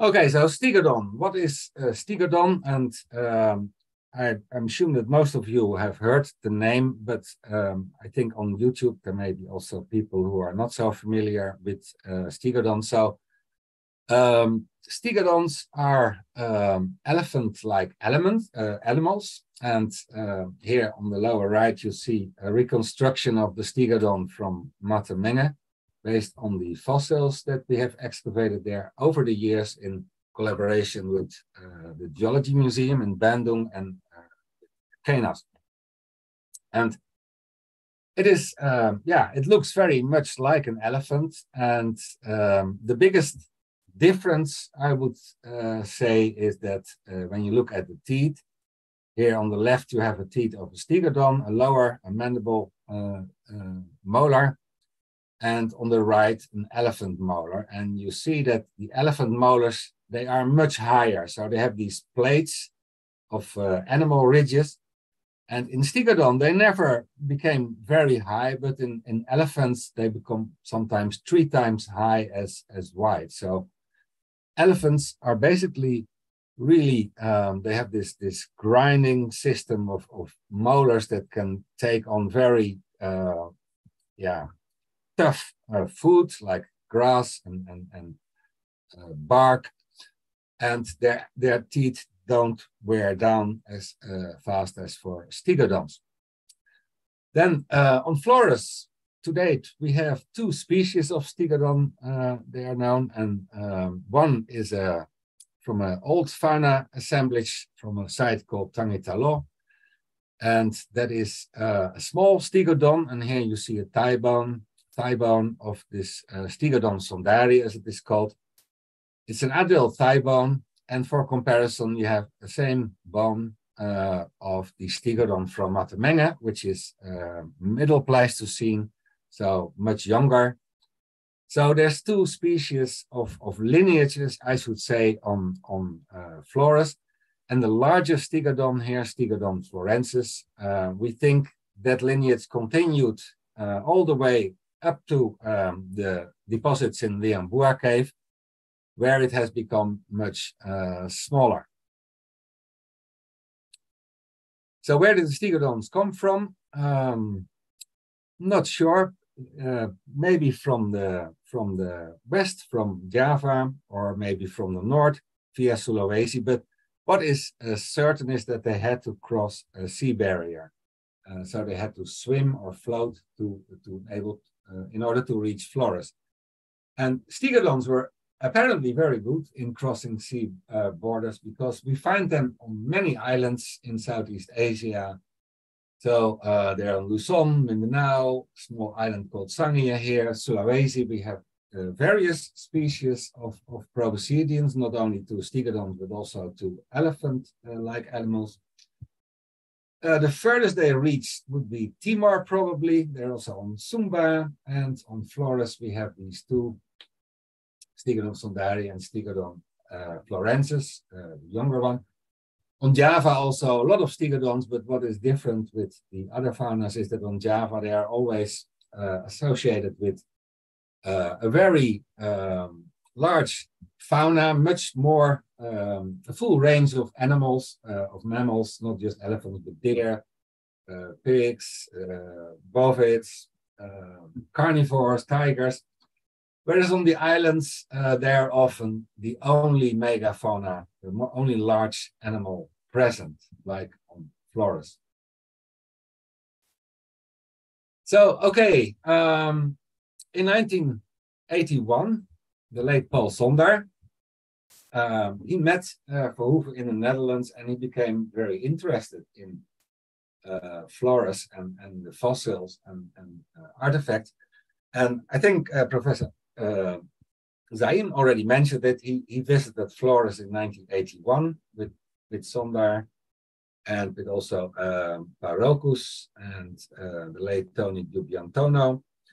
And they were checking the sites that were reported by Verhoeven. And um, they also found a new site called uh, Tangitalo. They called it uh, Sao, but um, later it, it uh, appeared that was, according to the local uh, elders, uh, that was the wrong name. But anyway, it doesn't matter. Um, so they they um, became um, very interested. And then later, uh, Paul Sondar and John de Vos, they obtained uh, funding for a PhD research project. And I was the lucky one to uh, try to find out um, and, and, try to uh, see what the faunal sequence uh, on Sulawesi and Flores was. So I won't talk about Sulawesi, that's another interesting island where a lot, lot of things happen, but uh, Flores. So um, what we uh, also did in collaboration with the uh, Geological Survey in Bandung, uh, Almarhum Bondan Nugroto, is we took samples, uh, oriented samples for paleomagnetic uh, uh, polarity reconstruction. So the Earth's magnetic field has changed over time and sediments that are deposited during a time when the magnetic North Pole is directed to the north, they also orient themselves like that. And that rock actually um, preserves the magnetic polarity at the time of deposition. However, in the past, magnetic polarity was uh, reversed, as we call it. So the magnetic North Pole was ori uh, oriented towards the uh, geographic South Pole. And that's um, when you find that situation, we call that, that reversed polarity. And it is known how these um, different uh, periods have changed over time. And what we found in uh, Flores at Matamenge and at Tangitalo was that uh, we had reverse polarity here in Matamenge and then a normal polarity. So somewhere we had a boundary here that uh, was at least 780,000 years old. And because the artifacts and the Stegodon fossils, they occurred a little bit above that, we assumed that maybe those artifacts were indeed very old, much older even than Verhoeven had initially uh, suspected. Then in uh, Tangitalo, we found a different situation. We found uh, reversed polarities and a few normal polarities. And we interpreted that at the time as um, being uh, equivalent with the Jaramillo event, which is uh, take took place around uh, one million years ago when the polarity was briefly uh, normal and on both sides of that, you have the reversed polarity. So we assume that the Tangitolo fauna with the pygmy Stegodon sondari, also giant tortoise and a Komodo dragon, that, that was uh, 900,000 years old. And then in Matamenge, we have this new Stegodon, a larger Stegodon florensis. We have stone tools. We interpreted that as um, made by Homo erectus. That, that seemed the most logical explanation. And there was also a lot of fossils of uh, rats, medium-sized rats called Hoironis. So that was a bit summarizes um, the results of my uh, research on Flores at the time. These dates, they were more or less confirmed uh, a couple of years later when um, uh, Professor Mike Morwood uh, went to the Sawa Basin with uh, Professor Pahu Assis, and they took samples for fission track dating from uh, and from Tangitalo. And the fission track ages seem to confirm um, what we found uh, before. So the Matamenge stone artifacts and fossils were about uh, 800,000 years uh, old and um, Tangitalo 900,000 years. Okay, so that was in 1998. Then, of course, um, I won't spend uh, a lot of time here on, on Homo floresiensis, but uh, as you all know, it was a huge discovery in uh, 2003, excavated and then published in 2004. And it caused a major stir up, um, not only in the archaeological uh, world, but, but yeah, also uh, it was enormous in the media everywhere. Incredible, this tiny hominin, one meter tall, in a cave in Flores and Liambua, associated also with uh, a small stegodon and uh, Komodo dragon, um, heaps of rats. Um, so I think uh, Grace Feeds would uh, talk more about um, the fauna in Liambua. But um, there is also stegodon um, associated with uh, Homo floresiensis um, in the late Pleistocene of Liambua. So then in 2007, we had this uh, simple uh, fauna succession. We have 900,000 year old fauna with pygmy, one meter tall stegodon, giant tortoise, Komodo dragon. Then at Matamenge, we assumed still uh, Homo erectus, uh, largest stegodon, a new immigrant to Flores, rats, and Komodo dragon fossils had been found in Matamenge in the meantime between 700 and 800,000 years old. And then uh, Liambua, we have the tiny Homo floresiensis, and the Stegodon has become a bit smaller. I think it's the same lineage that over time became gradually smaller. I will say a bit more on that later. Komodo dragon still there, rats, and then modern humans arrive uh, somewhere in the Holocene. And that seems to be now no, sorry, uh, the late Pleistocene, uh, 42,000 years um, to the latest evidence. So, um, yeah, it seems that modern humans, when they arrive, everything changes. Um, Homo floresiensis uh, becomes extinct. So, Stegodon, a lot of rats eventually also uh, disappear, and uh, Komodo dragon, and one giant rat, Papacomis, is the only surviving um, mammalian uh, endemic fauna on Flores that's still alive today. What we thought, uh, and what I still think, but not everybody agrees, uh, is that Homo floresiensis is a descendant of Homo erectus, large-bodied Homo erectus, that over time became smaller uh, and evolved into the tiny Homo floresiensis. Then in um, another major breakthrough in 2010, um, uh, a study led by Adam Brum was published in Nature, and um, they reported that there were stone tools in the Sawa Basin that were even older than those of Matamenge. And um, they reported on a site called uh, Sega, where there was this uh, one meter thick, um, prominent white pumice layer, major volcanic eruption that had spread out throughout the entire Sawa Basin. And that was, uh, it contained uh, minerals that were very good for dating, hornblende, and um, with argon-argon dating, which is, I think, the most accurate way of dating um, those kind of uh, deposits.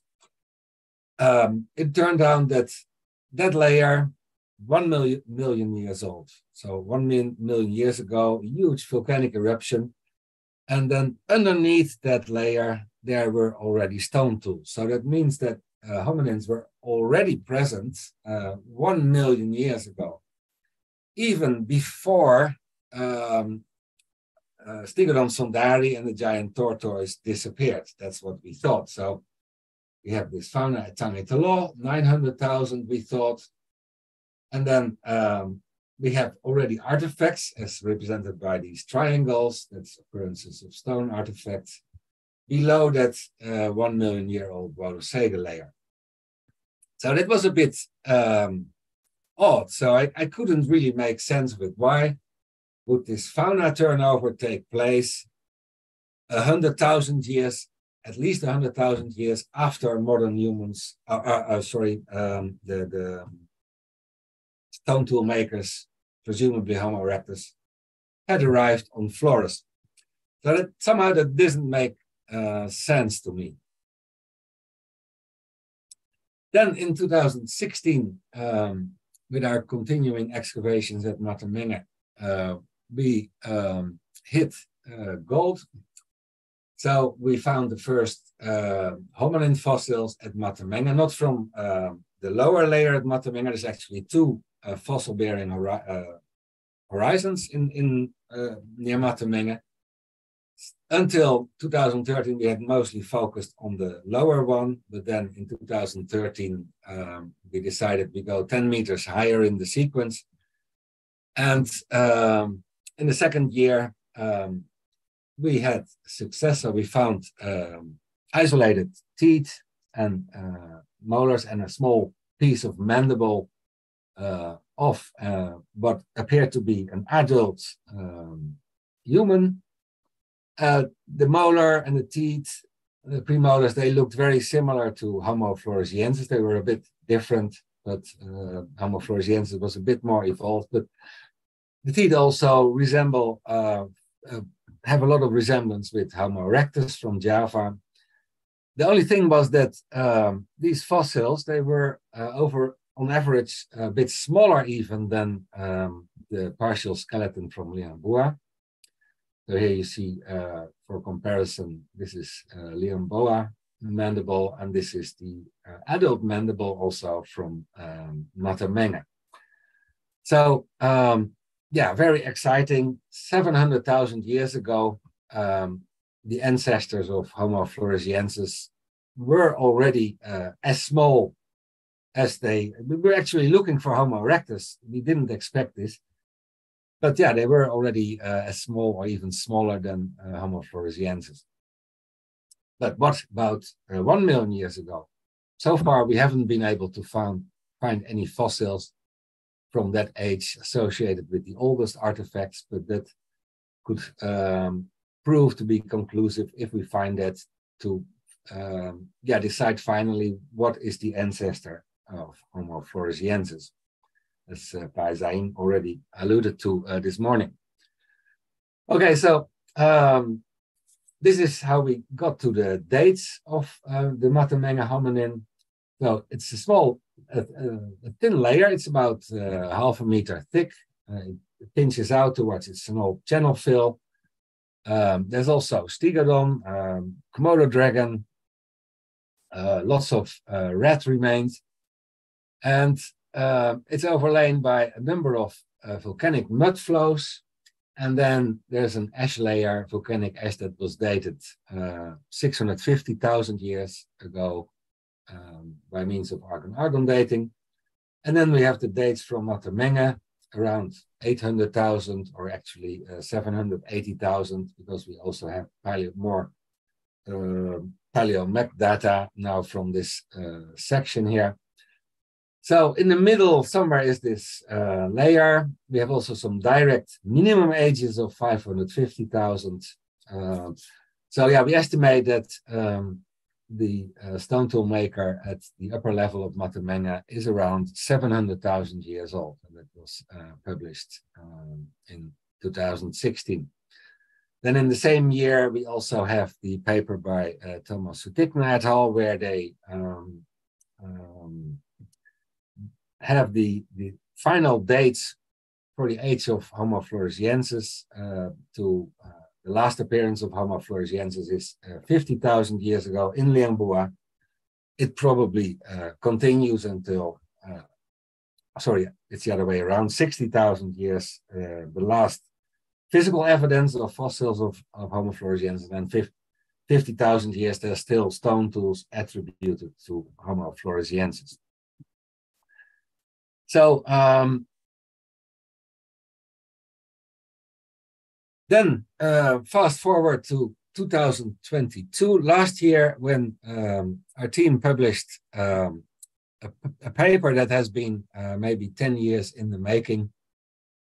And this uh, diagram more or less summarizes um, what it is about. There's more dates these colored bands, they represent marker beds, so volcanic ash layers that we can trace based on, on their chemical composition throughout the Soa Basin. So they really represent single timelines when an eruption covered the entire basin. So they are very uh, handy for, for uh, lateral correlations of uh, sequences of sections that we measure throughout the Soa Basin. And uh, these are most of the sections. And what is now becoming clear is actually that that site Tangitalo is uh, here.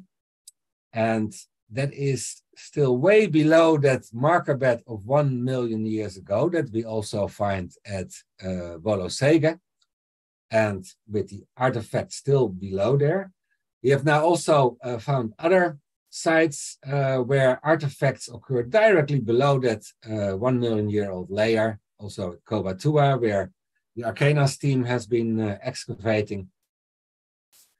So, and Tangitelo is, is much older. We have also now uh, argon argon dates from that sequence, and it turned out that Tangitelo was not 900,000 years old, but it was 1.4 million years old, so almost half a million year older than we uh, anticipated. So somehow these uh, zircon fission track dates, they were um, less reliable.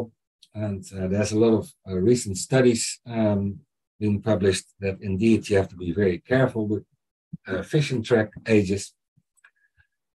So um, yeah, this is a bit how uh, the situation uh, is now.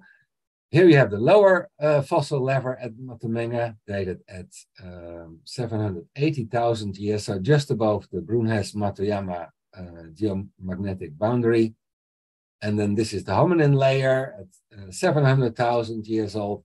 And then there's another site, Kobatua 1, where um, it um, we uh, have some uh, evidence that that site is actually older than uh, Matamenge, the lowest level at Matamenge, and that may be the oldest site with uh, Stegodon florensis. So it's the, the younger fauna, the middle Pleistocene fauna, but it's slightly older. And there's also, of course, uh, a lot of uh, stone tools uh, in, in at Kobatua in these excavations.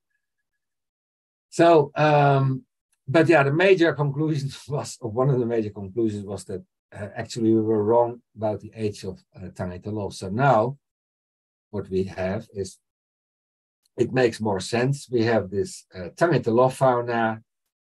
Uh, soon after that, uh, the giant tortoise uh, disappears from the sequence and Stegodon sondari.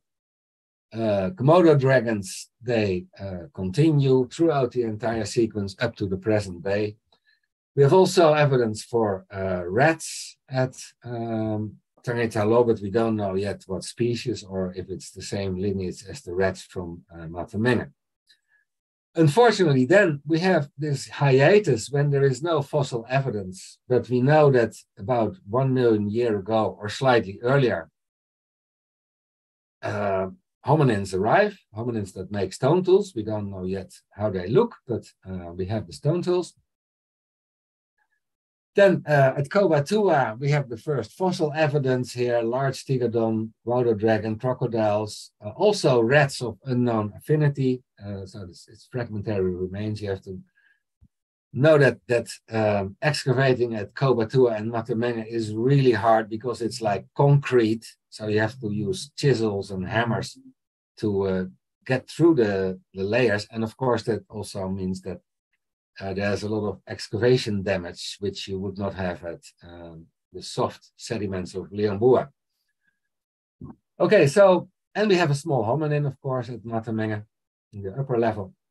Then again, in hiatus, and then we have the Liambua fauna, where um, the stegodon appears to have become smaller. Also, stegodon uh, sorry, uh, Komodo dragons, and also other, a lot of rats. So it seems that the rats have diversified into different lineages. But um, what is, is um, what strikes me is that this fauna is, is quite continuous, even though we have no uh, record from the uh, intervening period of about half a million years. But there's not much change going on until modern humans arrive at the scene uh, around um, 42,000 years ago, probably earlier, already a bit, if we consider the evidence from other places and, of course, the evidence from Australia, where they uh, somehow reached 65,000 years ago. Now, this blue band here, um, that is what uh, geologists call the uh, mid-Pleistocene transition, the transition from the um, early Pleistocene to the middle Pleistocene that didn't uh, happen overnight. So it's it's uh, a period uh, that is several hundred uh, thousand years uh, long. And this uh, graph is probably familiar with most of you. It's the, the marine oxygen isotope curve that is, um, yeah, the, a global climatic indicator. so if the um, and, and what you what you uh, actually see during this uh, period that is covered by the sequence in uh, Flores is that uh, is exactly the time when um, when you have low amplitude 41,000 year long obliquity forced climate cycles of the earlier Pleistocene. They make place for progressively for for uh, later Pleistocene high amplitude 100,000 kiloyear uh, cycles. So the question is, of course, is this gradual uh, or intermittent uh, climate change, is that responsible for this fauna turnover and maybe also for the arrival of hominins on Flores one million years ago? We can only guess at the moment. But it's uh, alternatively, it can also be the um, the arrival of the hominins themselves that may have eaten the turtle eggs and uh, hunted the small Stegodon sondari to extinction. It could also be volcanic eruptions that um, brought an end to that fauna, but then um, and then you would have to um, conclude that that um, Komodo dragons could have uh, repopulated uh, from from other islands but um, yeah, it's it's not clear. I think personally, I think that uh, volcanic eruptions are unlikely because we have so many uh, volcanic eruptions in the Solar Basin that don't lead that, that lead temporarily to uh, a mass uh, kill of, of all the animals, but uh, we always see that they recover after a while. So let's look at uh, some other data, zoom in on this um, late Pleistocene uh, or, or um, middle Pleistocene transition. And what I've done here is I've plotted uh, uh the stable carbon-13 isotope ratios uh, from uh, tooth enamel of stegodons. And this was part of Mika Puspaningram's research um, um or her, uh, her PhD um, thesis. And um, if you, I, maybe no time to go into the details, but if you look at the um, these graphs, the further the values of individual, so each point here is an individual analysis of a tooth of one stegodon individual. And the more these values are to the right, the more, the, the higher they are. that means that the elephants that um, these teeth belong to, they were mostly eating grass. They were grass feeders. Whereas uh, animals with a lower value and even negative values, they were mixed feeders. They, they were living in an environment um, where you had both uh, forested patches and, and, and uh, patches of grass. So something like an open woodland. It was not a rainforest, because then you would have uh, would expect still um, more negative values and, and stegodons in, in uh, southern China. They were uh, really forest dwellers, but uh, Stegodon sondari here was mixed feeder. And it seems that indeed over time, if you look um, at Matamenga, uh, all the stegodons were grass eaters, or, or well, with a few outliers. And also even in Liangbua, um, all the values indicate uh, a diet of grass.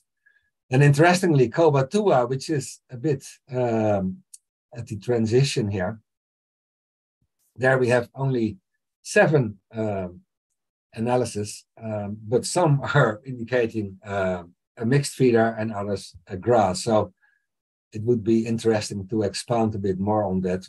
We, have not a lot of data from that side, but I know that uh, Patomas and colleagues and Pajatmiko, they have been excavating this year at Kobatua and uh, collected more nice specimens. So um,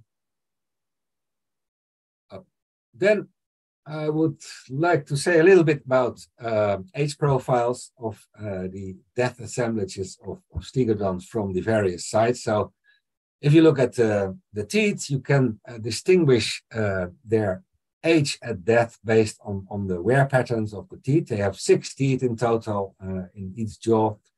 And by looking at the stage of wear, you can dis distinguish 43 separate um, um, subsequent wear patterns.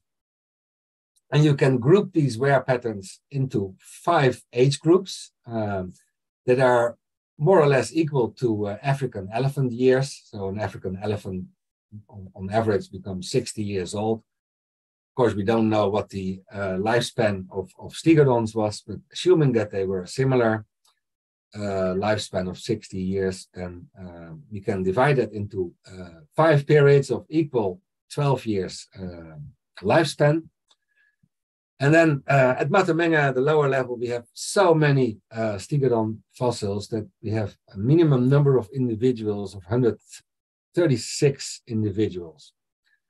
Now, here you have then um, these five uh, age groups on the horizontal axis, and then the percentage of each age group in the assemblage.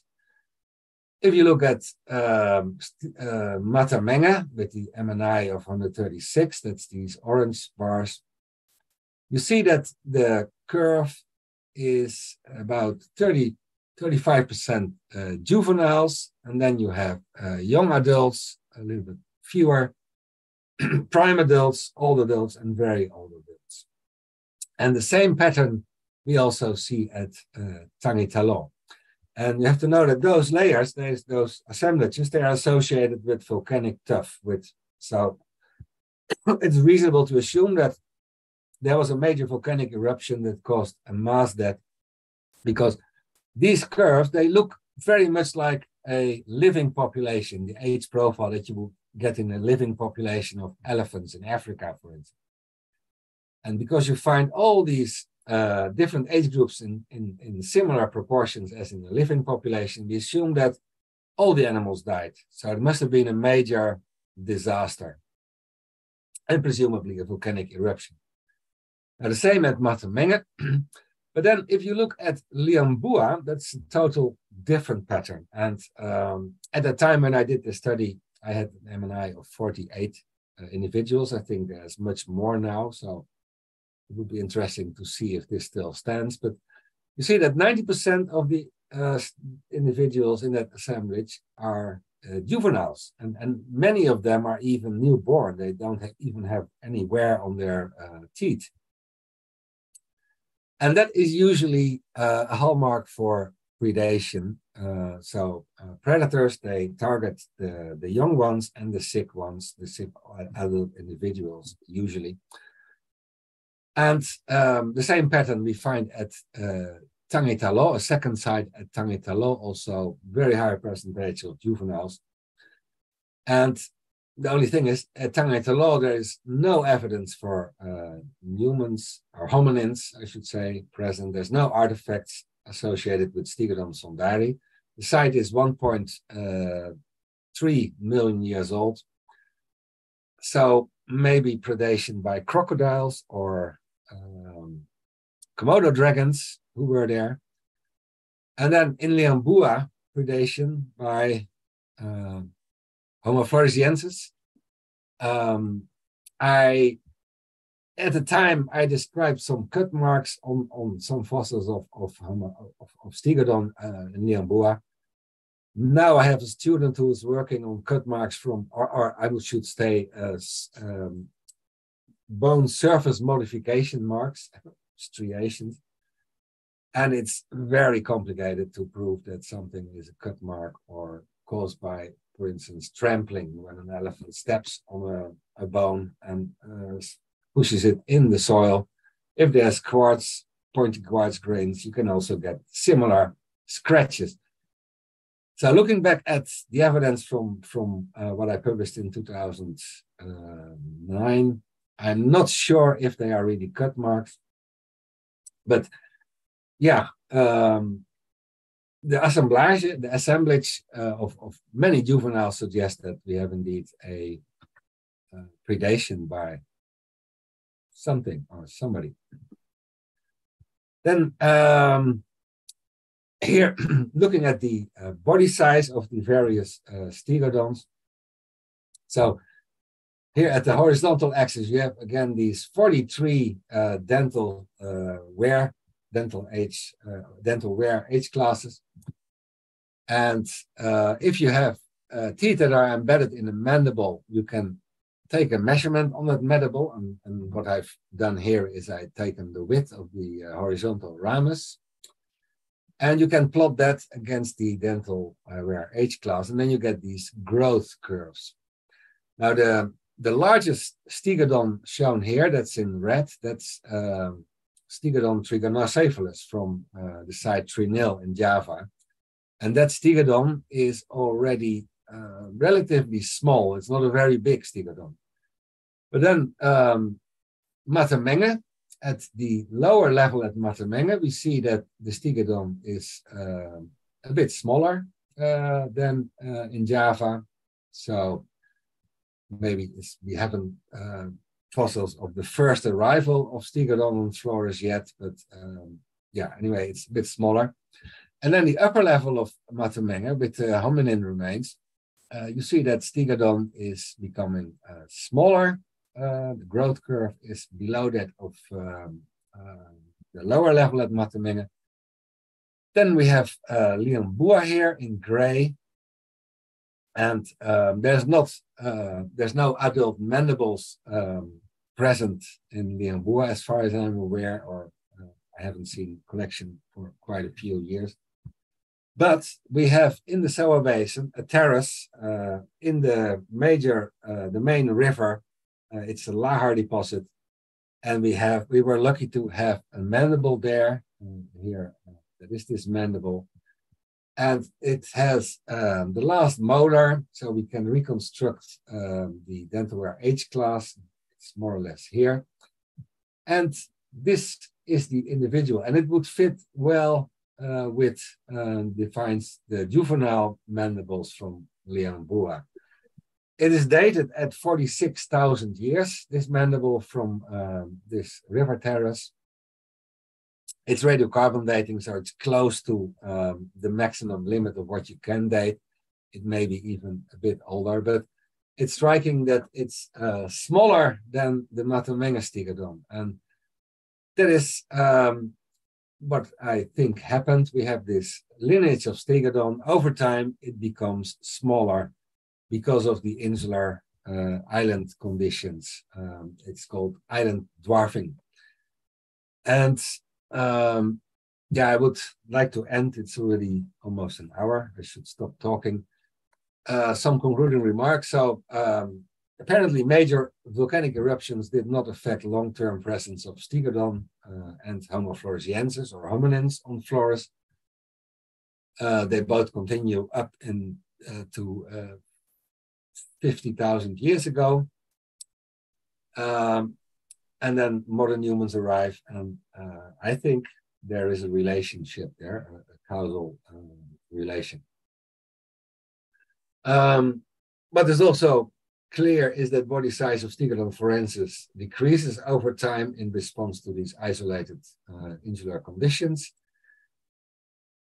Then the question raises, what about Homo floresiensis? Is Homo floresiensis a dwarfed Homo erectus that became smaller like Stegodons?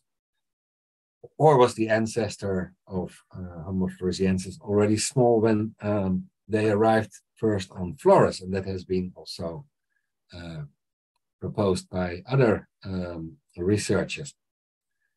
I think the last word has not been said on that, but I tend to favor uh, Homo, Homo erectus uh, ancestry for Homo floresiensis until there is really. Um, but what we should do really is find fossils uh, one million year old on Flores um, that could um, provide the final evidence of what the ancestor is. I agree more or less with with uh, that that Homo luzonensis is probably also um, related in that same group, derived from Homo erectus. But I know that not everyone agrees on that. And then one thing that we have tried to uh, to prove is that um, the Basin hominins actually were uh, hunting or butchering, as was depicted in that early uh, reconstruction I showed you at the beginning. And it's very difficult. And we have um, one of the problems is that uh, most of the fossils they are reworked by uh, river flow, by fluvial action. So they're mumbled uh, together with the artifacts, and that also erases uh, a lot of um, of these um, surface bone modification um, modifications, um, taphonomic evidence. So it's very difficult to say. We thought we had cut marks, but um, I wouldn't uh, bet on that anymore now. So another question that is still uh, intriguing is what caused the extinction or the final turnover between Tangitalo and Matamenge and um, and the extinction of Homo floresiensis and Stegodon, I think, related to Homo sapiens.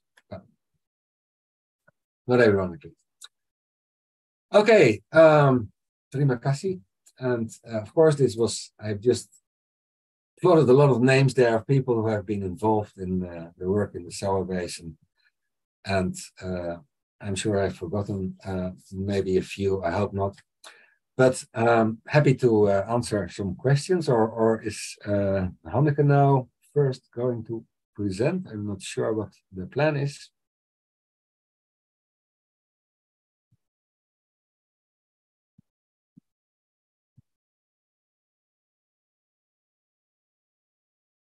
Uh, thank you, Dr.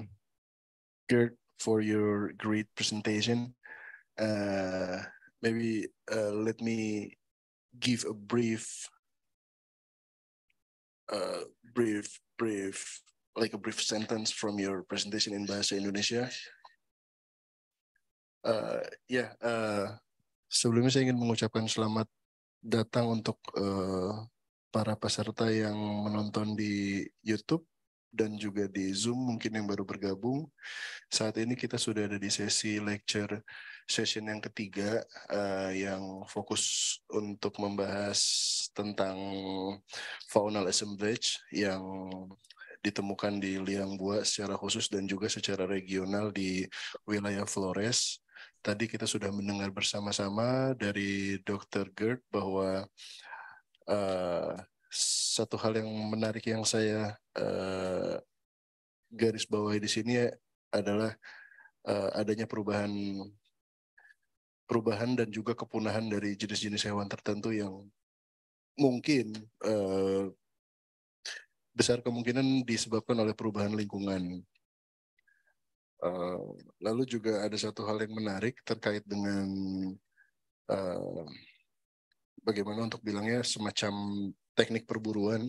Tadi sempat disinggung bahwa uh, dead assemblage dari binatang-binatang khususnya stegodon di liang gua dan di Tangitalo di uh, Sulawesi menunjukkan adanya perburuan yang selektif. Jadi sepertinya para pemburu di masa lalu itu memilih untuk berburu hewan-hewan atau stegodon-stegodon yang masih muda atau anak-anak.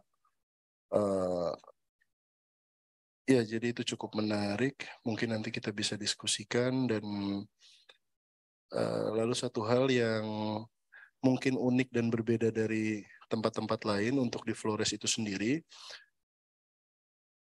Uh, stegodon atau agar lebih gampang membayangkan uh, gajah purba, uh, spesifiknya Stegodon florensis, ukurannya tidak sama dengan stegodon-stegodon di tempat lain. Jika kita bayangkan stegodon itu sama seperti gajah, tapi yang di Flores itu tidak sebesar itu, mungkin hanya sebesar sapi atau kerbau untuk ukuran yang dewasa. Dan ini disebabkan karena tadi sudah disebutkan adanya isolated insular conditions yang menyebabkan ukuran mereka menyusut. Uh, baik, mungkin jika ada pertanyaan bisa ditahan dulu. Selanjutnya kita akan memberikan kesempatan untuk pembicara kedua kita, uh, Dr. Dr. Hanneke Meyer. Uh, so Hanneke, Are you with me? Yes, I am. Thank you, Annika. So, yeah, I will give the floor to you. So, please take your time. Thank you, Nico. I will share my presentation. I hope we are all able to see it. Um, thank you, Nico, and thank you to the organizing committee today for inviting me here to uh, talk on the commemoration of the 20th year anniversary of the discovery of Homo floresiensis. I'm very honored to be here, and I'm very happy that I can show you some an overview of some of the research that I have done on the bird remains that were found uh, at Liangbua and that were closely associated with Homo floresiensis. Um, the discovery of, of Homo floresiensis was, as Gert said, made, a, made an enormous impact in both the scientific world as well as in the popular media. Um, and I'm very happy that Gert already provided such a, a, good background to the to the history of research on flora, flores and the the history of research and the fauna of Liangbua. So um, thank you, Gert, for doing that. It makes my presentation a little bit easier. Um, and I think part of the the big impact that Homo floresiensis had on on the sciences and as well on on the popular media was due to the fact that it was found in an area that we didn't really consider very much before. Um, of course, Eugène Dubois had done research on Java, um, but the area beyond the Wallace line here um, this line that separates Borneo from Sulawesi and Yav Bali from Lombok. Um, that area has always been uh, oceanic islands. Um, so the fauna that we find in this area, also called Wallachia, is very different from the one that we find on the mainland. And um, this area today is a very important area for biodiversity, particularly birds and, and small mammals. Um, but we know very little about the history of the biodiversity in this region. So that's why this discovery made such a big impact because all of a sudden we realized that there were very interesting things that were happening in this particular reason uh, area. Um, the history of birds in this region is is not very is not at all good understood. Um, Alfred Russel Wallace was one of the first to point out that there was interesting patterns in this area. that birds in Wallachia were uh, a bit different from the ones on the Sunda shelf and on the Sahu shelf. And that also that there were distinct distributions. For example, you could really see a shift in species if you were to travel from Java to Australia. You would see different species on different islands. And this has become a very important idea in the sciences, in the biological sciences. But interestingly enough, we don't really know uh, how that distribution of birds has changed over time. For example, if we were to go back 10,000 years or maybe a million years, would we see different species of birds? And would those patterns be the same or would they be different? Um, and these are questions that I've become interested in over time. And I have not been able to answer them fully, but with the finding of Homo floresiensis and the the the big amount of fossil remains that we found at Liangbua, I think we can start to find an answer to these questions. Um, so when I started working on the bird remains of Liangbua, it was actually Gert van den Berg who asked me if I would have a look at this. I had already done some research on fossil bird bones from the Netherlands, um, and Gertz knew me from that time period. So when I when there were bird bones found at Liangbua as well, he asked me if I uh, was interested in having a look at those, and I was. So in in 2006 in October, I traveled to Jakarta for the very first time. It was very overwhelming. I was very intimidated, but uh, luckily I found a group of very nice colleagues uh, at Akenas, as it was called at the time, uh, and including one of them was Rokus, Pak Rokus. And Pak Rokus was the person who taught me my first words in Indonesian. Uh, and he was also a very kind person and very patient. Um, and he was also very hardworking and he worked a lot every day on the, the bone remains from Liangbua. Um, so um, I have very good memories of working with Pak Rokus. Um, and he was also the person that helped me a lot with with my study of the of the bird remains. Um, and I quickly realized that there were a lot of bird bones from Liangbua. And this is interesting because one of the reasons people say that bird bones, that birds are poorly studied in the fossil record is because they, their bones are quite small, they're quite fragile, and they often don't get preserved. And while this is true, um, bird bones are more common than we think. And they are mostly present at almost every site. You just have to be careful and look good for them. So uh, when we look at Liangbua, um, this is um, a visual representation of the amount of um, bones that we have found for each major group of animals. Um, so Liangbua has contains an enormous amount of bone material. Uh, and most of those are from rat, rats. So this is the biggest species group. Um, almost 86% uh, of the bones that we find come from rats. Um, Stegodon only makes up about 7% of the total number of bones. And then there's 3% for bats, 1.5% for amphibians, 1% for Komodo dragons, and then 1.1% for birds. So from the total amount of bone remains that we have at Liangbua, only 1% of those are birds. And it sounds very few. Um, so they only make up a small portion of the, of the total amount of, of bones, but they're actually one of the most diverse groups, as we will see.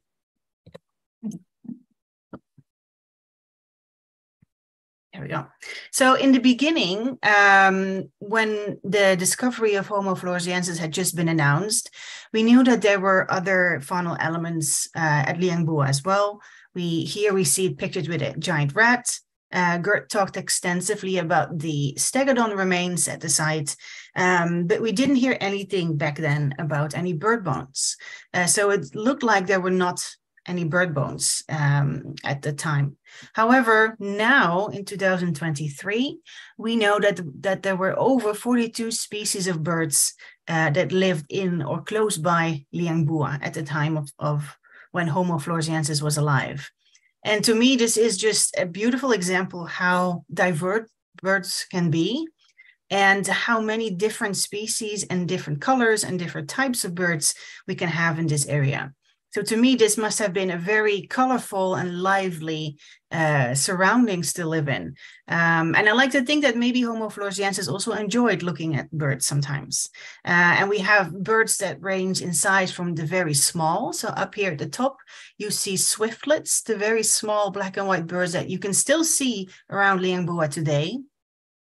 And then we have large birds of prey that are looking for, for animals to prey on. We have pigeons, there are parrots, there are birds that are very happy to be near water that will find water, um, find food and water. We have ducks, we have small songbirds, we have uh, small quails that walk around, and we even have vultures and giant marabou storks. So to, this is a very diverse arrangement of birds. And uh, I'm sure there must have been more species. So we still have a lot more material to analyze, but already we know that Homo floresiensis lived in an area that was very full of birds. So the interesting thing about these bird fossils is that we can use them as a paleo-environmental indicator, as an indicator of the environment that Homo floresiensis lived in. And if we take a closer look at the, at the Pleistocene species that were present at the time of Homo floresiensis, we see that there are three different groups of birds. We see that there's one group that uh, of birds that is very closely related to water environments. Uh, we have, for example, ducks that will feed on uh, water vegetation. We have a number of species that will use their long bill to find small invertebrates and other animals in the mud to eat.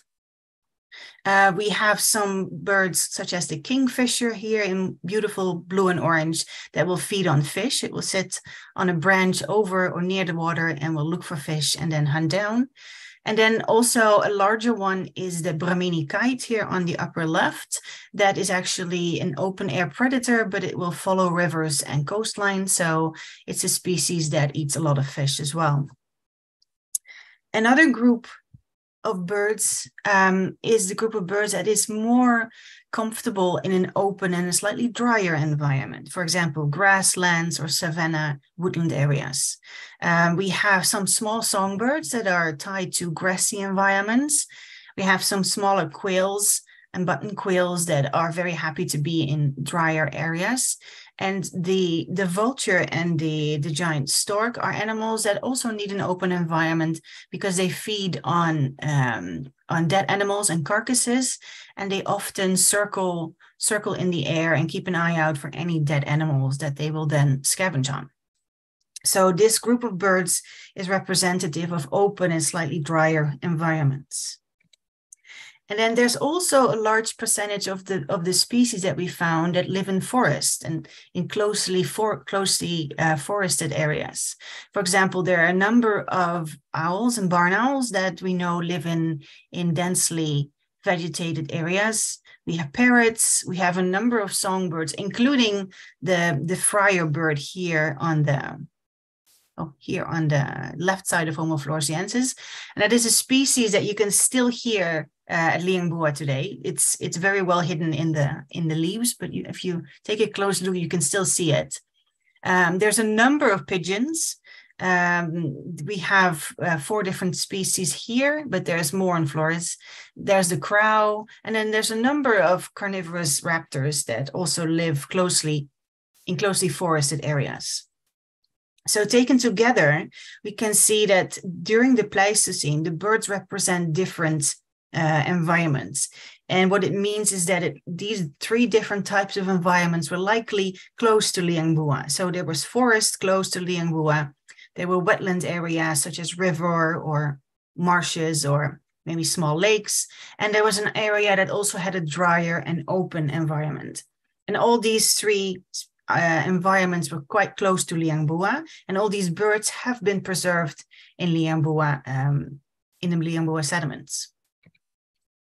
Now, over the last 20 years, there's two species of birds that have become uh, a bit more of a focus point for my research.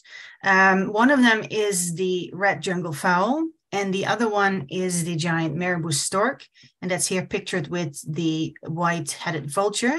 That's a species that we also find a lot of in Liangbua. So I'll start with the chicken because I'm I quite like chickens. Um, and chickens are a very important element in Indonesian culture, but also in Indonesian food. And wherever you go these days in Indonesia, you will always see chickens.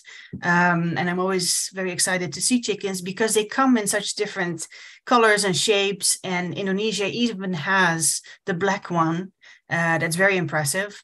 Um, so I'm always very happy to see chickens. And even though chickens are so widespread in Indonesia today, they're actually not native to the region, to the country.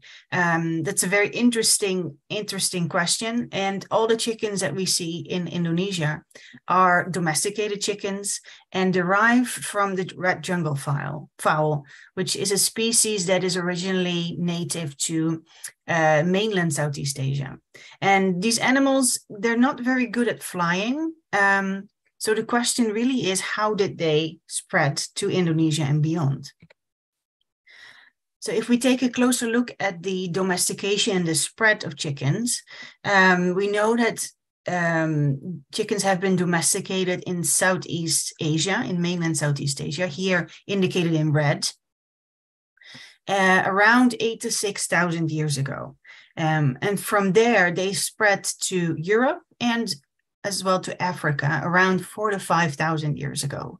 And we know this because we have found a lot of archaeological bone remains of chickens in these areas around that time. Then, for the eastward spread of the chicken into Southeast Asia and Polynesia, we don't really have that many data. We know that in Polynesia, uh, so the islands further east of Indonesia, we know that the chickens are very common around in there around 3,000 years ago. But for the area in between, for the whole of island Southeast Asia, we don't really have any data on the arrival of chickens or the timing of their arrival.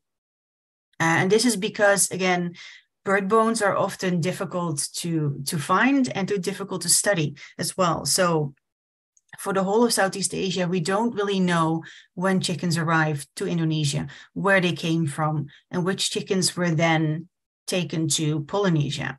So that's why I put a big question mark in here, because hopefully over time we can start to fill this in. But then let's return back to Liangbua. And at Liangbua, we find chickens in the uppermost layers of the sequence.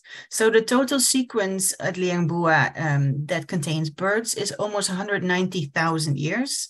So we find birds throughout all those sediments.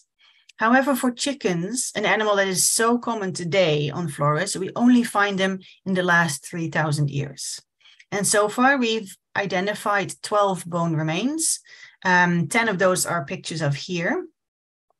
And these are all bones of chickens. And because of their size, they're slightly smaller than wild chickens. Um, sorry, slightly bigger than wild chickens. We think they might have been domesticated already, but they're still very close to wild chickens. Um, we carbon dated them. We used radiocarbon dating to, to estimate their ages and they turn out to be between 300 and 2200 years old. So th these are very young, young bone remains. Um, and these are the first bone remains of chickens on Flores. Um, and because they're they're only present in the upper 3000 years of the sequence and there's no evidence for chickens in any of the older layers we think that these chickens arrived from somewhere else um, and their arrival actually overlaps with other elements um, that are part of the agricultural package, for example, pottery and pigs. Um, and we think that all these elements together arrived at Liangbua at some time during the Mesolithic, so sometime during the last 5,000 years. So taken together, these bones represent the first evidence for domesticated chickens on Flores and the first evidence really for domesticated chickens in the whole of Indonesia. So this is a very exciting for me um, because I think this really hopefully can be the start of a closer study of the chicken bones in Indonesia. And hopefully well, we can fill in that picture of, um, of the question mark in Indonesia a little bit better over time. And another species that has really become one of the main, my main species that I've studied at Liang Bua is the giant marabou stork. And this, uh, I started studying this species in 2006 with Pacrocus, when we realized that within all these bags of bird bones, there were four, four bones that were actually a lot larger than the rest of the bones. Um, and at the time, I didn't, I was really thinking, oh, I've not really sure what to do with these bones. They're so different from everything else that I've seen. Um, and it turned out after some more analysis that this was a new species of giant stork called Leptoptilus robustus. And Pacrocus and I published this in 2010 as a new species. And because of the size of the bones and also because of the thickness of the bone wall itself, we thought at the time that this must have been a species that, that was too big to fly. Um, and it was too heavy and it spent probably a lot of time on the ground just walking around. Um, so that was the idea that we had uh, at the time. It was a, maybe a flightless species or a or a species that was not very good at flying and would mostly just spend time on the ground. So that was in 2010. And now uh, in 2023, we know that there's a lot more bones from this large bird uh, because excavations have, of course, continued since then. So every year there were more, more bones of the large marabou stork. And now we have about 43 bones of uh, Leptoptilus robustus. Uh, and we have a much better idea of what this species looked like. And we have elements of the wing and of the, the legs and of the even of the skull. We have some elements from the beak up here in the in the upper left corner. There's a very fragmentary remains of a beak, uh, shoulder blades, um, uh, yeah, even toes here in the lower right corner. We have some of the toe bones. Um, so together we have a much better idea of what this species look like. And we also know that there are now several individuals. So the, all the new bones of Leptoptilus robustus, there were a lot of new information that we that we learned from these bones. Um, 21 of the bones that we found we hadn't found before. So they were very informative for us to understand more about the biology of this species. We know that there were at least five individuals of this big stork in Liangbua.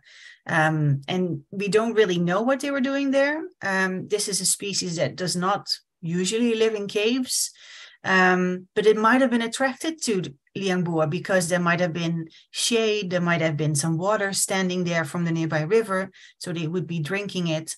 Um, so it is a very interesting, interesting findings. We know that also that some of these individuals were quite young. Uh, we can tell that because of the bone surface is has some very small pores on it that will disappear when the animal becomes a full adult. So we know that at least one or two of the animals that we found were relatively young individuals. We also have seen that uh, some of the bones were larger than some of the other ones, which is common in the stork family and apparently was also the case for Leptoptilus robustus. And this means that probably the fe- the males were larger than the females. Um, and we the, the amount of size dimorphism, sexual dimorphism that we see seems to be in line with what we see in the in other species in the stork family. Uh, and what's most interesting for me was that when studying these new bones, I realized that the bones of the wings were were fully functional. They were they were not smaller. They were not reduced. They did not show any sign of of the animal not being able to fly. So we had to conclude that in the end we were wrong about the animal not being able to fly, and that this was a species that probably could fly as well as any other bird. Um, so that was really something for us to think about. Um, and this species, uh, if we look at the occurrence of the bones within the stratigraphic sequence, we see that, that uh, Leptoptilus robustus is overlapping in time very closely with Homo floresiensis, with Stegodon, and also with Trigonosaps, the, the, the white-headed vulture. So these species always occur together, and they seem to be um, almost dependent upon each other. but every one of this this uh, group of species disappears around 50,000 years ago. So none, not one of them survives after 50,000 years ago. So for some reason, they all went extinct. And I think we can also dis- conclude uh, that we have very little evidence for storks eating human babies or ho- hobbit babies. This was something that was suggested back in 2010 by some journalists that uh, this stork was so big that it could have eaten babies. Uh, however, there's no evidence for that at all. Um, so this is something that we can really say no. This probably probably did not happen. So um, to when we look at the stratigraphic occurrences of, of Leptoptilus robustus, as well as the vulture Stegodon Homo floresiensis and Komodo dragon, we see that these species always occur together. So I think this is what we can call the real fellowship of the hobbit.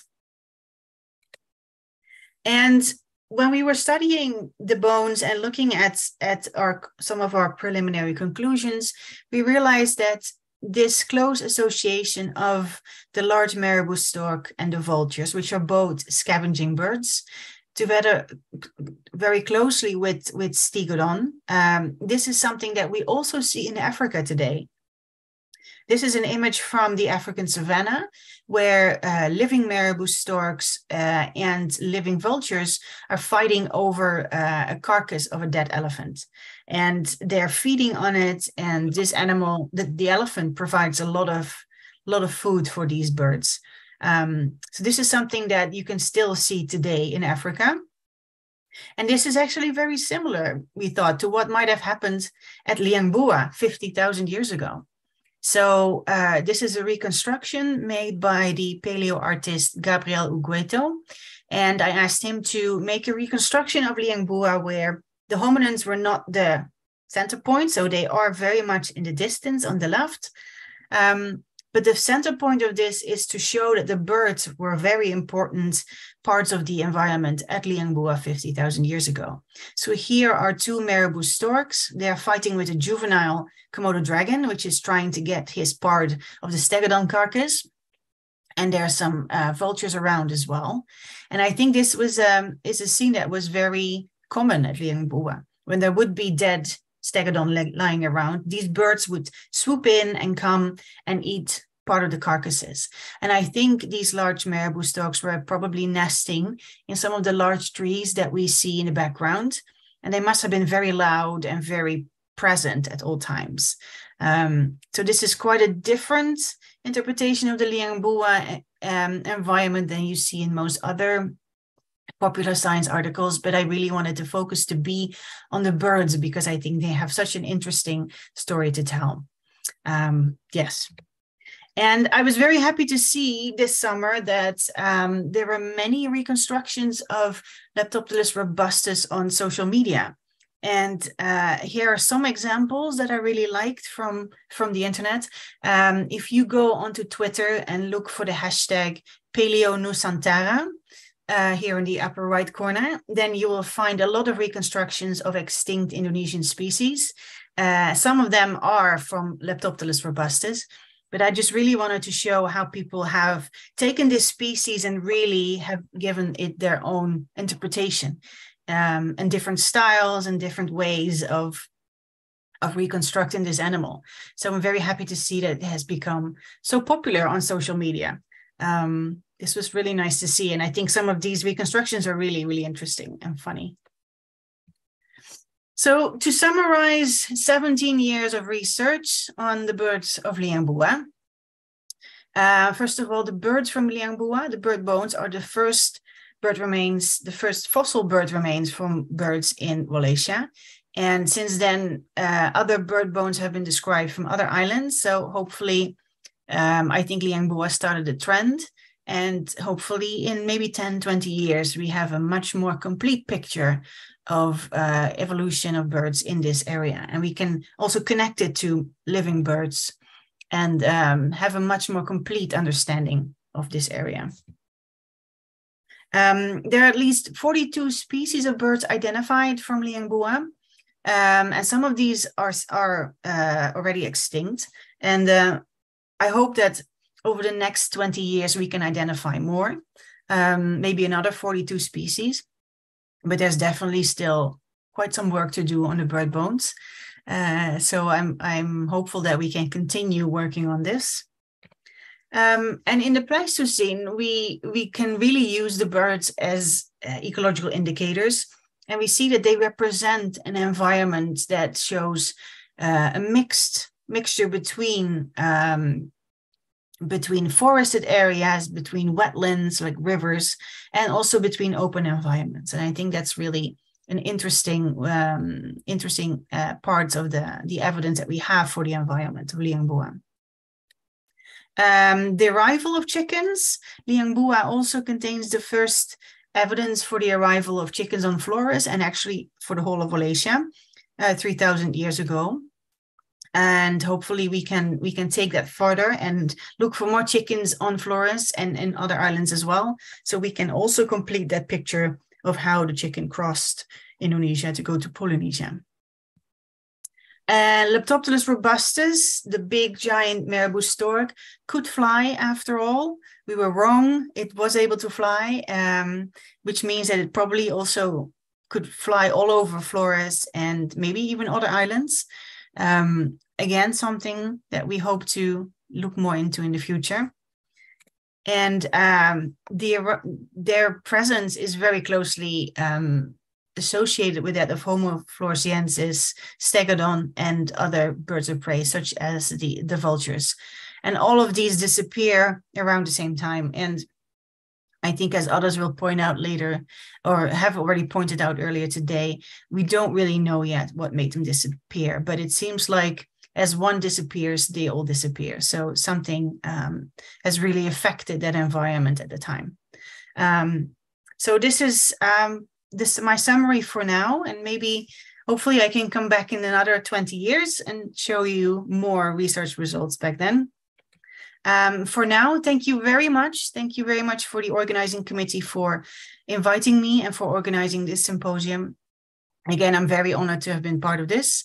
Um, and my research would not have been possible without a large number of people, including the people from Terras, Golomanuk, and Bere, and my colleagues, including Thomas, uh, Wahyu, Jatmiko, Vasisto, Ropak Rokus, of course, Nico, and Agus. So thank you all. Terima kasih banyak.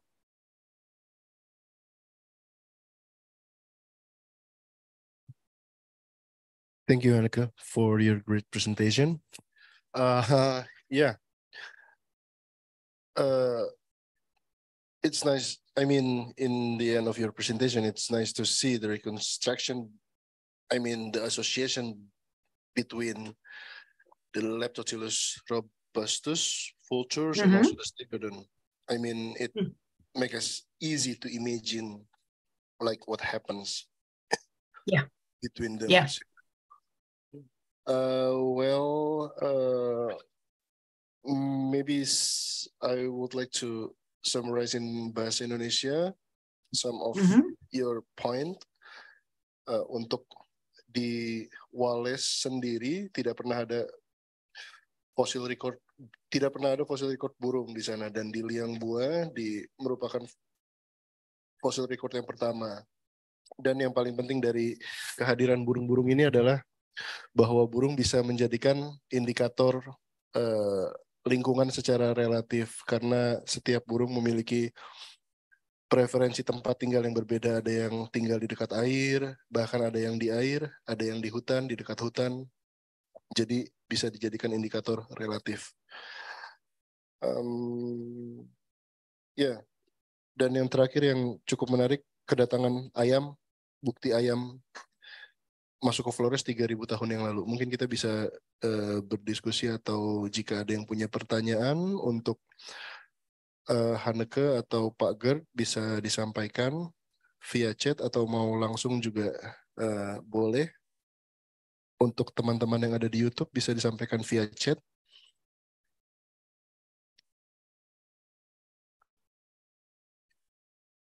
Yeah, now I would like to invite some question from the audience here.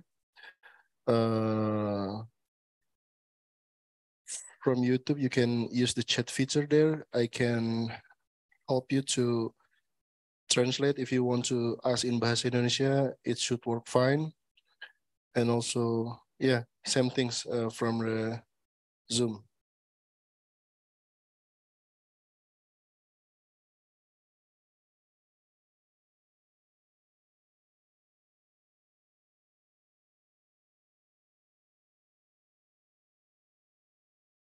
Yeah, okay. Uh, we have uh, Sofwan uh, to ask the first question. Yes, thank you. That that's a very good question. There are two other living species of marabou in Southeast Asia today, uh, in, in, in Sunda. Um, they're smaller and they seem to be a little bit different. Um, but we're hoping to do some DNA work on the living species to see if we can relate it to the extinct one. Um, so that's something that uh, uh, yes, it it might very well have been that that, that the giant marabou stork might have been the first one, and these living ones uh, are descended from the extinct one. Um, so hopefully DNA work can show that. Yes.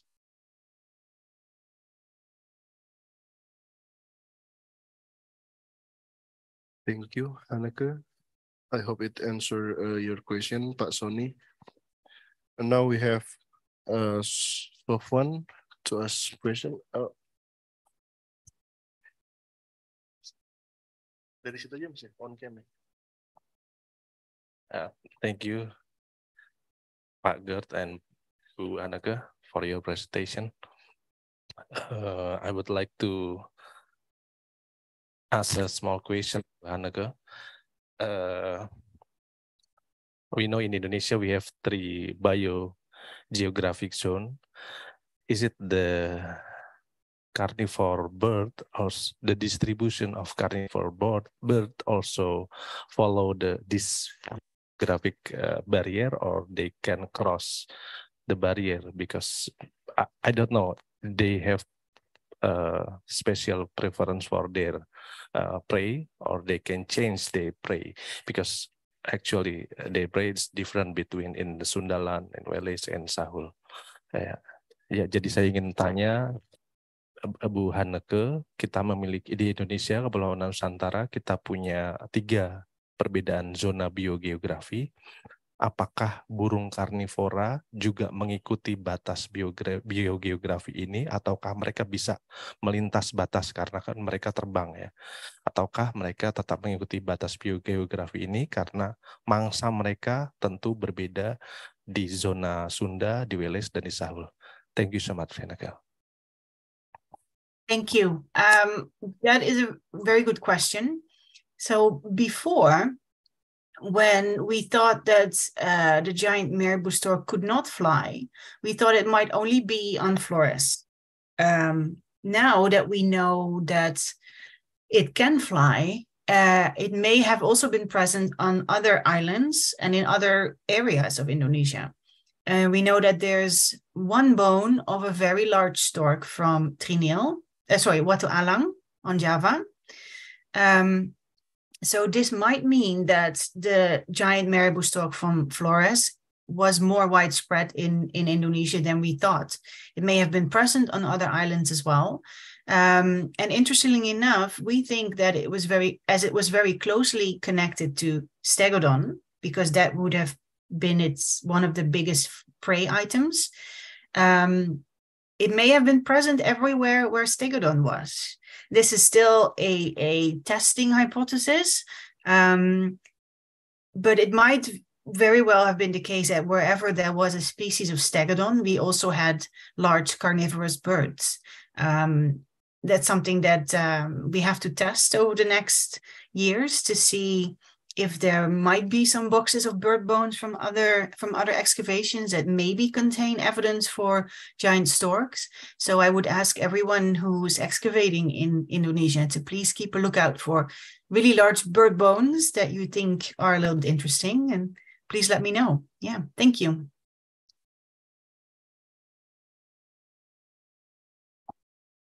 Thank you, Annika. Uh, anyone else, maybe?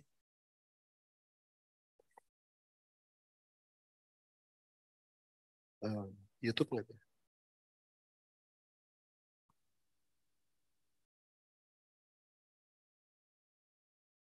Okay. Maybe as a trigger, I would like to ask to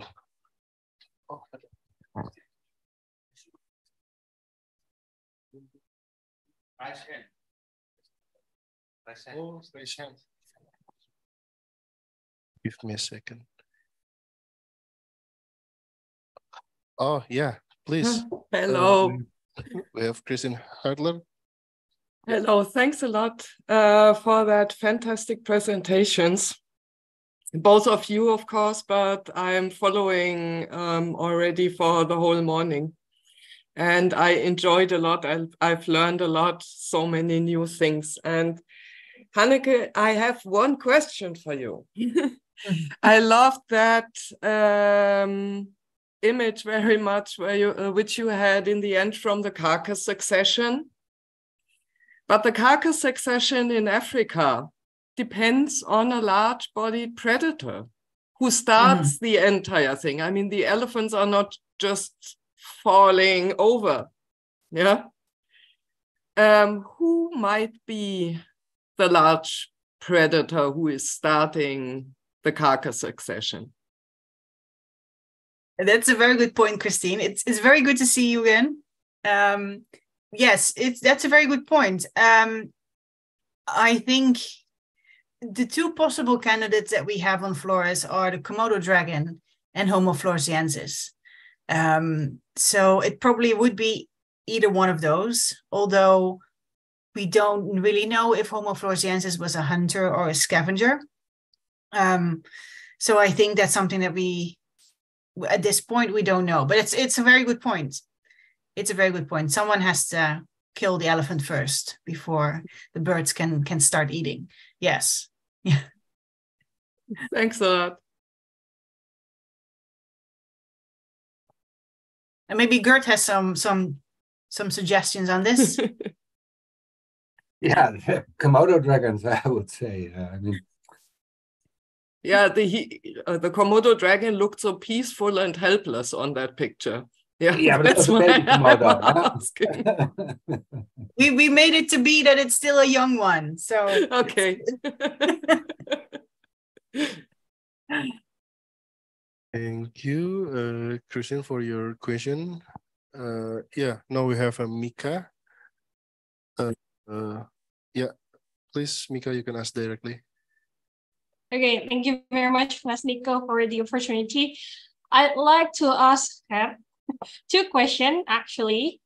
Um, first of all, I know that both of us favorite species is uh, Stigodon sondori from Tangitalo, and um, that's a small one. In your personal opinion, or based on your data that you have, um, where do you think the Stigodon sondori um, ancestor came from? Is it from the north? I mean, Sulawesi, uh, like because there we have Stigodon sompoensis, uh, or rather from the um, the east that um that uh, experienced the island rules, like the the the um, it's getting smaller. Um, the second question is about the Stigodon florensis.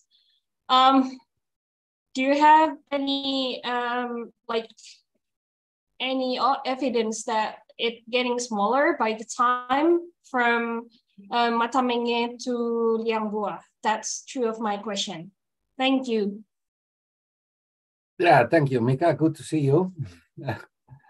um, yeah, regarding your first question, um, I don't know. So Stigon sondari is already small when we find it uh, at Tangritalo. It might have been there for uh, maybe a million years already, but we have just no data. That's one possibility. And yeah, it could be either from uh, the west or from the north, as you say. I, I don't know. So it, it, it seems like if you look at the uh, enamel of Stegodon sondari, it's a bit more archaic. So it's, it's, it's a bit more uh, simple than uh, what you see in uh, Stegodon florensis. That suggests that maybe a more archaic Stegodon is the ancestor, like Stegodon elephantoides, or but that are they are very rare, very poorly um, documented. So uh, dated also. So yeah, it's difficult to say. And then um, I think your second question is a bit better to answer because actually that's something where I'm working on at the moment. So we have these beautiful, these two levels separated by about 60, 70,000 years in time large assemblages, so you can identify all the teeth well and, and the postcranials.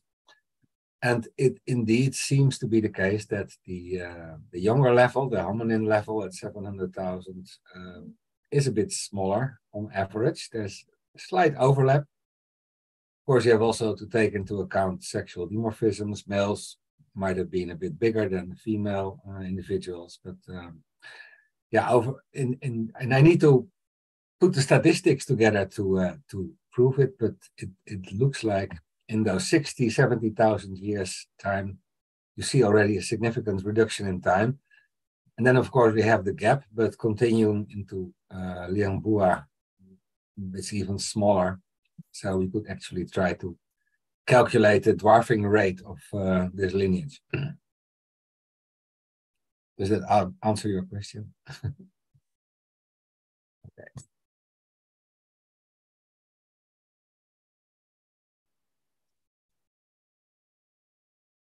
Thank you.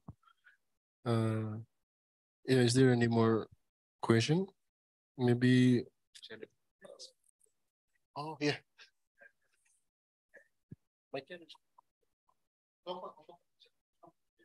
Yeah. Yeah, we have Thomas. Mas Niko. Selamat sore Pak Gert. Maaf. Selamat Maaf, sore. saya pakai bahasa Indonesia ya. Tidak apa-apa. Maaf, Christine. Saya juga pakai bahasa Indonesia biar semua bisa dengar. Ya, untuk ininya eh, saya tidak ada pertanyaan sebenarnya kami dengan eh, tadi ide Pak Gert tentang apa eh, eh, isolasi islands ya untuk Stegodon dan sebagainya. Mungkin saatnya kita harus harus menengok ke utara ya. Jadi eh, kalau memang semua eh, kita sama-sama pengen me- mencoba untuk mengurai eh, deadlock atau bottleneck yang ada di Flores ini. Jadi mungkin saya juga pengen mengajak Haneke ini. Mungkin kita saatnya untuk menengok ke utara. Dalam arti kita mungkin mu- mulai mengeksplor juga ke Sulawesi. Jadi kemungkinan kita selain selain untuk melanjutkan yang di Liangbua maupun di Soa, kita juga mulai melirik ke sana. Karena beberapa eh, apa ya tambahan bukti yang dari Flores ini kayaknya mulai me, apa ya mulai menggelitik kita untuk lebih explore atau ke extend ke pulau-pulau yang lain. Dan eh, menurut saya kandidat yang cukup eh, baik adalah Sulawesi. Dan Pak Gert sudah mulai yang untuk dulu Talpu ya kalau nggak salah ya. Ataupun di sekitar ini ya mungkin kita next atau future directionnya kita udah bisa mulai ekspor ke sana. Sekaligus kita boleh bisa me, apa ya kita bisa mengeksamin uh, hipotesis kita tentang atau hipotesisnya Pak Gert tentang isolasi islands. Karena memang tidak mudah untuk dibuktikan tentunya jadi itu kita perlu banyak tambahan uh, data kemudian tambahan uh, lokasi dan sebagainya sehingga kita sangat memerlukan. Terutama kalau kita uh, memikirkan atau berkaitan dengan uh, tanda petik ya migrasi atau dispersals itu dari barat ke timur atau dari utara ke selatan. Karena kalau dari utara ke selatan yang dengan dengan karakteristik dari apa uh, Indonesian through flow atau arus kuat yang dari utara ke selatan itu memang kita perlu untuk untuk mulai mengekspor terutama ada beberapa pulau yang yang ada di antara Flores dan Sulawesi yang lain itu ada di Bonirate Islands yang ada di utara Flores ya, kemudian ada tanah Jampea Ada empat dulu yang pernah saya ini ya. Yang satu lagi adalah Kala Ota, Kala Otoa sama Madu Islands. Nah, itu empat itu dua di antaranya itu lumayan untuk untuk karsnya. Jadi seandainya kita mau explore untuk gua juga memungkinkan. Cuma waktu itu kita ada kendala ini ya kalau nggak salah perizinan kalau nggak salah waktu itu. Ya mungkin nextnya kita bisa coba kita berpijak dari beberapa ide tadi seperti yang disampaikan Pak Gert tentang isolasi islands, kemudian ada Bu Heneke tentang ya sudah yakin bahwa uh, giant marabou stock sudah bisa terbang, kemudian tadi pertanyaan Mas Sofan tentang kemungkinan apakah bisa melewati tiga zona biogeografi di Indonesia sekaligus karena bisa terbang kan. Jadi mungkin dari Sumatera bisa bablas sampai ke Indonesia Timur. Artinya nggak perlu nggak kita nggak perlu tracing untuk pulau-pulau di antara ini. Sehingga artinya uh, stepping stone islands yang ada di di Lesser Sunda itu uh, bisa di skip umpamanya. Itu contohnya gitu. Jadi kita mencoba uh, mengeksplor beberapa pulau-pulau yang ada ada indikasi ini. Dan mungkin uh, menurut saya kelompok apa ya Sulawesi dan sekitarnya di pulau-pulau kecil itu kandidat yang cukup menarik. Bagi, kalau bisa kita lakukan hal yang sama seperti kita melakukan itu kepada uh, Pulau Flores. Jadi mudah-mudahan uh, teman-teman masih punya uh, passion yang tinggi, punya semangat untuk kita bisa mulai mengeksplor daerah-daerah yang tadinya belum belum terpikirkan untuk dieksplor ini.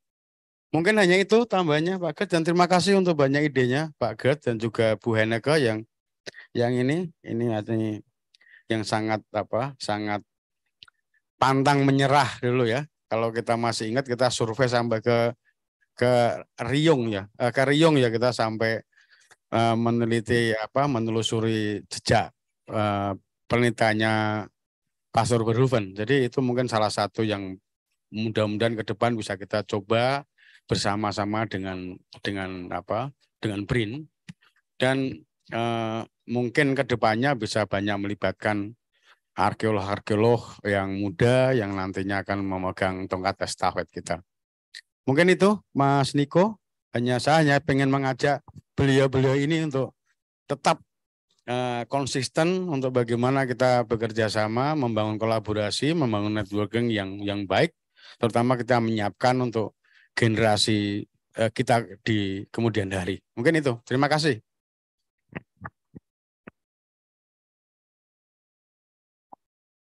Ya, uh, terima kasih Pak Thomas atas tanggapannya.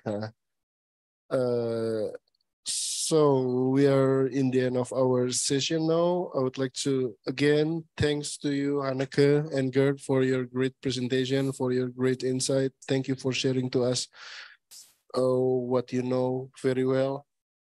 And yeah, uh, I would like to give the floor back to the MC. So yeah, Rama.